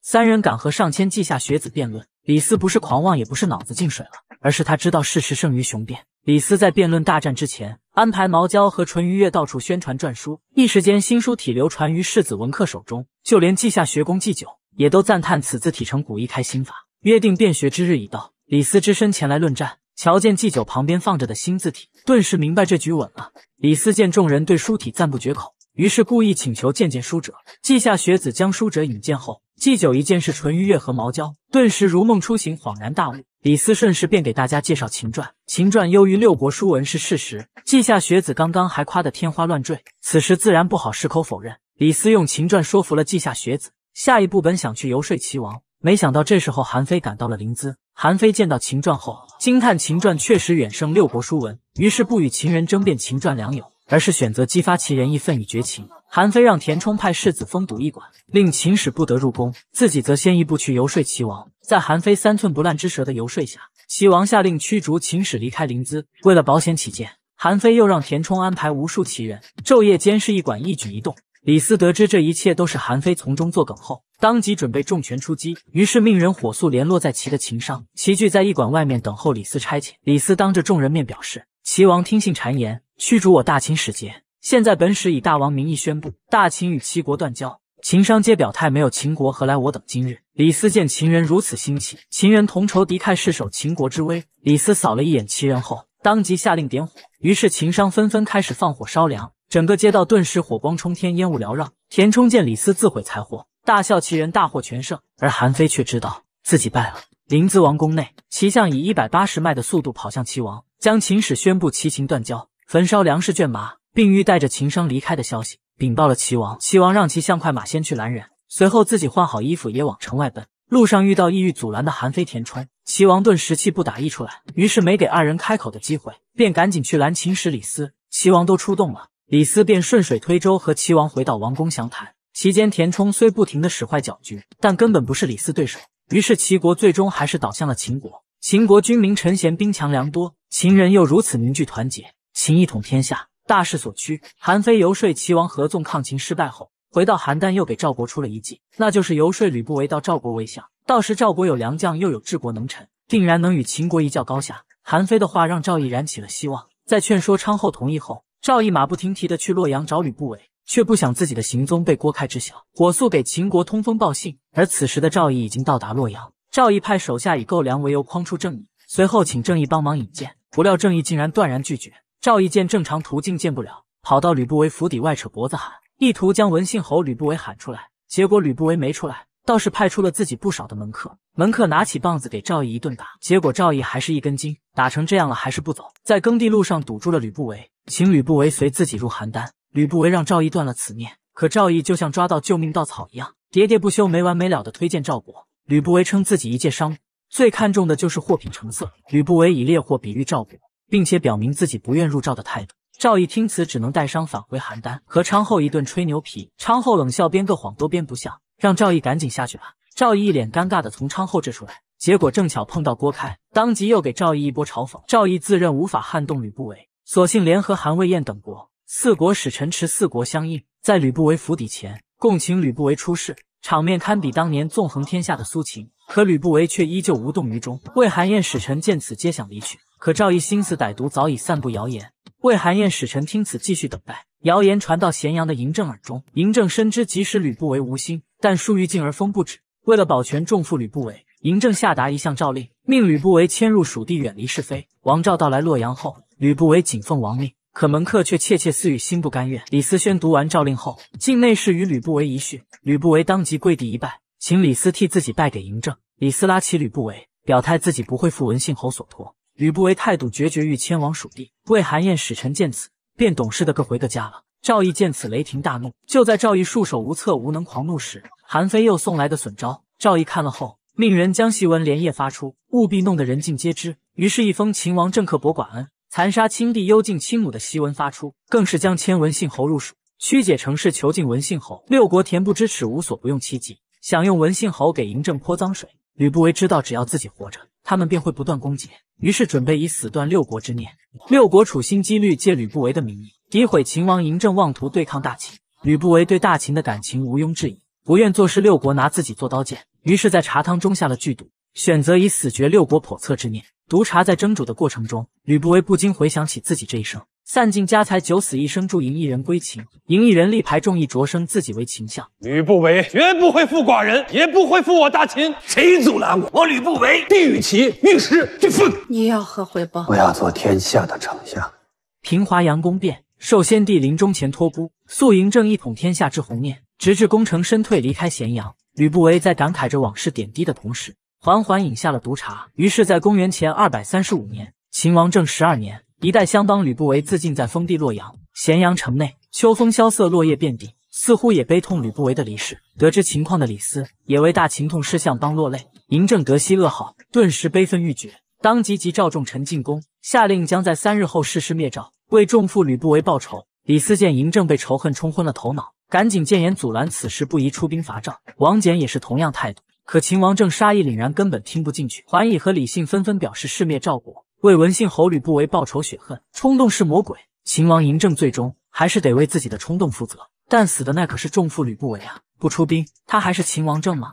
这是秦王政自开启一统行动以来第一次遭受如此重挫。秦将桓乙率军攻赵，结果大败于赵将李牧，桓乙以死谢罪，秦国损兵折将。而这一切皆源于秦王嬴政的冲动。吕不韦被六国萧小逼得自尽洛阳。秦王政雷霆大怒，不顾李斯、王翦、魏辽等人反对，执意命桓以李信挥师灭赵。秦军大营内，桓以李信正研究部署战略，忽闻兵士来报，赵将李牧在西南三舍之地扎营。桓以当即带着众人亲自前去探查，发现赵军集结成两座东西营寨，双方遥相呼应，摆明了是想逼秦军退兵。与此同时，赵军亦发现了秦军扎营位置，赵将纷纷提议趁秦军立足未稳，派边军铁骑突袭。然而李牧并未应允，秦赵两军于肥地对峙多日，秦军多番叫阵，可赵军却充耳不闻，龟缩不出，只以羽箭阻挡秦军的进攻，实在令人憋屈至极，束手无策。于是桓乙决定分兵，桓乙当即下令开始建造新营。新营建好后，桓乙派斥候去探赵军动向，得知赵军还和往常一样，并无异常后，桓乙当即下令分兵，并叮嘱将士们谨慎行事，不能让赵军察觉我军动向。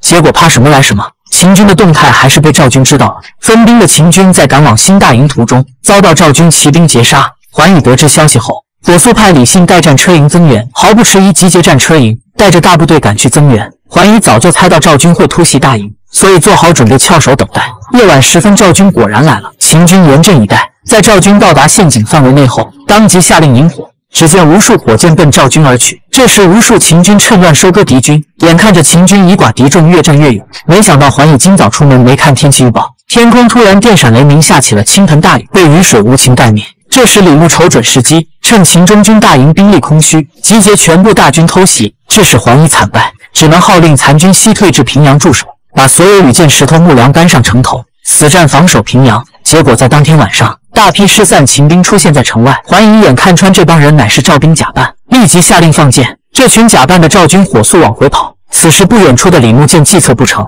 跑到平阳城下叫嚣。李牧见秦军脾气不太好，火速带着兵马往回撤。次日一早，秦赵两军于平阳交战，赵军攻破平阳城门后，李牧命令三军压上，彻底剿灭城中秦军，虎落平阳的五万秦军和赵军展开生死厮杀。正当寡不敌众，略显败势时，幸好王翦奉命率军驰援，李牧闻讯晚叹歼灭桓乙的时机已逝，只能撤军离去。桓乙见赵军突然撤退，远处秦军主力奔涌而来，知道平阳危机已过，于是命李信带大家出门相迎援兵，而自己因心生愧疚，独自回营帐留下遗书，以死谢罪。王翦和李信见此悲痛不已，立誓为秦再战，必要歼灭六国，以卫众将士在天之灵。李信护送桓乙灵柩返回大秦。手持桓乙遗书跪见秦王政，奈何嬴政遭此重挫后，竟是闭门多日，深刻自省，不肯再见任何人。魁壮、嬴系等人别无他法，只能去请华阳太后唤出嬴政。嬴政最终还是出门来面对这一切。嬴政看完桓乙的遗书后，一脸平静地将遗书烧掉。不是秦王政冷血，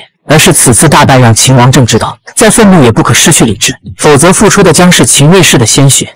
数十万民夫夜以继日的辛苦工作，国家不计其数的财力物力支持，耗时十多年。这条凝聚无数人心血的灌溉大渠，今日终于要全线流通了。魏阳君号令一下，一起来见证这一历史时刻。眼见水灌长渠绵延而去，在场之人无不动容，因为他们身在其中，深知这项恢宏伟大的灌溉工程背后，是无数秦人没日没夜的辛酸与付出。郑国渠全线贯通后，将大大改变关中的农业生产面貌。增加土质肥力，将为大秦再增数万顷良田。秦国人口虽多，但郑国渠灌溉面积相当大，导致还有很多良田无人开垦。于是秦王正下一步要做的，那就是以铜铁商战为手段，引六国庶民离开故土，入秦耕作落六国而强秦。秦国君臣当即开始各行其事，姚贾去临淄游说齐王，段落则去邯郸献策照相郭开，劝郭开趁秦赵两军对峙肥地之机，囤积铜铁获利，赚点零花钱。爱财的郭开一听，顿时眼睛放光。齐王经过姚贾的游说，下令一车铜铁都不得入赵，导致赵国铜铁紧缺，两车生铁被炒到二百斤，是平日价钱的二十倍。郭开见投机倒把这么赚钱，当即决定全部垄断。在郭开的强力帮助下，邯郸城内铜铁价格疯涨，导致赵军铜铁更加短缺。和秦军对阵时进退维谷，赵毅得知前线情况后焦急万分，火速传信给韩非、魏征相聚邯郸，请魏韩两国开进私铸，尽快输入铜铁入赵解赵国之困。可韩非认为稼穑乃立国之本，拒绝以开启私铸方式铸赵。赵毅觉得韩非是不想帮忙，所以看韩非的眼神也不善了。而这时燕太子姬丹带来了好消息，那就是燕国可以借匈奴之道向赵国偷偷运送铜铁。姬丹解了赵国燃眉之急，让赵翼激动不已。赵翼因为韩非不肯开禁私铸铸赵，心中有怨，所以故意给韩非难堪。燕太子所带铜铁的流入，让铜铁价格暴跌。郭开的囤货全砸在手里，眼瞅着就要血本无归。这时段落告知郭开有人绕过他，已经给前线的李牧送去了铜铁。郭开火速以慰劳将士之名入李牧军中查探铜铁来源，结果被李牧一顿嘲讽磕碜，一点线索没套到。但其手下却发现军中大批车辆，规格与中原不同，均是来自代地以北的匈奴。郭开将消息传递到秦国咸阳，秦臣知晓定是姬丹在从中作梗。嬴政当即派李信截断由匈奴入赵的铜铁之路，继而让铜铁价格再度暴涨。这群韩民见铜铁价格暴涨，赚得多，地也不种了，全部来冶炼铜铁。从邯郸归国的韩非见此场景，赶紧下车阻止。管事的见韩非要阻挡自己进度，赶紧解释开铸铜铁这事乃是丞相颁布的王令，我们也只是奉命行事，让韩非有异议去找大王。韩非听此，火速进宫面王，谏言私铸不可开禁。可韩相表示，开启私铸短短三个月，韩国所收赋税已与全年相当，拿着这些钱招兵买马不好吗？韩非看透本质，想得长远。可韩廷众人鼠目寸光，觉得韩非是在危言耸听，所以并未听从。韩非眼见韩国上下利欲熏心，听不进去半句良言，一怒之下带人欲砸了窑口，意欲唤醒众民，认知国本稳固之重。可韩人早已身在其中，抽身不得。如今农时已过，即使砸了窑口，也无济于事了。韩非仰天长叹：天要亡我韩国生路啊！而此时的秦王政心境完全不同，嬴政沿郑国去查看，更夫劳作不息，苍廪充盈。李斯禀报王翦已经占领肥地，战争的主动，赵军现在只能固守。嬴政听此下诏，命王翦见次后撤，脱离与赵人的战斗。秦军一退兵，赵国邯郸城内赵人欢欣鼓舞，觉得天佑大赵。郭开听此那是愁坏了，秦赵两国突然休战，导致铜铁价格暴跌，自己囤了那么多铜铁。损失惨重啊！请顿若和秦王说说，想想办法，指点郭开可以从粮食入手。像郭开这种有条件的，可以继续倒卖粮食。可韩魏两国庶民百姓可就惨了，韩国百姓们无粮果腹，每日都在田野挖草根、吃野菜，日子久了，连草根大家也开始抢夺。就在这时，韩非恰巧得知秦国赈济流民，并且允诺入秦之人一丁授田百亩，甚至还有耕牛和粮种资助。经过此地的每日就有数百名之众。韩非知道庶民一旦西向入秦，三晋日后将任由秦国宰割。于是韩非一面尽自己所能开仓放粮，意图留住韩国百姓，一面修书诸国筹措赎米，以享饥民。而此时秦国的函谷关前，六国流民不断涌入秦国，自入秋以来，已有三十万流民入秦，三川郡已经容纳不下，还有数十万关东之民正在赶往函谷的路上。就在这时，营系禀报，在邯郸的顿若传来书信，称韩非传书赵魏两国阻挠流民入秦，名将王翦率秦国大军直奔韩国而来。得知消息的韩非火速请赵义、魏瞻发兵救援韩国，结果赵义这边就能拿出三万兵，魏国能拿出两万兵、五万兵马，无一杯水车薪。就在这时，秦国提出要求。只要韩非入秦，秦国便从韩国撤兵。韩非身为韩国公子，魏国自然是义无反顾。还有就是韩非想到秦王政身边探听消息，给六国报信，学苏秦，行使反间计。韩非在前往咸阳的路上，看到六国流民皆西向入秦，其中竟然有不少韩人，当即下车阻拦游说。韩非晓之以理，动之以情，还给补贴。这批韩人听此皆听话的原路折返。岂料此举恰巧被秦军目睹，秦军不知韩非身份。毫不废话，对这群坏事分子展开追杀。韩非和手下被追得狼狈逃窜，结果慌乱间走到了死路。秦军见二人冥顽不灵，当即开始放箭。韩非手下忠心护主以身挡箭，幸亏记下好友李斯及时出现，才让韩非免于杀青领盒饭。知晓韩非秉性的李斯劝韩非应顺天命，一展抱负。辅佐明君建立万世功业，可韩国公子的身份让韩非的心困在了韩国。李斯见韩非冥顽不灵、执迷不悟，只能寄希望于韩非见到秦王后被嬴政的英明折服会有改观。韩非入秦的消息被姚贾知晓后，姚贾向秦王政谏言，臣请将其杀之。秦王政知小众人所言不虚，但是求贤若渴的嬴政还是决定先见见韩非再说。韩非因为早早就看穿开进私铸抛荒野铁是秦王政若三晋而强秦的阴谋，让秦王政对韩非很是好奇。于是，在韩非入殿后，被对韩非冷峻的询问韩非如何看待自己。没想到韩非比嬴政想象的更牛掰，不惧秦王威严，侃侃而谈，畅谈天下大事及君王之法，言语中皆是精华要点。嬴政被韩非的才学深深折服。在韩非回到住处后，嬴政担心韩非来秦仓促，特命国府以君侯的规制为韩非定制笔墨纸砚和衣着。奈何韩非自认韩氏宗人，拒收秦人衣冠，除了笔墨书简、衣着等日用品。秦王政还给韩非准备了四马摇车，以供韩非出行之便。不久后，咸阳收到顿若紧急密报，赵魏、韩、楚四国欲合纵抗秦，姚贾请命出使四国以决其谋。嬴政当即给姚贾特权，以便于行事。韩非得知情况后，连夜将姚贾将入赵破四国合纵的消息传信给赵义，嘱托其定要设法将姚贾拖住。传密信也就罢了，韩非还不知死活，在姚贾离城之日拦截车驾，想要诓骗姚贾。韩非是想骗姚贾自投罗网，可他这点小伎俩。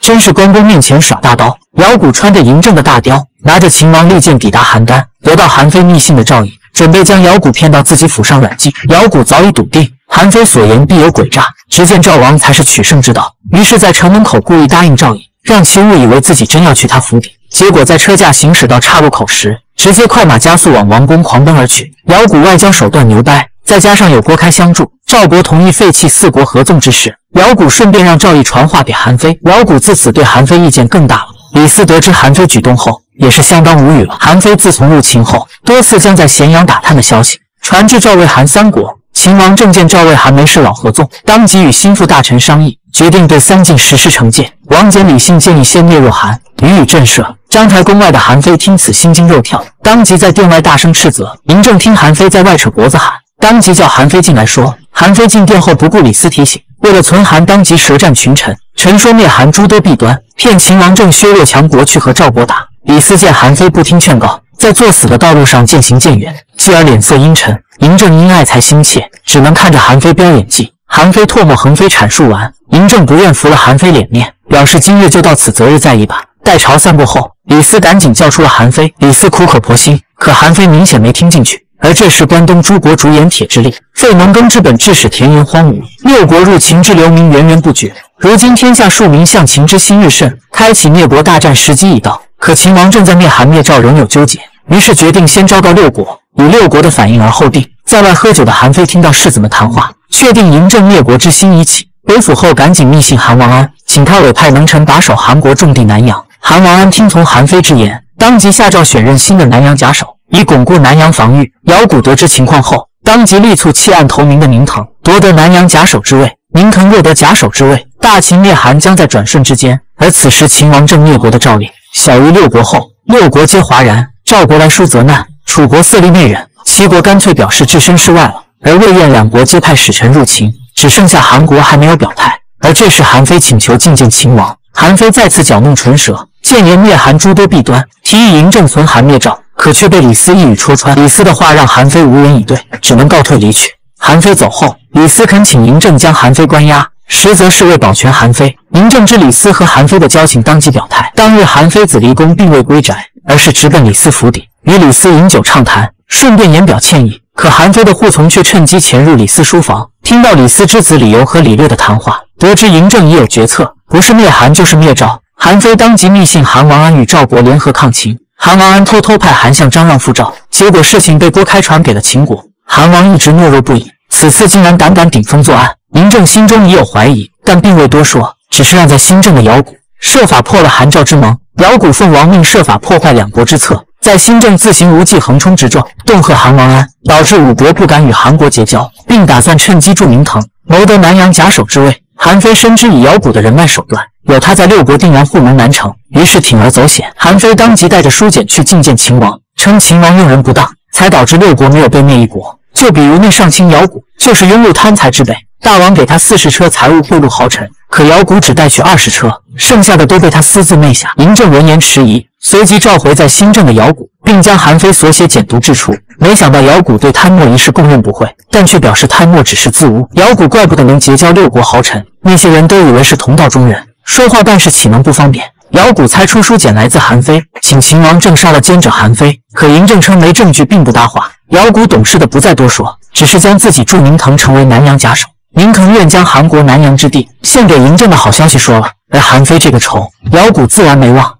自从韩非入秦后，没事就给三晋偷偷传递消息。嬴政惜才爱才，也都睁一只眼闭一只眼。可韩非吃了雄心豹子胆，听说姚贾在新郑破六国合纵，竟自作聪明游说秦王政攻讦姚贾贪墨，意图借嬴政之手除掉姚贾。姚贾向秦王政解释清楚后，得知是韩非再次从中作梗，当即准备除掉韩建、韩非。姚贾知晓嬴政对韩非颇为偏袒，不拿出韩非见者的体证，是扳不倒韩非的。于是趁夜造访韩非宅邸。直指韩非乃韩国贱人身份，姚贾不愧是交游六国高手，深知各类臣子的弱点，于是，在与韩非的交谈中故意透露，韩非曾经的护从宁腾现已叛韩，自己已经将宁腾推上南阳假手之位，宁腾已经答应待他出任南阳假手，必然会将南阳献与秦国。随后更是让韩非好好想想，南阳若失守，韩国还有可能存国吗？姚谷这手顶级阳谋属实漂亮，让韩非明知是圈套，也不得不自陷证据往里跳。只因这是保住韩国的唯一希望。姚谷走后，韩非当即吩咐护从们，天明前分别从各个城门出去，定要将宁腾叛韩消息送抵新政。数十个护从分头行动，只求为韩国争取一线生机。然而姚谷早已布好圈套，这些护从或被绞杀，或被俘虏。而韩非知晓，哪怕秦军抓住一人，奸者的身份便会坐实，自己必然死路一条。于是坐在案前争分夺秒，连夜注写韩非子。第二天一早，秦国廷尉府前来拿人，韩非自此锒铛入狱。而此时的章台宫内，嬴政眼见铁证如山，纠结不已。这时姚谷谏言：“韩非明知不可为而为之，可见其对母国之忠贞，对秦国之阴毒。李斯不忍韩非如此结局，谏言大王灭韩后，韩非无所依托，日后定然会为大王所用。希望嬴政惜才饶了韩非。”嬴杰、王绾等人又纷纷谏言：“韩非不能为大王所用，反而屡次阻碍大王一统天下，该以刑罚处置。”铁证在前，大臣谏言在后。嬴政觉得韩非就是个冰山，自己是融化感化不了他了，最终同意姚贾等人所请依法论罪。依法论罪乃是车裂之刑。李斯不忍好友如此悲惨落幕，唯一能为韩非争取的，便是亲手送上一杯毒酒，保其全尸尚在。韩非知晓李斯尽力了，也知自己要是嬴政，也会处死韩非，但其还有一心愿未了，那就是希望李斯能帮忙，将自己亲手撰写的《韩非子》流传，让法家理念实施于天下，造福万民。韩非见心事已了。便接过毒酒一饮而下，毒药发作，韩非疼痛异常。李斯一把将韩非拉进怀里，哭着陪好友挺过人生最后一程。结果韩非前脚咽气，赵高就传来亡命赦免韩非。李斯闻言震惊，悔恨自己出手太快，误害韩非命丧黄泉，一股急火攻心，当即口喷鲜血，随后倒地昏迷不醒。韩非是法家思想之集大成者，集商鞅的法、生不害的术和圣道的事于一身。今天伟帝之才，本可抚明君开万世，奈何错生韩国，困缚一生。落得如此下场，秦王政见到灭六国的时机已到，于是决定开启灭国大战。嬴政本在灭韩灭赵间纠结，这时秦国上卿姚贾带回重磅消息，自己已经将弃暗投秦的宁腾推上韩国南阳假手之位。宁腾已经表态，随时可将南阳献与秦国。南阳乃是韩国重地，南阳若归秦，韩国除启强别无出路。如此良机，嬴政当即果断下令，秦军见风以直抵韩国新政。宁腾正要登高一呼，率南阳臣民归秦时，却陡然出现变故。韩王安突然派十万韩军戍守南阳，又命韩相张让来主持军政。宁腾一把手的位置被夺，受制于人，恐是难成。而这时还有一个坏消息，就是韩王安在秦军入境后四处求援。竟争取到赵魏楚三国响应，韩境内抵御秦军的兵力已达三十万之众。秦廷御史王绾和丞相糜启见事情棘手，建议秦缓图之，待赵魏楚散去再想他法。可李斯却表示不可放弃灭韩之机。嬴政知道赵魏楚三国援韩，赵国乃是主手，只要赵国退兵，魏楚必不敢出兵救韩，所以只要让赵国知难而退，合纵联军便会自然瓦解。有了主意的秦王政当即赶赴战场指挥战斗。到达前线后，第一道诏令。就是命秦将李信率两万将士侵入韩境作掠劫状，如遇韩军单独作战，便歼之；若遇四国之军，则败归。李信当即带领秦军给韩军咔咔乱杀。听到赵魏楚联军赶到，便装作仓皇逃跑。韩王听到前方联军大败秦军，顿时以为自己行了飘了。上千秦军殒命虽可惜，但无小事怎可有大德？如今韩军洋洋得意，自命不凡，而这正中秦王政计策。嬴政当即派李信即刻赶往南阳，策应宁腾意志。秦将李信抵达南阳后，按照计策，带领一千铁骑大摇大摆刺探敌情。这时，宁腾利用韩相张让刚愎自用、好大喜功的弱点，劝张让带领韩军出城击杀李信。张让听闻新政的韩军大败秦军，本就眼热极了，如今见名扬天下的机会摆在眼前，当即带领韩军出城去追杀李信。而这正给了宁腾可乘之机。众人齐心运筹下，南阳最终意志归附大秦。而追了李信二十天没追到的张让，憋屈至极，返回南阳时。却发现城头旗帜已换，秦上卿姚谷正和宁腾站在一起，重地南阳归秦，让新政街头人心惶惶。韩王安从未料到这般失策，如今只能请赵魏楚相助，请三国增兵助韩国夺回南阳。不料赵国不但不增兵，还要把现在的大军也撤走。只因秦上将军王翦率三十万大军突袭赵国，赵国得先自保。赵国主心骨一退，魏楚见韩国军心已溃，也纷纷找个理由要撤。三国不愿援韩，是韩国如敝履之时。嬴政命令腾兴南阳之兵乘胜追击，一举攻克了韩都新郑。于是，在公元前二百三十年，韩王安无奈率众臣出城请降。称陈书抵达咸阳后，韩王安在章台殿内恭敬地奉上韩帝舆图和国玺。嬴政不再追究韩安叛秦之罪，而是撤其王号，称臣纳贡，且允其继续居住新郑，规制如公侯。自此，韩国彻底灭亡。秦国书告天下，将韩吞入秦地，并在此建立颍川郡。公元前二百二十九年，秦王政十八年。秦国开启新一轮灭国大战，秦将王翦、李信、杨端和寿陵虎符府岳再发三路大军进攻赵国。秦军杀意凛然，直奔赵境而来。昌后眼见情势危急，便与赵王牵携宗室大臣迎回李牧，命李牧统筹举国之兵相抗秦军。于是率边军长途奔袭，南阻杨端和北挫李信。败完二人后，火速赶往井陉，拦截王翦之军进攻邯郸。如今王翦与李牧对峙井陉数月，秦将王翦数次佯攻诱敌，可李牧据咸以守据不出战。让秦军一时进展艰难，前方战况八百里传至秦国咸阳。秦廷众臣见李牧用兵如鬼，奔袭如电，知晓想要速胜李牧很难，除非效仿当年长平之战，离间赵国，让赵国换将，才有可能速胜。可如今的情况是，赵人举国托于李牧，皆视李牧为拯救赵国的不二之人。就在众臣深感无力，觉得这条路走不通时，头脑灵光的李斯想出了让赵国。同一个地方跌倒两回的计策，若是开门见山离间李牧，赵人定会警醒；若对赵国全体朝臣下手，则让赵国摸不到头脑。眼神发亮的嬴政当即命顿若倾尽财货，后馈赵国宗室朝臣，并叮嘱此事定要让赵王赵后知晓。顿若当即按王命办事，赵臣愿意收礼的更好，遇见不收的隔墙往里扔，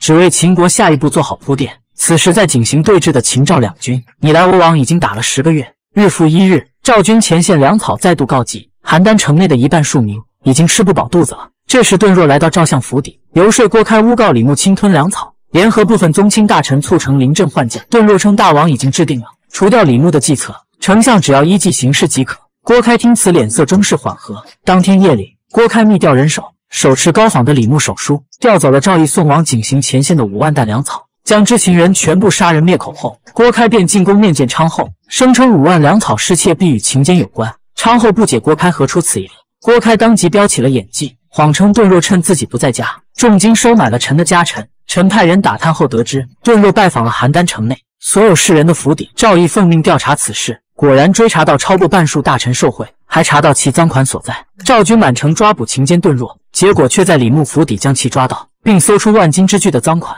赃款这是李牧尚可辩驳。这时运粮将士的口供送到邯郸，称自己放粮乃是因看到武安君的手令。那些收受贿赂的大臣听到风声后，为了祸水东引，拉着李牧挡枪，纷纷称李牧是私吞粮草的幕后主使。昌后本就因多数大臣被秦国贿赂，心中忐忑，听此当即要收回李牧的兵权。赵义谏言临阵换将乃兵家大忌，太后万不可忘却长平之战的惨痛教训。郭开知晓赵国对换将有阴影，于是退而求其次，建议不下兵权，只是召回李牧，让其解释清楚。可由赵聪代其暂管军政，不会出什么事的。在郭开的蛊惑下，昌后派他和赵聪前往景行召回武安君李牧。李牧对军粮失窃，一脸懵逼。但王赵在此只能回邯郸复命。怎料李牧在归途之中惨遭郭开伏击，司马尚浴血拼杀，护卫李牧逃离。不想郭开有备而来，最终司马尚为救李牧身亡，其余残兵抵死顽抗，掩护李牧冲出重围。李牧拼尽全力冲破绊马索的束缚，一路纵马狂奔，却不想。行至荒野，又陷困境，数百名弓箭手倾巢出动，将李牧四周围住。这时，战神徒手郭开上线。郭开手势一挥，只见无数支利箭朝李牧射去。关键时刻，马有灵性护主，替李牧挡下大多数箭雨。无奈郭开带来的人属实太多，这位戎马一生的战神李牧，最终还是难逃厄运，死在郭开手里。而李牧一死，赵国即将完蛋。自从李牧被战神郭开弄死后，秦王嬴政命上将军王翦。将李牧的边军全歼后，再克邯郸。王翦利用赵军粮草匮乏，连日挑战以求速胜的弱点，吩咐部下将帅帐秘密迁往山丘林地。秦将王翦设好圈套后，赵聪当即就要带着边军往里跳。赵国粮草不济是硬伤，如今李牧将军惨死，赵聪只能带着边军殊死一搏，却不想正中王翦计谋。赵军在秦军的故意示弱下，瞬间夺下秦军大营。王翦得知赵军铁骑已攻入谷地，当即命王奔即刻出击截断谷口。随后命中军和后军主力向谷地合围。此时的谷底厮杀声势沸腾，双方长矛相抵，互不撤让。得知中计的赵军四处突围，却皆被秦军死死困在谷底。此时的场景竟和当年的长平之战极其相似。最终，这批李牧一手带出的精锐铁骑被秦军全歼在谷地，而十万赵国步军，王翦下令只追击不歼灭，故意放十万张嘴回邯郸吃饭。倒是邯郸饥饿更甚，将更易攻克。秦军大军直逼邯郸城。虎视眈眈，却并未主动攻击。这时，段若从郭开那拿到邯郸布防图，送到秦军大营，并带来消息：如今赵军半数将士已饿得举不动毛戈。本以为王翦会顺势攻破邯郸，结果王翦却依旧表示时机未到，只因如今赵国宗室无一人劝降。这说明赵军的锐气未减。这时派秦军去打，便宜了赵军，还白白增加秦军伤亡。而事实果然如王翦所料，秦军有强大的国力做后盾，拖得起。可邯郸城内赵军赵明就惨了。三名壮族一天共享一斤熟米，饿得前胸贴后背。赵一家的小公子更是被活活饿死了。有点条件的百姓不惜花重金高价从郭开那买点粟米，结果还没等给儿子吃一口，就被其他赵人抢夺跑了。赵义从哭嚎不已的百姓口中得知郭开高价卖粟米，大发国难财，当即派一千士卒趁夜乔装成庶民，将郭开如山的储粮一扫而空。得知情况的郭开暴怒不已，查出抢粮的幕后黑手乃是赵云。当即决定鱼死网破。郭开当即派遣护从给王翦送信，相约今晚两方里应外合。王翦见时机已到，当即让众将士准备。郭开派门客装好心市民前来送饭，守城士兵饿得两眼冒金星，耐不住饥饿，全都放松警惕，结果全都死于剑下。剩余门客血战城门前的赵军，将赵军杀得差不多后，火速放出信号。王翦见此，火速下令，秦军全力往城门奔去。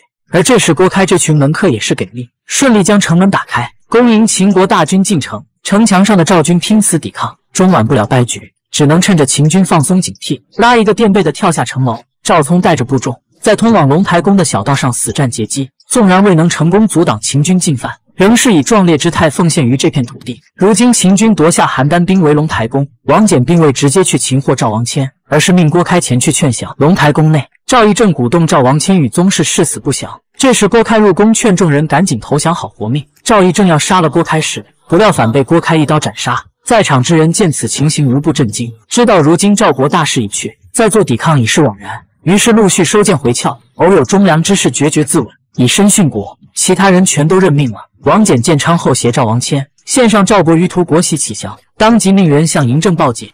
赵国亡了。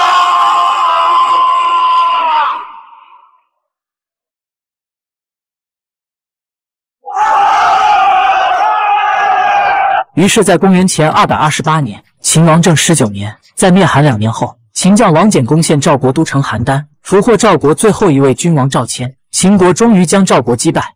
秦王嬴政收到邯郸攻克昌后赵王迁启降的捷报后，自知秦赵之间仇隙甚深，于是亲赴邯郸主持大局。嬴政宣布完对赵王迁的处置后，便命人将他们母子送抵咸阳。赵王迁和昌后虽走了，但是赵人桀骜不驯，冥顽不灵。秦军巡查途中经常遇袭。嬴政听此，当即派出战神郭开，命他勒令救赵世人交出封印。再次手握权柄的郭开，对救赵世人毫不留情。郭开见这群人敬酒不吃吃罚酒，当即对赵世人棍棒相加。大家经受不住拷打，唯有妥协。怎料郭开也是掉钱眼里了，竟然借此机会再次从中获利。郭开狐假虎威，一顿杀威棒，扣下留给自己日后享用的土地，将剩余十万请收缴封邑的账单屁颠屁颠的递交给秦王政。嬴政询问郭开救赵世人有何反应，郭开毫不保留，知无不言，称公子家代帝称王后。世人也都心存侥幸，表面上在想，但心里期盼公子家复国，都怀有不臣之心。赵世人本就不愿交出封地，再加上遭受郭开这般屈辱殴打。正暗中密谋反叛，就在这时，听到秦王三日后要去祭奠申月先生，赵国士人贵胄当即决定拼一把。赵氏人兵分两路，一路故意接近郭开，恳请他帮忙带自己等人进龙台宫面见嬴政。行至宫殿门口时，突然暴动，将守卫的秦军杀死。随后打开门栓接应门外同伙，只见一群手抱高度酒、背着枯树枝的赵氏人鱼贯而入，直往龙台宫奔去。随后四处纵火，只为引秦军前来。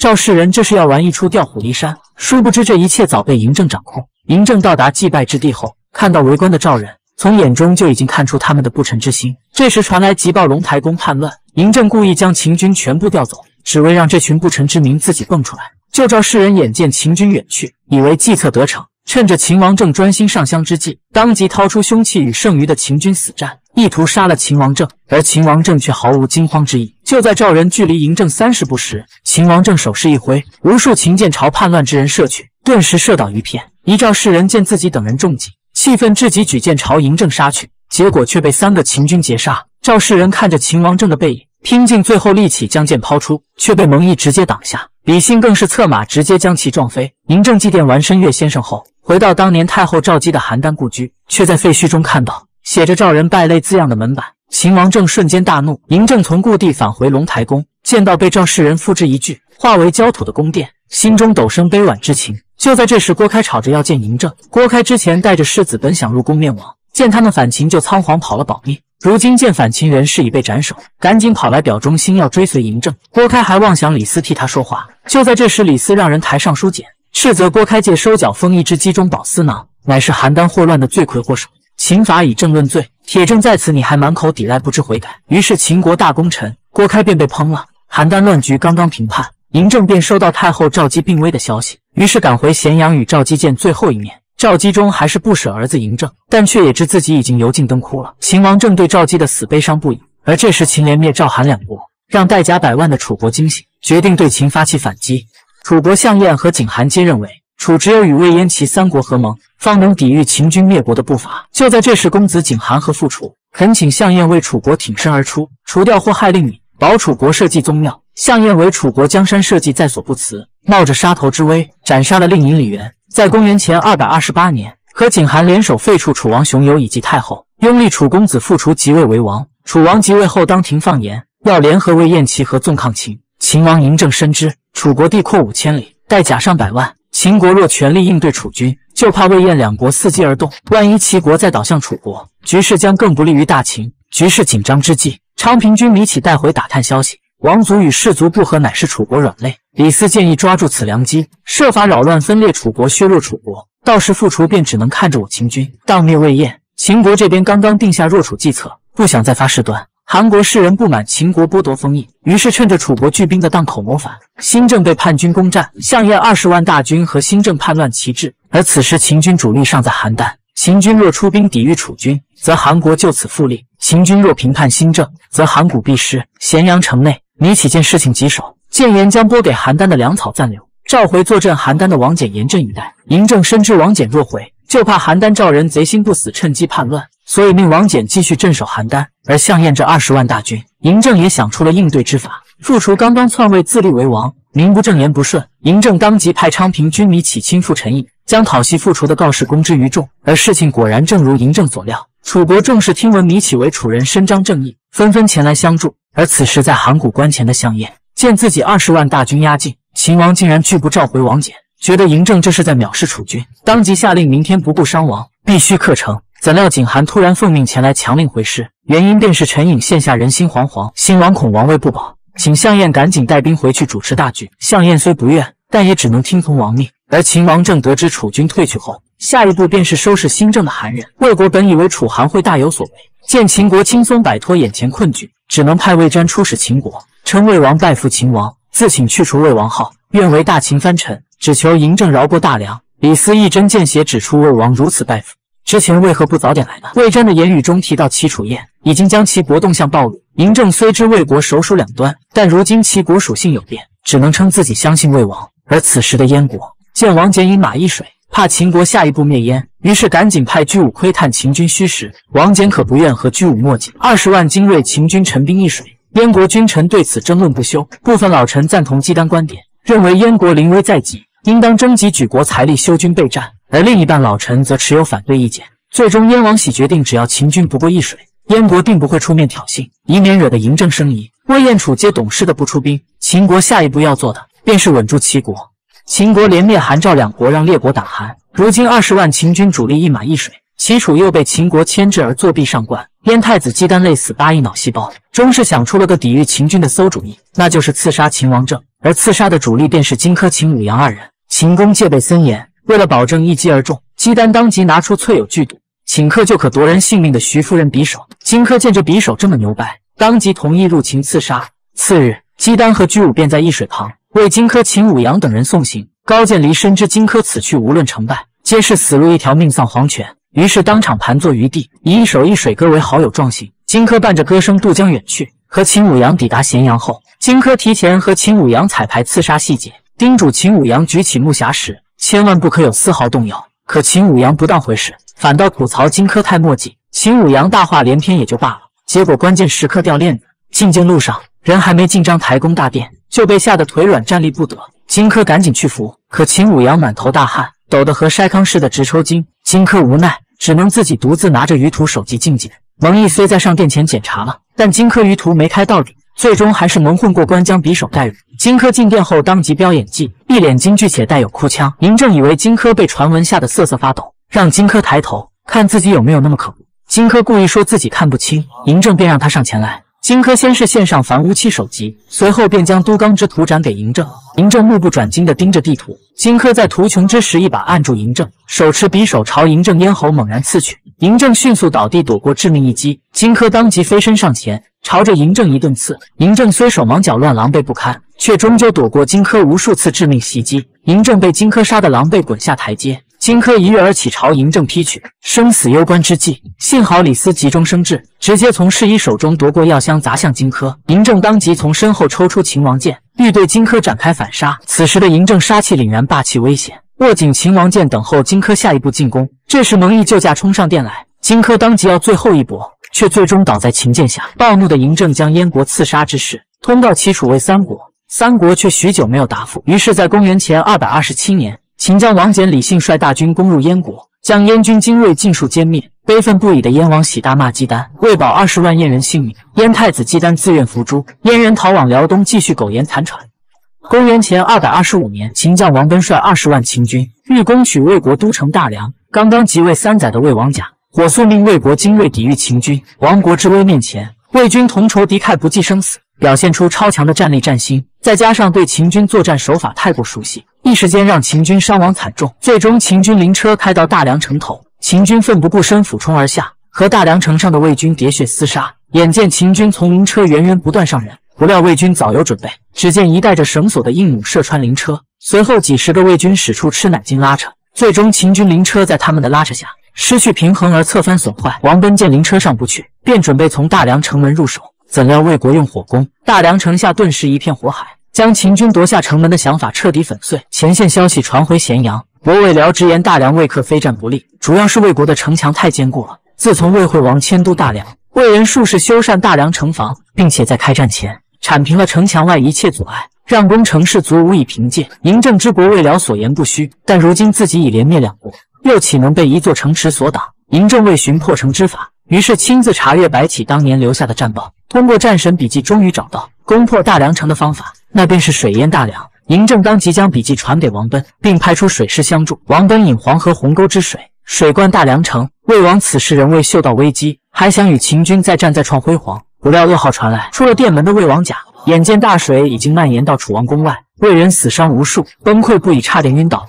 魏将提议先救助妇孺，抢救粮草。魏王甲虽命人全力救援，可终究却挽救不了败局。魏国在坚持了几个月后，最终还是向秦国称降。至此，魏国亡。秦国在魏地设置当郡，如今赵家妾居代地，燕王喜必居辽东，中原之地现已尽在大秦手中。秦国下一个目标便是灭楚。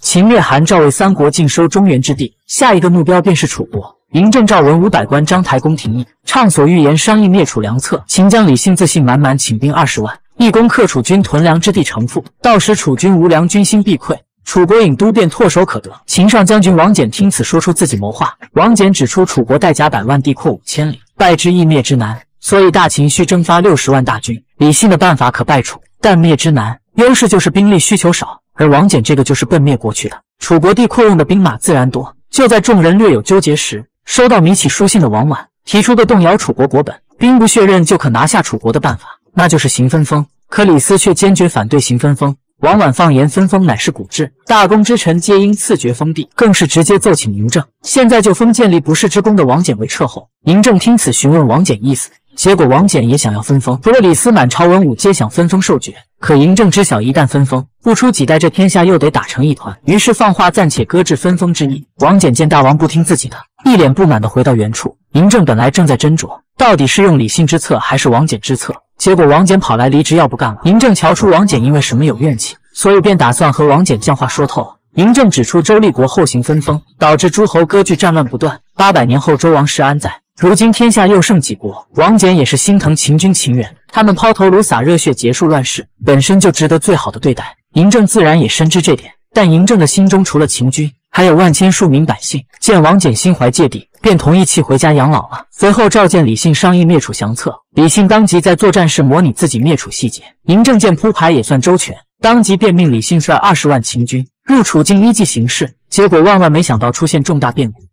公元前二百二十五年，李信蒙恬率二十万秦军从陈隐攻入楚境，意图夺下楚军屯粮之地城父。城父若到手，楚军无粮可吃，到时楚国将是待宰的羔羊。可万万没想到后院起火因秦王政不肯实行分封，弥其与楚世人心生嫌隙。楚公子景韩闻悉此事后，当即前往一见双方。此时李信率领秦军正猛攻城父，可负责运送粮草的弥启却发现，要运往鄢陵的十万担军粮，只有八万担装车，还有两万储存在仓库里。米启回府去找储藏粮草的书简，结果发现书简已被楚世人取走，楚世人还出手焚毁了两万担军粮。景韩更是亲自劝米启投楚弃秦，在景韩的忽悠下，堂堂秦国丞相。竟然在交战关键时刻叛敌了。此时在咸阳的李斯听说陈颖输往李信大军的粮草有短缺，火速将情况禀报嬴政，并提议自己去前线查看。可嬴政却表示不着急。嬴政万万想不到岳父米启会叛敌，以为可能有临时情况罢了，于是，一面命李信蒙恬合兵，一面给米启书信督促粮草。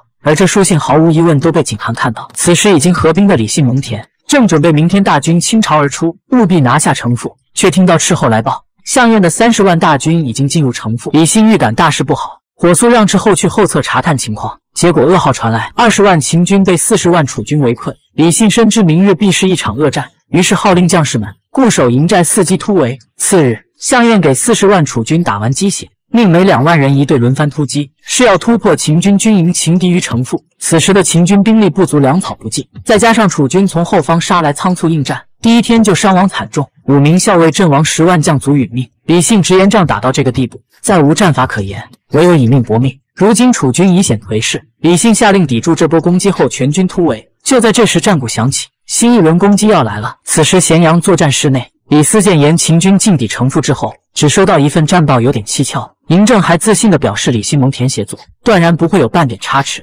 却不想魁壮，惊慌失措，传来噩耗：二十万秦军全军覆灭的晴天霹雳，给秦王政顿时雷懵了。反应过来的李斯赶紧询问昌平君米启消息。嬴政不是自负，也不是蠢，他是万万没想到自己的岳父会叛秦。秦王政从未经受如此大败，想到二十万为国征战的大秦锐士因自己的岳父血染沙场，嬴政无法接受这个现实，赶走众人后当即倒在地上。米姓族人得知米启叛国。导致二十万将士殒命，全部自负己申请嬴政降罪。可秦王政谁也不见，国夫人米华得知亲爹如此作为，崩溃不已，但也只能和米氏众人在章台宫前迎着烈日，等候嬴政召见。蒙毅让米氏众人回去等候王命，可众人宁可晒晕了都不走，最终终是等来王诏。米氏本就有叛乱的前科，可嬴政不计前嫌，重用米氏，甚至擢升米启为秦相，而米启就这么回报大秦的，秦王政又哪能不心寒？这就是秦王嬴政的胸怀与担当。城父兵败二十万，秦瑞士殒命。秦将李信蒙恬自负请罪，可嬴政却将罪责揽在自己身上。嬴政深知朝臣对分封议论已久，于是今日嬴政终是要给众臣一个肯定答案。故寡人欲废分封。嬴政从战败的悲痛中走出，重整旗鼓是要灭楚。可米华自觉无颜面对嬴政，于是决定独居禁于冷宫。嬴政虽心疼，但也无法阻拦米华的亲爹米启害死二十万秦瑞士。米华若安然无恙走进走出，世人将如何看待长公子扶苏？秦王政处理完家事后，下一步便是去请王翦出山。王翦见到嬴政的王驾后，当即跪地请罪。嬴政称这是寡人之罪，与上将军何干？可王翦本就是心思剔透之人，自然不会不我安君白起后尘。而且他是真后悔当初因分封一事和嬴政闹脾气，最终眼见二十万秦瑞士血染疆场。嬴政最终重新启用王翦，赐虎符，命其率六十五万大军攻楚。王翦立誓不负王命，定报成父之仇。随后便率复仇之师离开函谷关，直奔楚境。王翦率数十万大军东出函谷的消息，让昌平君米启心中忧虑。项燕自以为是，建议鸾鸟鸣叫，称鸾鸟纯火之情，太阳之精，乃我楚人祖先的化身。秦人不过是玄鸟生下的毒卵，岂能与我楚人争鸣？结果话音刚落，鸾鸟就被人一箭射死了。项燕大怒，让手下将射杀之人擒来，结果发现此人竟是米颠。米启见此，赶紧给兄弟解围。回到帐内给项燕敬酒赔罪，可米颠却表示道不同无一时。项燕派人要将米颠赶走，米颠挣脱开，称自己还不屑与叛徒萧晓同坐那。说完便起身要走。几天后，秦将王翦命蒙恬奇袭陈邑，楚军疏于防范，米启仅含不战而逃。王翦听此，心中大定，想着可以专心对付项燕了。蒙恬建议秦军先发制人，可王翦却让蒙恬别着急，先将一份帛书急送咸阳。咸阳的王婉。见王翦送来的不是战报，乃是请求良田千亩十亿万户的奏折，顿时有点无语了。前段时间求府邸两座仆役签名，这没多久又要封赏。心思单纯的王婉吐槽：“这上将军咋不务正事，就知道要赏赐呢？”李斯解释：“大王将六十五万大军交由上将军统帅，然我大秦立国五百余年来，从未有过一人率兵如此之多，上将军也是惶惶不安啊。”而上将军行事谨慎，他不断朝大王索要封赏，乃是一举多得。嬴政自然知晓王翦的担忧，于是命人从宫中再选出十名美貌女子，送到上将军府邸，意在告诉王翦不必顾虑朝议，在前线放心的干吧。而王翦则放心的开始准备自己灭楚的杀手锏。秦将王翦率六十万秦军东出函谷，攻入楚地后，并未直接刀兵相见，而是采取了坚壁自守、避免决战、养精蓄锐、伺机出击的作战方针，将楚国的国力彻底拖垮的同时。还专门准备了三个杀手锏。如今楚国仓廪空虚，正寄希望于岁收季节好补充粮草，而王翦选择此时出击，就是要粉碎楚军的最后希望。在王翦的号令下，秦秦国有何举动？结果这日秦国大军真的动了。齐王一听不是来打自己，是去打燕国和代地公子家去了，顿时心中松了一口气。可齐相却劝齐王早做防备，这秦军迟早得来。在齐相的劝说下，齐王同意在秦地同往临淄的要道高唐屯驻三十万大军，剩下的二十万大军。则护卫齐国都城临淄，并派遣田冲前去咸阳，意在打探秦国虚实。此时的秦王嬴政得知齐国将派兵屯驻高唐，本来还有些忧虑，不是忧虑秦军打不过，而是担忧高唐城坚强固，秦军若要强攻，必会白白损失不少秦瑞士性命。就在这时，廷尉李斯带来消息，齐公子田冲已到咸阳。嬴政当即想到对其上策，那就是从刚进入咸阳的公子冲入手。自从田冲访秦后，途经之处所见所闻。皆令他心生震撼。瞧着那杀意凛然的秦军出征，田冲深知多年未曾征战的齐军与之相抗，必将一触即溃。田冲虽心知齐国大势已去，唯有降秦才是良策，但嘴上却不饶李斯，夸夸其谈，称齐军战力多么强悍，齐国有多么富有，如今还坐拥五十万雄兵，目的就是想让秦国忌惮同意议和。结果李斯却讽刺田冲做梦呢吧。李斯知晓田冲已有降秦之心，只不过碍于脸面，一直纠缠。于是事后便故意堵着田冲，田冲无奈求建国夫人黎秋，请其帮忙说服嬴政同意秦齐议和。可秦王政却表态，除非齐国降。话已经说到这份上，田冲只能抛下脸面觐见秦王。田冲表态，齐国请为藩臣，请秦王允我齐国宗庙存续。嬴政表态，识时务者为俊杰，通机变者为英豪。只有归降于秦，才能使华夏重归于一，还天下黎庶太平之日的唯一之途。黎秋担忧齐王执迷不悟，于是请求亲赴齐国，相助公子游说齐王归降大秦。最终，黎丘和田冲赶赴临淄，而此时远在临淄的齐王心中也是万般悔恨。秦公韩时，齐相说这都是怪韩王自己昏聩，齐王便未理会韩王求助，最终韩斗秦灭。秦公召时，六国皆言有李牧在，定能顶住秦军。齐王信以为真，并未出兵，结果赵国被灭，秦军和燕军大战易水，世人皆言燕太子刺秦，活该被诛。齐王便坐观成败。秦军攻打大梁时，齐相谏言楚国尚在，让齐王不必在意。结果魏国被灭，秦王攻打楚国，齐王刚刚下决心相助楚国，郢都就落入了秦王之手。可以说齐襄后胜属实有点坑，他的谏言就没对过，导致齐国坐视五国被荡灭。结果最可笑的是，此时的齐王还是相信齐相后胜的话。黎丘回到齐国后，和田冲一起游说齐王降秦。田冲是为免齐人徒增伤亡，才选择降秦。可后胜等人一听秦国封地才五百，担忧自己等大臣将一无所有。自然极力怂恿齐王死战秦军，于是齐王又听了后胜的话，将国夫人黎秋软禁了。此时的秦国已经灭了燕国以及代地的公子家，齐国终究还是得挨顿打才消停。秦王正见齐王不知死活，胆敢扣自己夫人，明白齐国是没挨到打，还不知道疼，于是，一面命蒙恬率三十万大军猛攻高唐，意在将临淄的主力也吸引至高唐作战；一面命王贲率大军南下突袭临淄。而事实正如秦王正所料，蒙恬这边三十万大军一开火。高唐的齐军被打得慌乱无主，八百里急报齐王。齐王询问后胜如何解高唐之困。后胜这个大聪明，毫不犹豫要将临淄的二十万齐军也派到高唐作战，还和齐王夸下海口：五十万齐军 PK 三十万秦军，咱们必能击垮蒙恬，挫败秦国灭我大齐之野心。齐王再次相信了后胜的智商，将护卫临淄的齐军调往高唐。在高唐的蒙恬故意只攻不夺，让齐军一点没怀疑有诈，还放言要和秦军在高唐决战，却不想王贲的五万大军。已经急行军进抵到临淄城下，齐王建被城下的大军吓完了。就在齐王建心中胆寒，以为要粮食，秦军方向突然射来一封信，让齐王杀了齐襄后胜，秦国就接受齐国请降。齐王建看了书信内容后，第一时间召见齐襄后胜，询问临淄如今已是无兵在手的空城，相国可有抵挡王贲大军的办法？后胜此时也不叽叽喳喳了，眼见大军兵临城下，改口劝齐王建出城请降。齐王建见后胜没有退敌之法，只能狠心送他一程。齐王以感谢丞相辅佐辛劳的名义，命太监将毒酒奉上，称你我君臣就此饮这一爵。后胜没想太多，一饮而尽。齐相后胜最终领盒饭了。齐王见此，心中顿感悲凉，后悔自己醒悟的太晚了。随后便打算直接喝下毒酒，一了百了。可齐王内心斗争了半天，最终还是没有勇气饮酒自杀，只能赤裸上身口中衔玉，带着文武百官出城请降。秦军取走玉佩，示意同意。齐王见便献上齐国玉玺于土。至此。公元前二百二十一年，齐王建投降秦国，齐国灭亡。秦自公元前三百六十一年，秦孝公迎娶梁启用商鞅变革图强，至公元前二百二十一年，秦王嬴政并六国一天下，历时一百四十年。七世君王励精图治，终是结束了华夏长达五百余年的诸侯割据、战乱纷争，开创出多民族统一的帝国，为中华文明奠定了不朽的根基。对秦始皇一生功过的评价，历史上一直存在不同意见和争。论